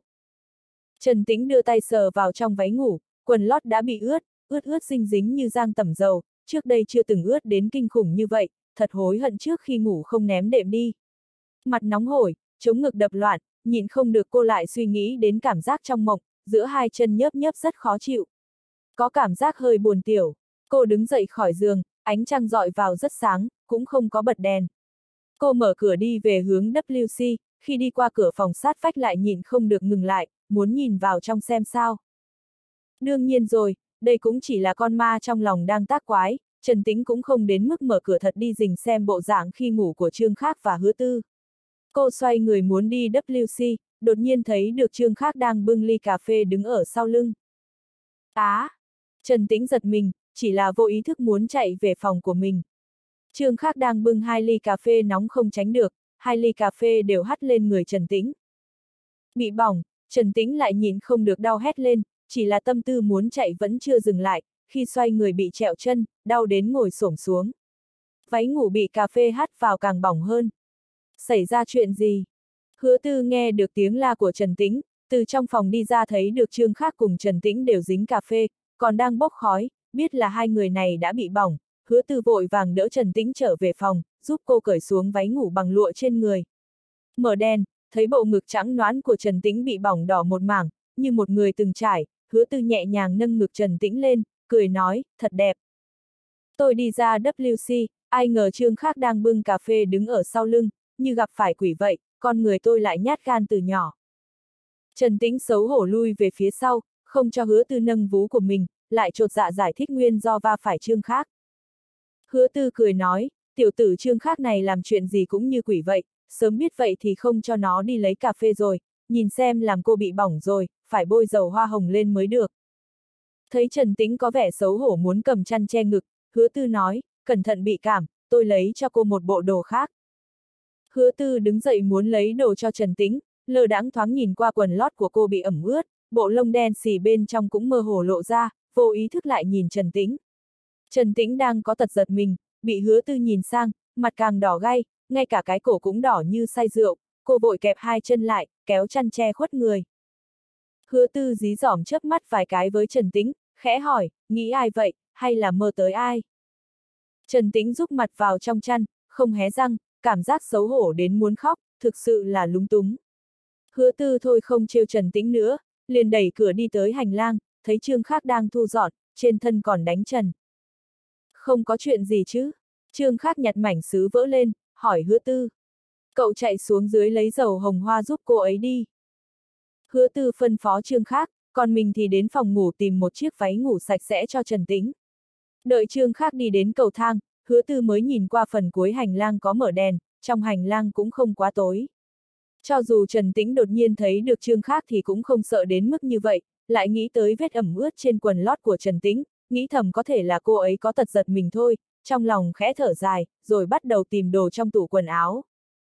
Trương khác cũng rất nhanh nhẹn, rất nhanh cầm dầu hoa hồng đi lên lầu đưa cho hứa tư, ở chỗ này y không có thừa áo ngủ, chỉ phải mặc áo sơ mi, thấy hứa tư cầm y phục, dầu hồng hoa đứng ở nơi đó mới hỏi, sao chị không đi qua đó đi? Hay là cậu cầm qua xoa giúp cô ấy đi? Hứa tư muốn đưa áo và dầu hồng hoa cho Trương khác. Em cũng muốn đi lắm, sợ bị chị ấy trả lại. Trương khác nghền mặt cười. Quỷ hoa tâm như cậu, chị không tin cậu không có tặc đảm này. Hứa tư cười véo Trương khác một cái, lại nói đùa với y, cho dù bị trả lại, việc này cũng đáng để mạo hiểm mà phải không? Dứt lời cô không để ý tới Trương khác nữa, ôm đồ cùng dầu hồng hoa đi thoa cho Trần Tĩnh. Trương khác đợi một hồi mới gõ cửa đi vào, hứa tư đang ngồi ở đầu giường xoa mắt cá chân cho Trần Tĩnh. Trần Tĩnh mặc vào váy ngủ có dây đeo của hứa tư, nằm nghiêng người trên giường, để lộ ra ngoài nửa phần đùi. Trương khác thấy hứa tư giúp Trần Tĩnh xoa mắt cá chân, Trần Tĩnh nhịn đau cau mày lại, y khẽ hỏi, chân cũng bị trẹo hả? Trần Tĩnh giật mình, vô ý thức co chân lại giấu vào trong chăn, hứa tư thì lại la hoảng lên, dầu hồng hoa dính vào chăn rồi, sao cô lại phong kiến thế, hở chân cho người ta nhìn một chút cũng không được sao. Trần Tĩnh mới biết phản ứng của mình hơi quá, liền thuận theo hứa tư duỗi chăn ra khỏi chăn, khuôn mặt kiều diễm lại ngượng ngùng như muốn nhỏ máu, ngay cả vai cũng như say rượu, khiến người nhìn mà tâm thần đong đưa. Hứa tư ngưng mắt nhìn thần thái kiều mị xấu hổ của Trần Tĩnh một lúc, cô yếu sức, xoa chân cho Trần Tĩnh không mạnh được, dầu hoa hồng cũng rất khó thấm vào da thịt, nhưng cũng không cam lòng tiện nghi cho tiểu tử trương khác để y tới xoa thay. Trong lòng hứa tư cũng rất khó hiểu, tâm tư của Trần Tĩnh đối với trương khác đã rất rõ ràng, cũng không có cảm giác đặc biệt bài xích, so với thân thế của mình, Trần Tĩnh xuất thân phú quý, tiếp thu một nền giáo dục tốt đẹp, dung mạo xinh đẹp, lại là nữ cường nhân danh phù kỳ thực, điều kiện của cô hầu như sẽ làm toàn bộ phụ nữ ước ao, nhưng cũng kìm lòng không đậu dành hết tình ý lên người trương khác. Hứa tư lại quay đầu không hài lòng nhìn trương khác, thấy người này còn đứng ở nơi đó giả si giả ngốc, cô cười mắng, ngốc đứng ở nơi đó làm gì. Bảo cậu rót ly cà phê cũng để người ta cả nửa tiếng đồng hồ. Sai trương khác xuống lầu rót cà phê rồi, hứa tư cúi đầu nghiêm túc giúp cầm dầu hoa hồng Trần Tĩnh xoa mắt cá chân, Trần Tĩnh ngượng ngùng không nói lời nào, vừa lúc hứa tư cũng không cần nói, chỉ nhìn mắt cá chân của Trần Tĩnh sưng húp lên, cũng hơi đau lòng, xem ra phải đi bệnh viện nhìn một chút mới được. Có cần đi ngay bây giờ không? Để đến sáng rồi tính, cũng không đau lắm. Trần Tĩnh dựa vào giường ngồi dậy, thấy hứa tư nghiêm túc xoa vết thương giúp mình như thế, cô có phần cảm động, nói, nghe nói chỉ có một em gái, tôi nghĩ làm em gái của chị nhất định rất may mắn rồi. Cô nói hứa Duy hả, nó bản tính ngang bướng, chưa hẳn cảm thấy có chị hứa tư thì may mắn đâu. Trần Tĩnh ngẩng đầu nhìn thoáng qua, cũng không biết trương khác lúc nào trở lên rồi, đang đứng tại cửa tiếp lời với mình. Hứa tư thản nhiên cười, phất phất tay với trương khác, hờn dỗi nói, chuyện bí mật của phụ nữ, cậu nghe trộm thì thôi, lại còn xen miệng vào cái gì. Ngoan ngoãn xem cà phê pha xong hay chưa đi. Đúng là chán quá đi. Trương khác rũi rũi người rồi lại đi xuống lầu, đem những bi kịch từ kiếp trước xảy ra trên người chị em hứa tư, hứa duy đuổi ra khỏi đầu. Trần Tĩnh nhìn Trương khác đi khỏi, lại cười nói với hứa tư, cậu ta nói bậy cái gì vậy, nếu tôi có được một người chị như chị, không biết nên may mắn thế nào đâu, nếu không chị làm chị của tôi đi. Hứa tư hơi sửng sốt, nhìn ánh mắt chân thành của Trần Tĩnh, cô đang do dự không biết là đáp ứng tốt hay là cự tuyệt mới tốt. chương 1017, Hoa tỉ muội Trần Tĩnh lấy dũng khí nhìn hứa tư, đôi mấp lấp lánh dưới ánh đèn tường lờ mờ. Hứa tư nhớ tới lời chủ quán ba bên đường nói ở Hong Kong, tình cảm hoàn mỹ luôn độc nhất vô nhị, nhưng thi thoảng nó lại gặp nhau.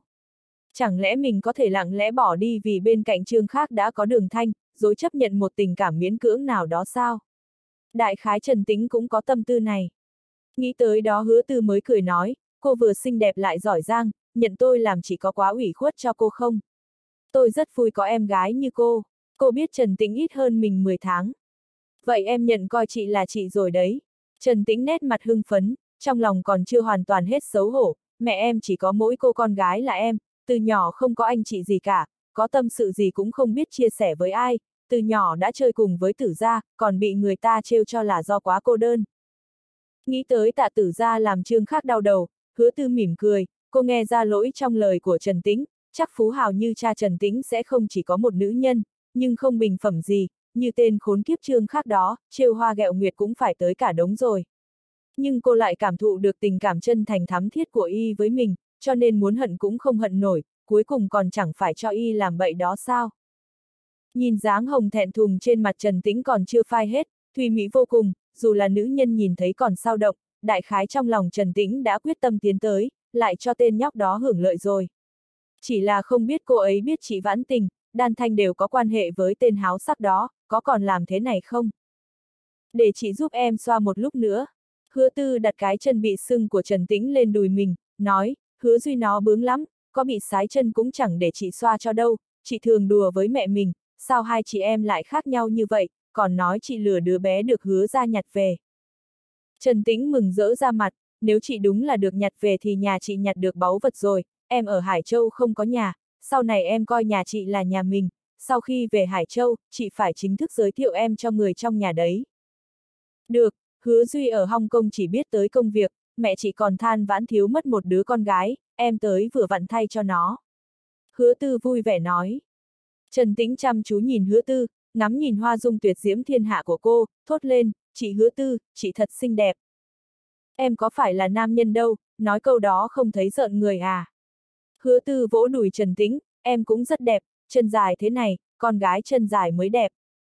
Nói chuyện gì mà vui vẻ thế? Trương Khác bê một cái khay cà phê và cốc chén tới, đặt lên chăn, nhìn chân Trần Tĩnh sưng vù lên, tim rung rinh vì thương xót, có đau không? Sức tôi yếu, thuốc không ngấm vào trong thịt được, cậu xoa giúp cô ấy đi. Hứa tư nâng mắt cá nhân Trần Tĩnh lên, bảo Trương Khác ngồi xuống, nếu không được thì trời sáng phải tới bệnh viện. Trương Khác Trần trừ rụt tay lại, chỉ coi hứa tư đang thử mình, nếu không sao có thể để mình xoa chân nữ nhân khác trước mặt cô được, tay chân em vụng về lắm, có khi làm cô ấy bị nặng hơn. Em ra tủ lạnh lấy ít đá làm túi trường, có khi có tác dụng. Nói rồi đứng dậy xuống lầu. Trần Tĩnh chẳng thể buông thả trước mặt hứa tư để Trương Khác bóp chân cho mình được, hứa tư nhìn Trương Khác xuống lầu, bĩu môi nói, tên nhóc này thường ngày rất háo sắc, giờ lại còn xấu hổ không ra tay. Trần Tĩnh cảm thấy hết sức ngượng ngùng, vùi mặt vào đầu gối không dám nhìn hứa tư, để trô bóp chân cho mình, thầm nghĩ, mình đúng là điên hết sức, ngẩng đầu lên hỏi, sau này em có nên tránh anh ấy xa một chút không? Hứa tư hỏi lại, còn nhớ chủ quán ba góc đường năm kia gặp ở Hong Kong không? Còn ạ, à, Trần Tĩnh gật đầu, Lý Nhí đáp. Hứa tư nhìn thế là hiểu rồi, định hỏi Trần Tĩnh rốt cuộc nằm mơ thấy Trương Khác làm gì mình, nhưng không nói ra miệng. Trương Khác mang túi trường tới, giúp Trần Tĩnh đặt lên chân, hứa tư nói với y, tôi và Trần Tĩnh vừa nhận chị em, cậu cũng gọi cô ấy là chị nghe coi nào. Hả, có mấy phút thôi mà đã kết nghĩa Kim Lan rồi à? Trương Khắc ngạc nhiên hỏi, đứng bên giường ngắm nhìn đôi người ngọc kiều diễm như hoa, khen, đúng là một đôi hoa tỉ muôi.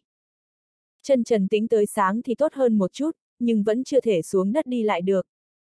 Úc Bình buổi sáng tới kiến nghiệp, tạ tử gia và nhân viên phát triển di động vẫn ở lại Hải Châu, Úc Bình đưa Trần Tĩnh đi tới bệnh viện chụp phim, không bị thương tới xương, chỉ cần tĩnh dưỡng 2-3 ngày.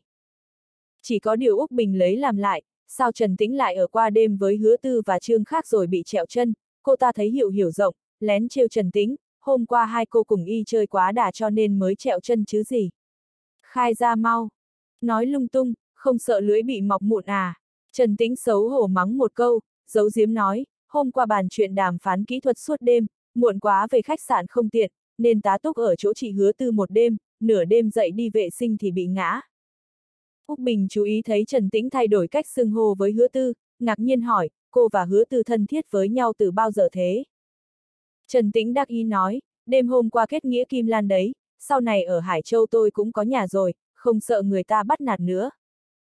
Ai dám bắt nạt cô? Úc Bình trêu ghẹo, có mù mắt mới không thấy cẩm hồ ra sức nâng đỡ cao khoa ca. Được rồi, được rồi, không nói chuyện lung tung với cô nữa. Nói mấy chuyện kiểu này với cô gái từng trải như Úc Bình chỉ thiệt, Trần Tĩnh nói lẳng đi, có hai chuyện cực kỳ có lợi với chúng ta, nếu hôm nay cô không tới tìm tôi, tôi cũng tìm cô thương lượng. liền đem chuyện bộ thông tin lầy này phát lượng lớn giấy phép cùng Cẩm Hồ sẽ tiến thêm một bước hỗ trợ kỹ thuật cho Úc Bình nghe. Úc Bình tròn mắt nhìn Trần Tĩnh, nghi cô lấy lời này đánh lạc hướng mình, mấy giây sau đứng dậy nói, cô ở lại kiến nghiệp dưỡng thương đi, mấy ngày này tử ra không ở kiến nghiệp, cô cứ mượn chỗ trương khác mà ở, đại phú hào như y không thiếu phòng, dù có thiếu cũng không đuổi cô đi đâu. Vừa khéo cô với y thảo luận chuyện hợp tác kỹ thuật. Các chuyện khác để tôi làm. Nghe ngữ khi cứ như muốn lấy dây chó Trần Tình và Trương Khác vào nhau, tránh cẩm hồ nuốt lời vậy.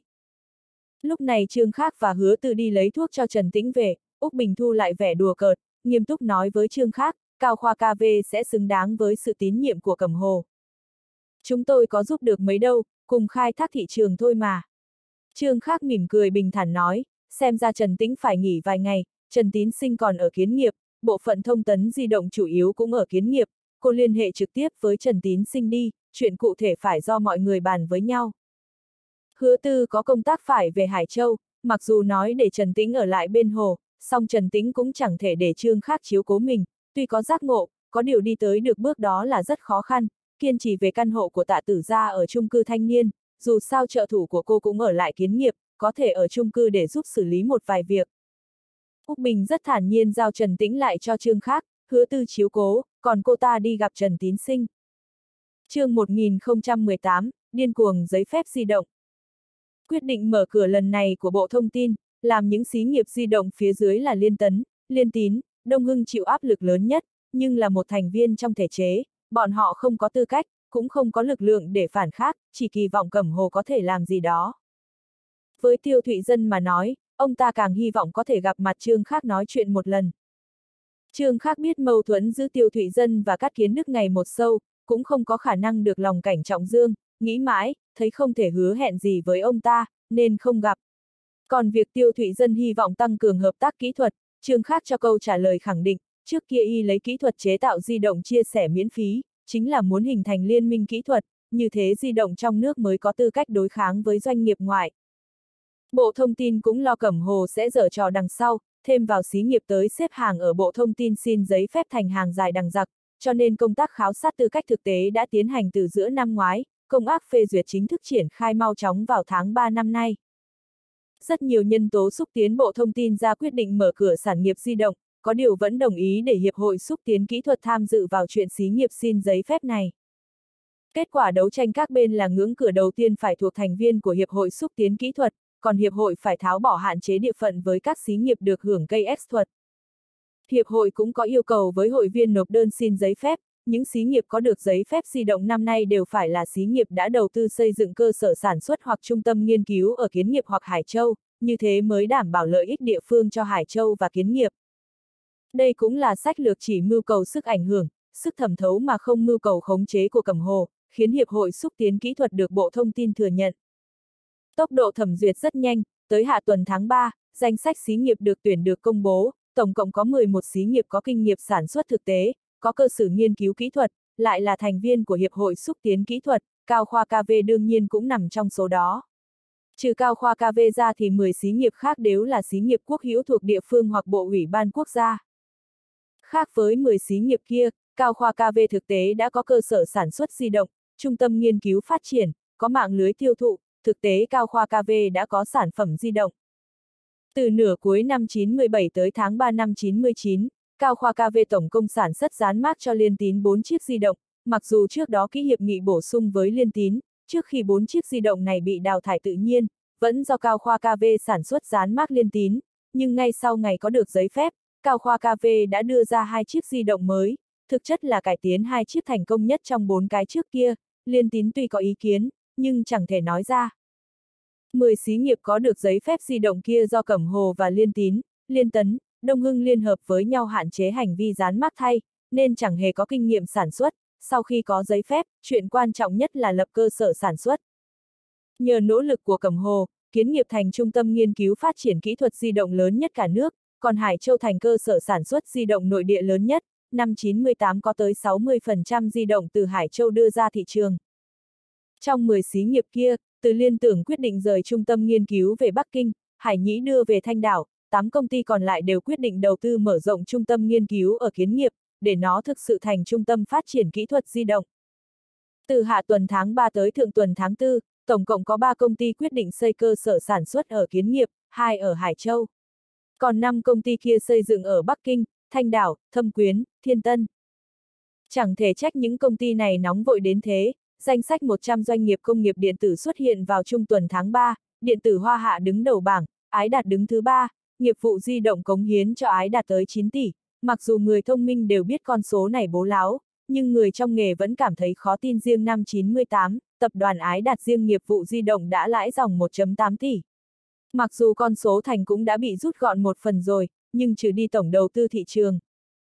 Doanh nghiệp có được giấy phép di động đợt 2 có dư thừa tự tin vào thị trường di động, một số người to gan một chút khi phân tích thị trường khẳng định tổng lượng tiêu thụ di động trong nước năm 99 sẽ đột phá mức 32 triệu chiếc, tới năm 2000 sẽ đột phá 50 triệu chiếc, trong 2 năm này doanh nghiệp di động trong nước có không gian tăng trưởng thị trường 70 tới 85 tỷ. Thu lợi cao như thế, không gian thị trường lớn như thế, xây dựng nhà máy chậm một ngày thôi có khả năng tổn thất cả trăm vạn, sao không gấp cho được. Nhất là Cao Khoa KV gần như lập tức đưa ra sản phẩm ngay sau khi có được giấy phép.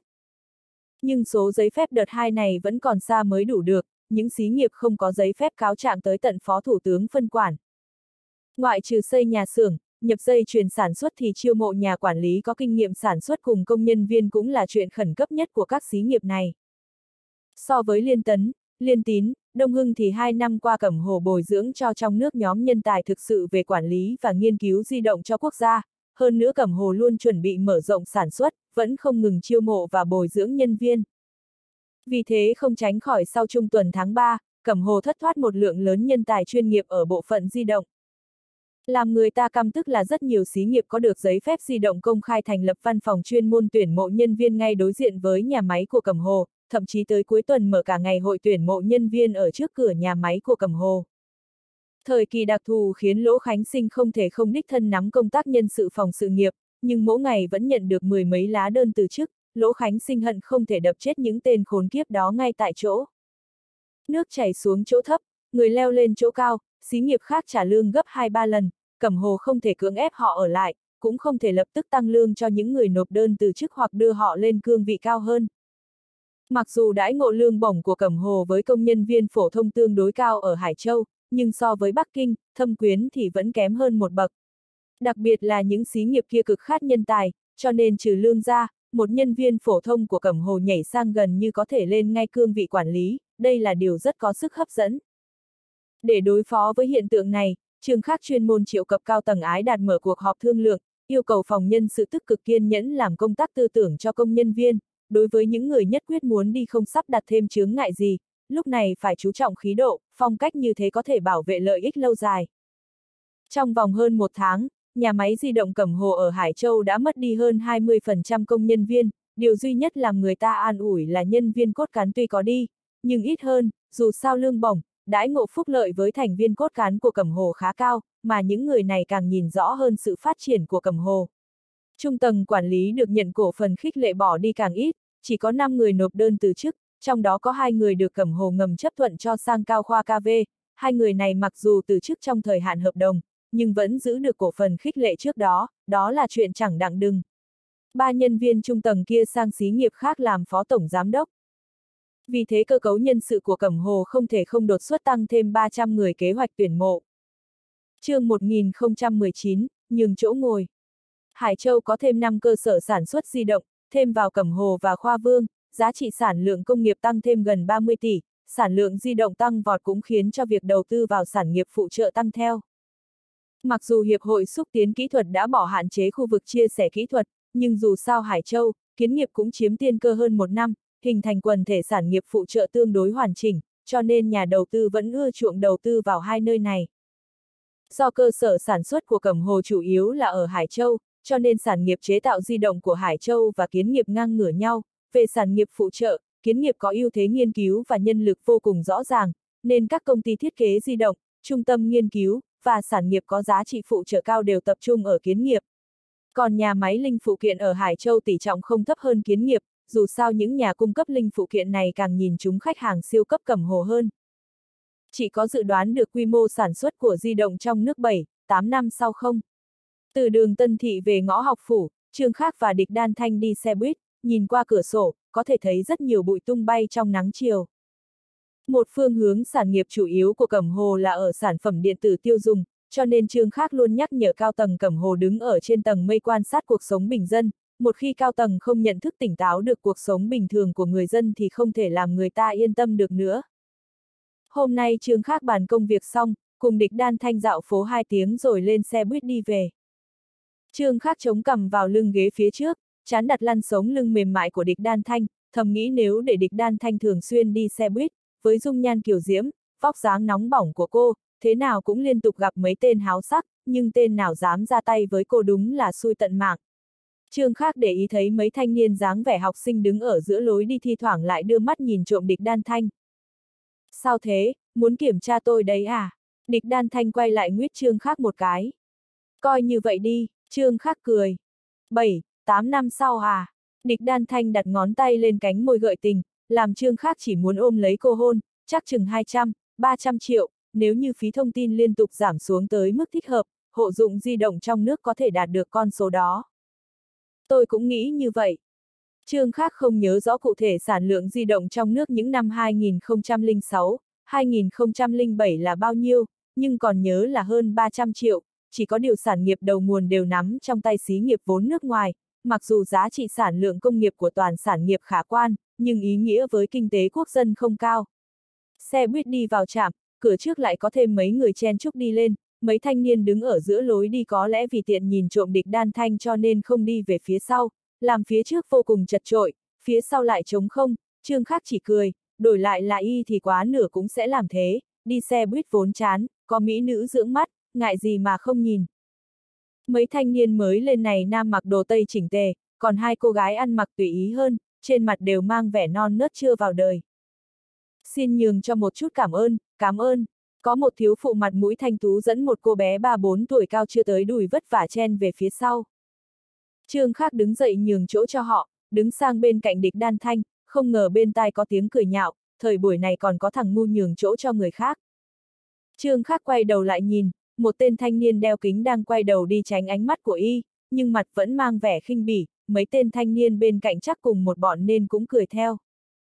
Có một tên thanh niên liếc nhìn địch đan thanh, phụ họa với tên bạn, khinh miệt nói, thời buổi này nói không chứng có thánh nhân thật đấy. Mũi còn hừ một tiếng. Còn có một tên cười khẩy, chỉ giả ngốc thôi. Hai cô gái thì nhìn Trương Khác có chút áy náy, cười ngượng ngùng với y. Trương Khác chẳng biết làm thế nào, địch đan thanh nhích người vào bên trong, để Trương Khác ngồi cùng ghế với cô, còn ghé vào tai y cười khẽ, tôi biết cậu không ngốc như vậy đâu mà. Chị nghi oan cho tôi rồi, tôi cần phải vì được ngồi với chị mà nhường chỗ cho người ta à. Trương Khác đưa tay đặt lên eo địch đan thanh véo nhẹ, thì thầm vào tai cô, nói ra chẳng phải cái đổ hồng nhan họa thủy chị gây thị phi hay sao. Hại tôi bị người ta ghen ghét. Đừng đừng, địch đan thanh sợ Trương Khác dùng sức véo, lên tiếng cầu khẩn, nhưng giọng điệu không chịu mềm xuống, người ta không ghét cậu thì ghét ai. Hơn nữa nói tới hồng nhan họa thủy cũng chẳng đến lượt tôi, có phải cậu lại có thêm cô chị Trần Tĩnh? Liên quan gì tới tôi? Tại hứa tư có tình cảm với cô ấy. Thật sao? Địch đan thanh nheo mắt lại nhìn trương khác, một tay đặt lên đùi y, tay kia lấy cái túi sách lớn che đi, dùng ngón tay gãi gái mép trong đùi của y. Trương khác còn tưởng cô muốn chơi trò kích thích trên xe buýt, thấy hai chạm nữa là đến ngõ học phủ rồi, chống vai lên cầm cô, nói, chúng ta tới công trường đi, xem xây dựng tới đâu rồi. Khu thương nghiệp phía đông hồ có thể ngồi thêm ba chạm nữa. Được thôi, địch đan thanh cười duyên, dung nhan càng thêm mê người, ngón tay không hề dừng lại, làm trương khác cảm thấy hôm nay mặc quần quá chật. Xe dừng lại ở trạm, đột nhiên địch đan thanh cầm túi đứng dậy nói, tôi có việc đi tìm triệu tử lâm, cậu xuống xe cùng tôi nào. Trương khác giờ mới hiểu câu, độc ác nhất là lòng dạ nữ nhân, hốt hoảng lấy túi sách của địch đan thanh tre đi hạ thân, lật đật theo cô xuống xe. Sau khi xuống xe, địch đan thanh còn ra sức giành lại cái túi, áo khoác của trương khác khá ngắn, cái túi bị địch đan thanh cướp mất, y chỉ đành ngồi xuống tránh bêu xấu, địch đan thanh đứng bên cạnh cười ngặt ngoéo. Mấy thanh niên vừa rồi cũng xuống xe, bọn họ đi qua đường tới khu sáng nghiệp, nhìn kẹp tài liệu vỏ làm bằng nhựa trong suốt, bên trong là sơ yếu lý lịch, không biết là sinh viên tới xí nghiệp nào ứng tuyển. Địch đan thanh sợ trương khác, báo thù, đi qua bên đường đối diện trêu ghẹo y, trương khác đợi lửa trong lòng lắng xuống, chạy đuổi bắt cô. Địch đan thanh bước vội vào trong cổng khu sáng nghiệp, nói gấp, theo giao hẹn hiện giờ là quan hệ công tác.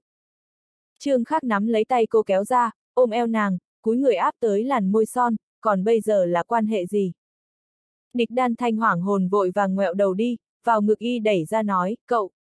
cậu, chỗ này có nhiều người qua lại đấy.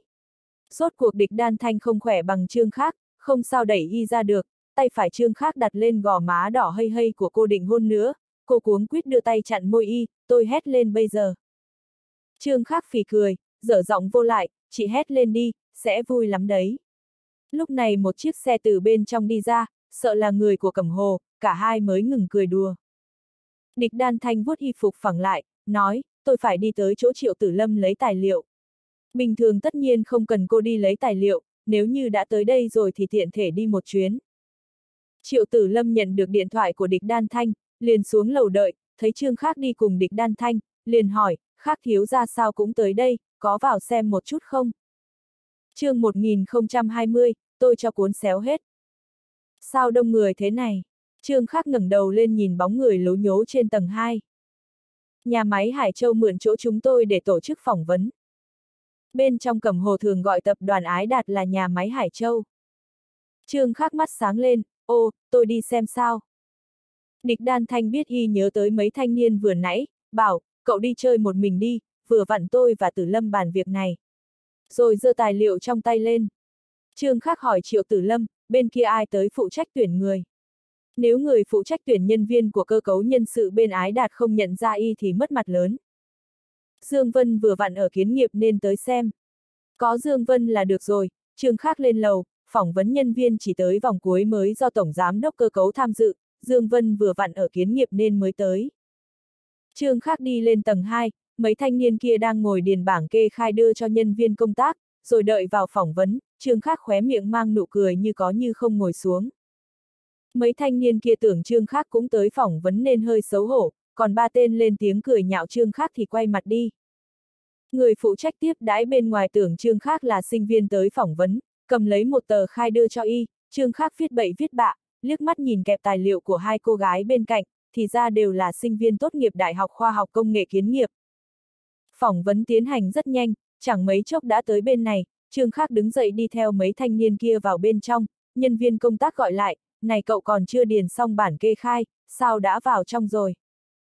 Đám Dương Vân ở trong phòng họp nhìn thấy Trương Khắc liền đứng ngay dậy. Trương Khắc phất tay, tôi chỉ tới xem thôi, các anh làm việc của mình đi. Thấy góc phòng họp có cái ghế, liền kéo đến gần bàn ngồi xuống, ung dung nhìn mấy sinh viên đỡ ết khoa học công nghệ kinh ngạc đứng ngồi không yên nhìn mình. Trừ Dương Vân ra, Trương Khắc nhận ra Ngô Vi Minh một chủ quản cấp phó giám đốc phục trách phỏng vấn, và hai người quen mặt nữa, đều thuộc phòng thị trường, khẽ gật đầu coi như chào hỏi. Trương khác đã nói thế rồi, Ngô Vi Minh liền chuẩn bị phỏng vấn, Dương Vân chỉ đột xuất tới đây thôi, tới ngồi bên Trương khác hỏi nhỏ, khác thiếu ra sao lại mặc thường phục vi hành thế này. Bảo bọn họ trả lời vấn đề này. Trương khác đưa cho Dương Vân bản kê khai lúc nãy. Dương Vân nhìn câu hỏi đó mà chố mắt ra, rồi nghĩ ra điều gì, bật cười đưa cho nhân viên công tác bên cạnh, bảo hắn làm theo, lấy giấy bút đưa cho người tới phỏng vấn trả lời.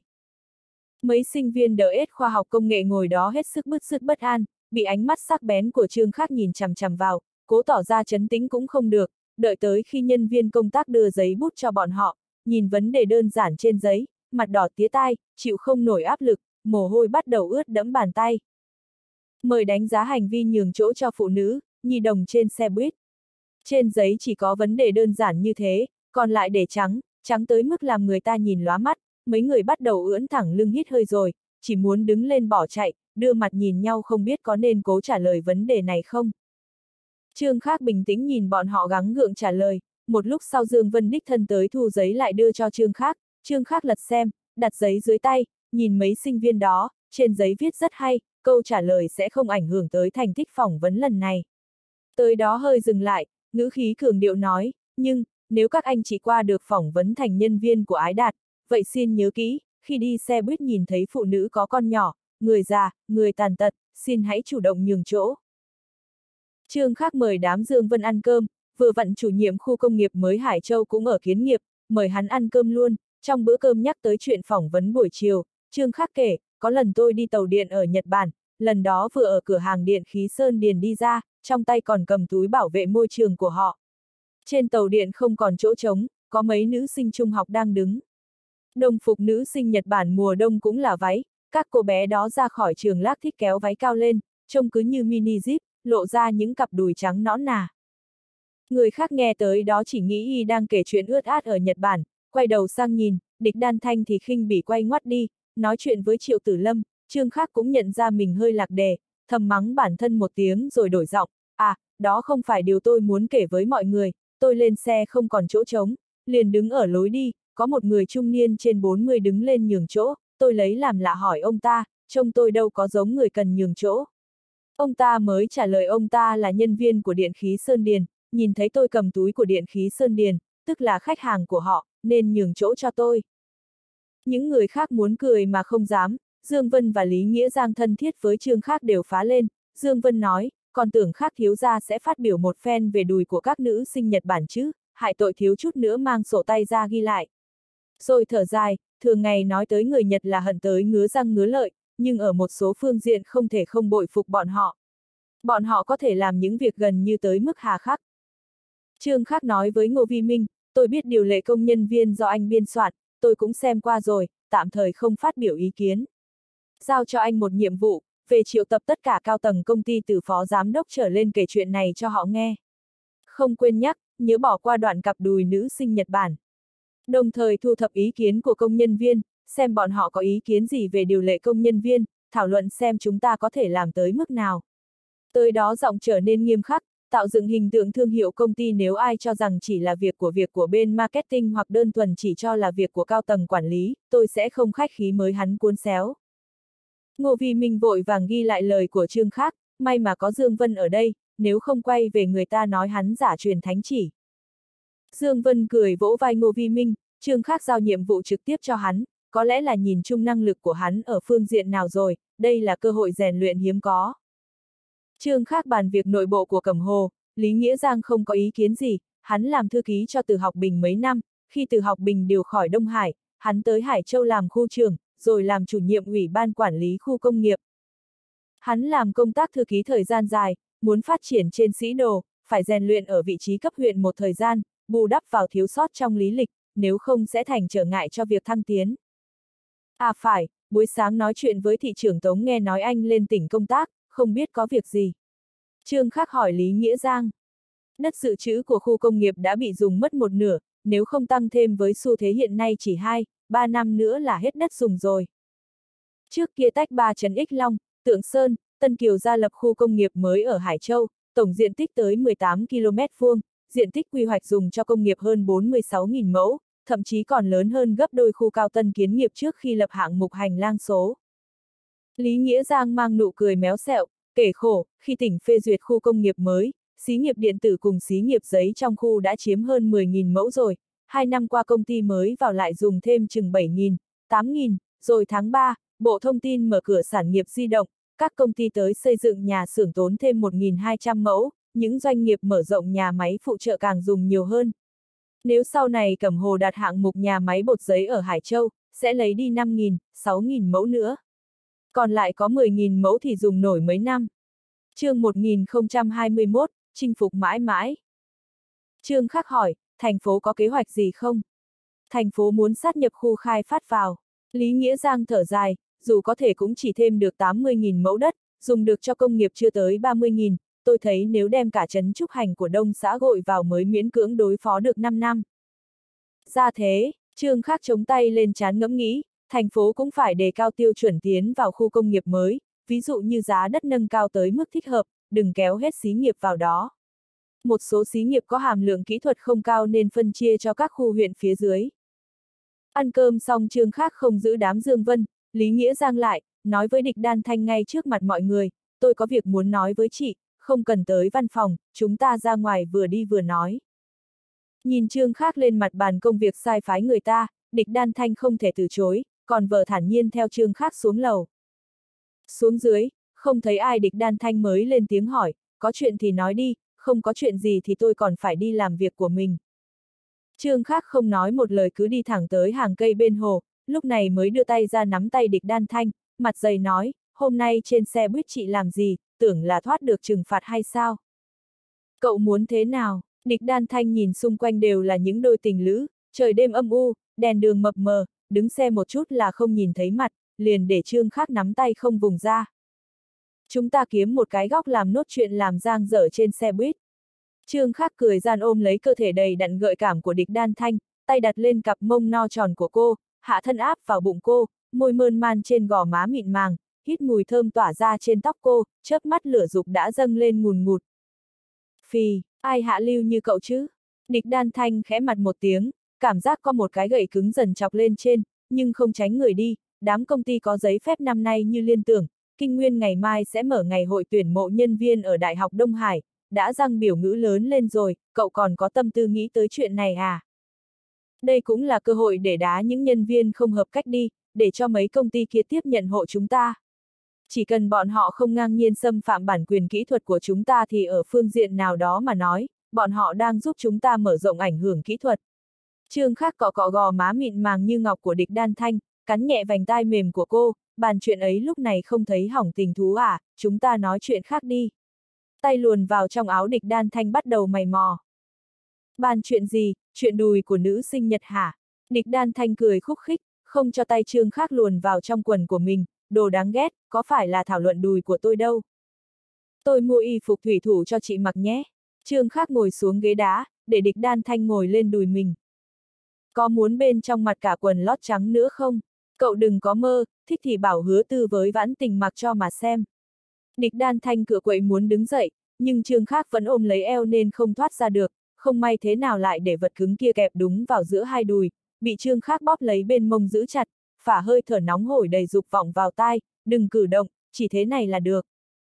Địch đan thanh không nhúc nhích nữa, khép mắt lại lắng nghe cảm giác dâm ran từ hạ thân truyền lên, được một lúc nghe thấy trương khác đang dụi mặt giữa mặt mình, giọng khàn khàn nói, cử động một chút cũng tốt.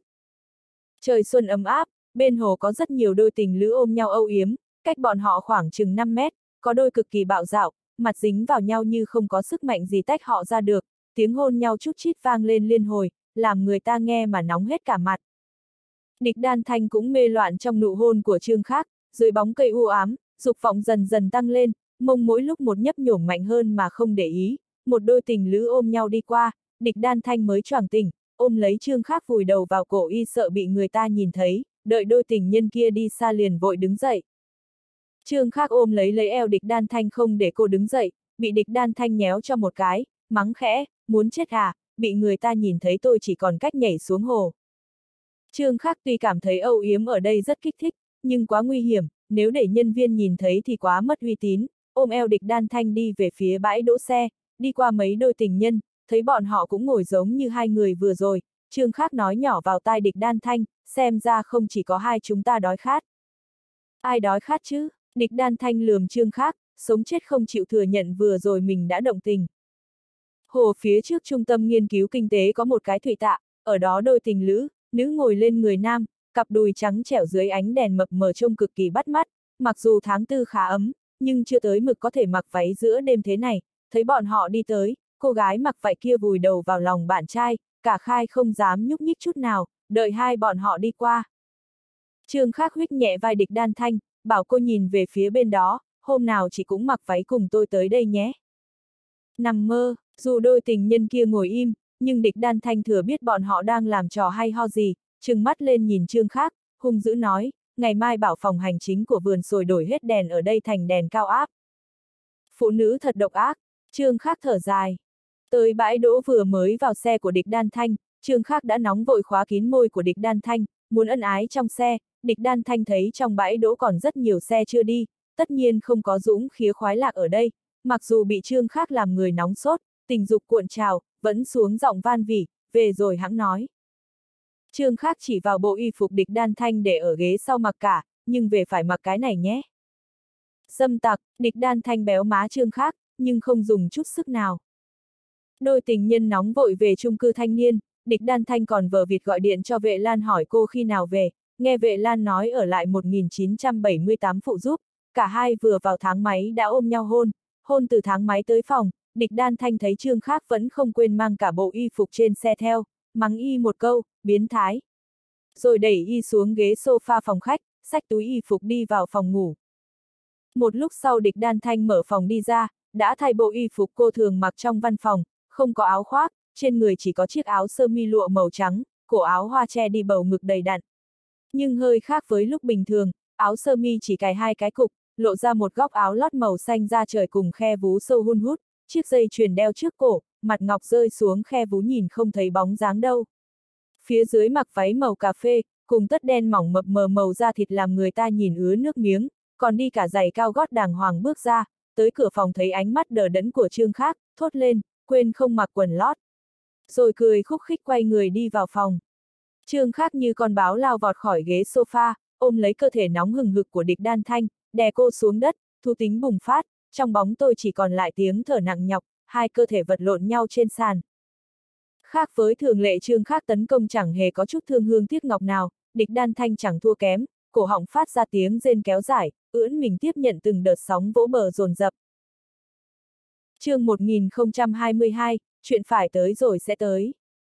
Trương Khắc ngủ qua đêm trong phòng địch đan thanh, sáng sớm tỉnh dậy, nghe thấy tiếng địch đan thanh nói chuyện với vệ lan ở phòng khách, tôn tĩnh mông cũng đã xuống lầu hỏi y hôm qua đi đâu không về mà chẳng nói lấy một tiếng, địch đan thanh tất nhiên thản nhiên kiếm một cái cớ trả lời cho qua, còn mời tôn tĩnh mông ăn sáng cùng.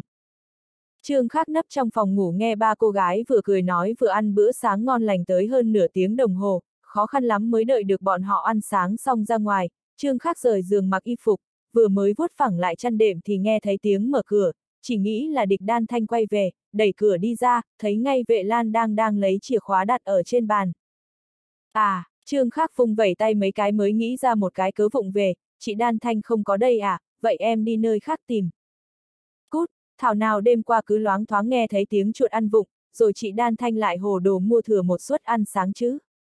Vệ lan khẽ xí một tiếng, mặt đỏ dừ cầm lấy chìa khóa đi vội, Trương Khác lúc này mới nghĩ tới vừa rồi tôn tĩnh mông ăn mất bữa sáng của mình, lên lầu tắm rửa rồi tới ngõ học phủ tìm quán ăn sáng. Hôm nay là cuối tuần, Trương Khác rời chung cư thì đã là 9 giờ sáng, ngõ học phủ hết sức náo nhiệt, rất nhiều người lúc này cũng vừa mới rời giường, quán bán đồ ăn sáng vô cùng tấp nập, vừa mới ngồi xuống gọi một bát cháo, một đĩa quầy thì thấy Đỗ Phi vội vàng đi qua cửa quán. Này, Trương Khắc chạy ra cửa gọi Đỗ Phi lại, hỏi, làm gì mà đi nhanh thế, sao không chạy? Đỗ Phi quay lại ngồi xuống đối diện với Trương Khắc. mấy công ty mới lấy được giấy phép di động tổ chức ngày hội tuyển mộ nhân viên bắt đầu vào 9 giờ, thì Tân Phi bảo tao câu lạc bộ côn trùng có mấy thành viên năm nay tốt nghiệp đi đăng ký.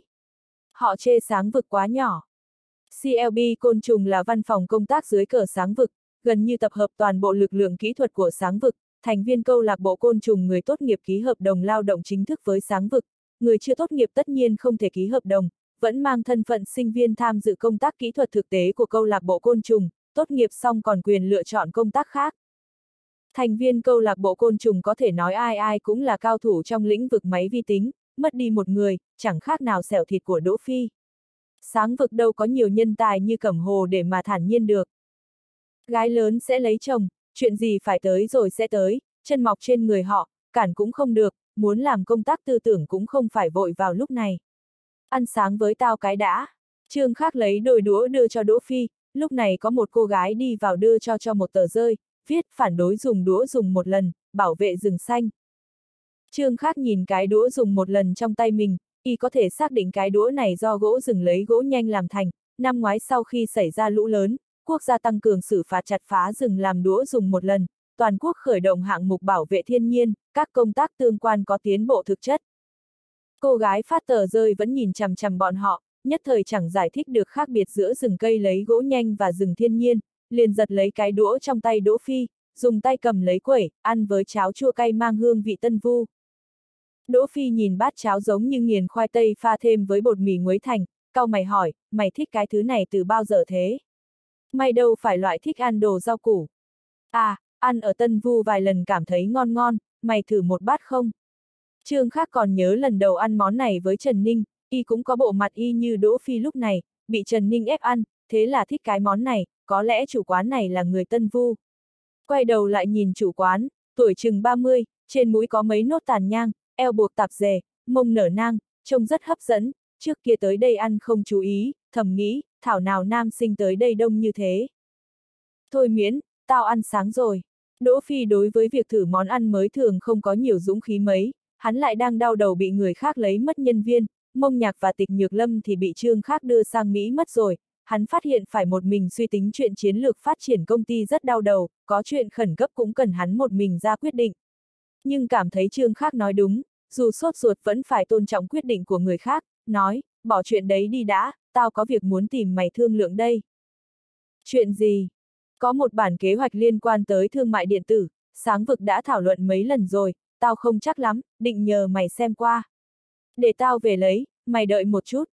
Mày muốn tao xem trước hay vừa xem vừa bàn? Trương Khắc lau mồm, lấy ví ra chuẩn bị trả tiền, tao tới phòng đọc sách thư viện đây. Vậy lát nữa tao tới tìm mày.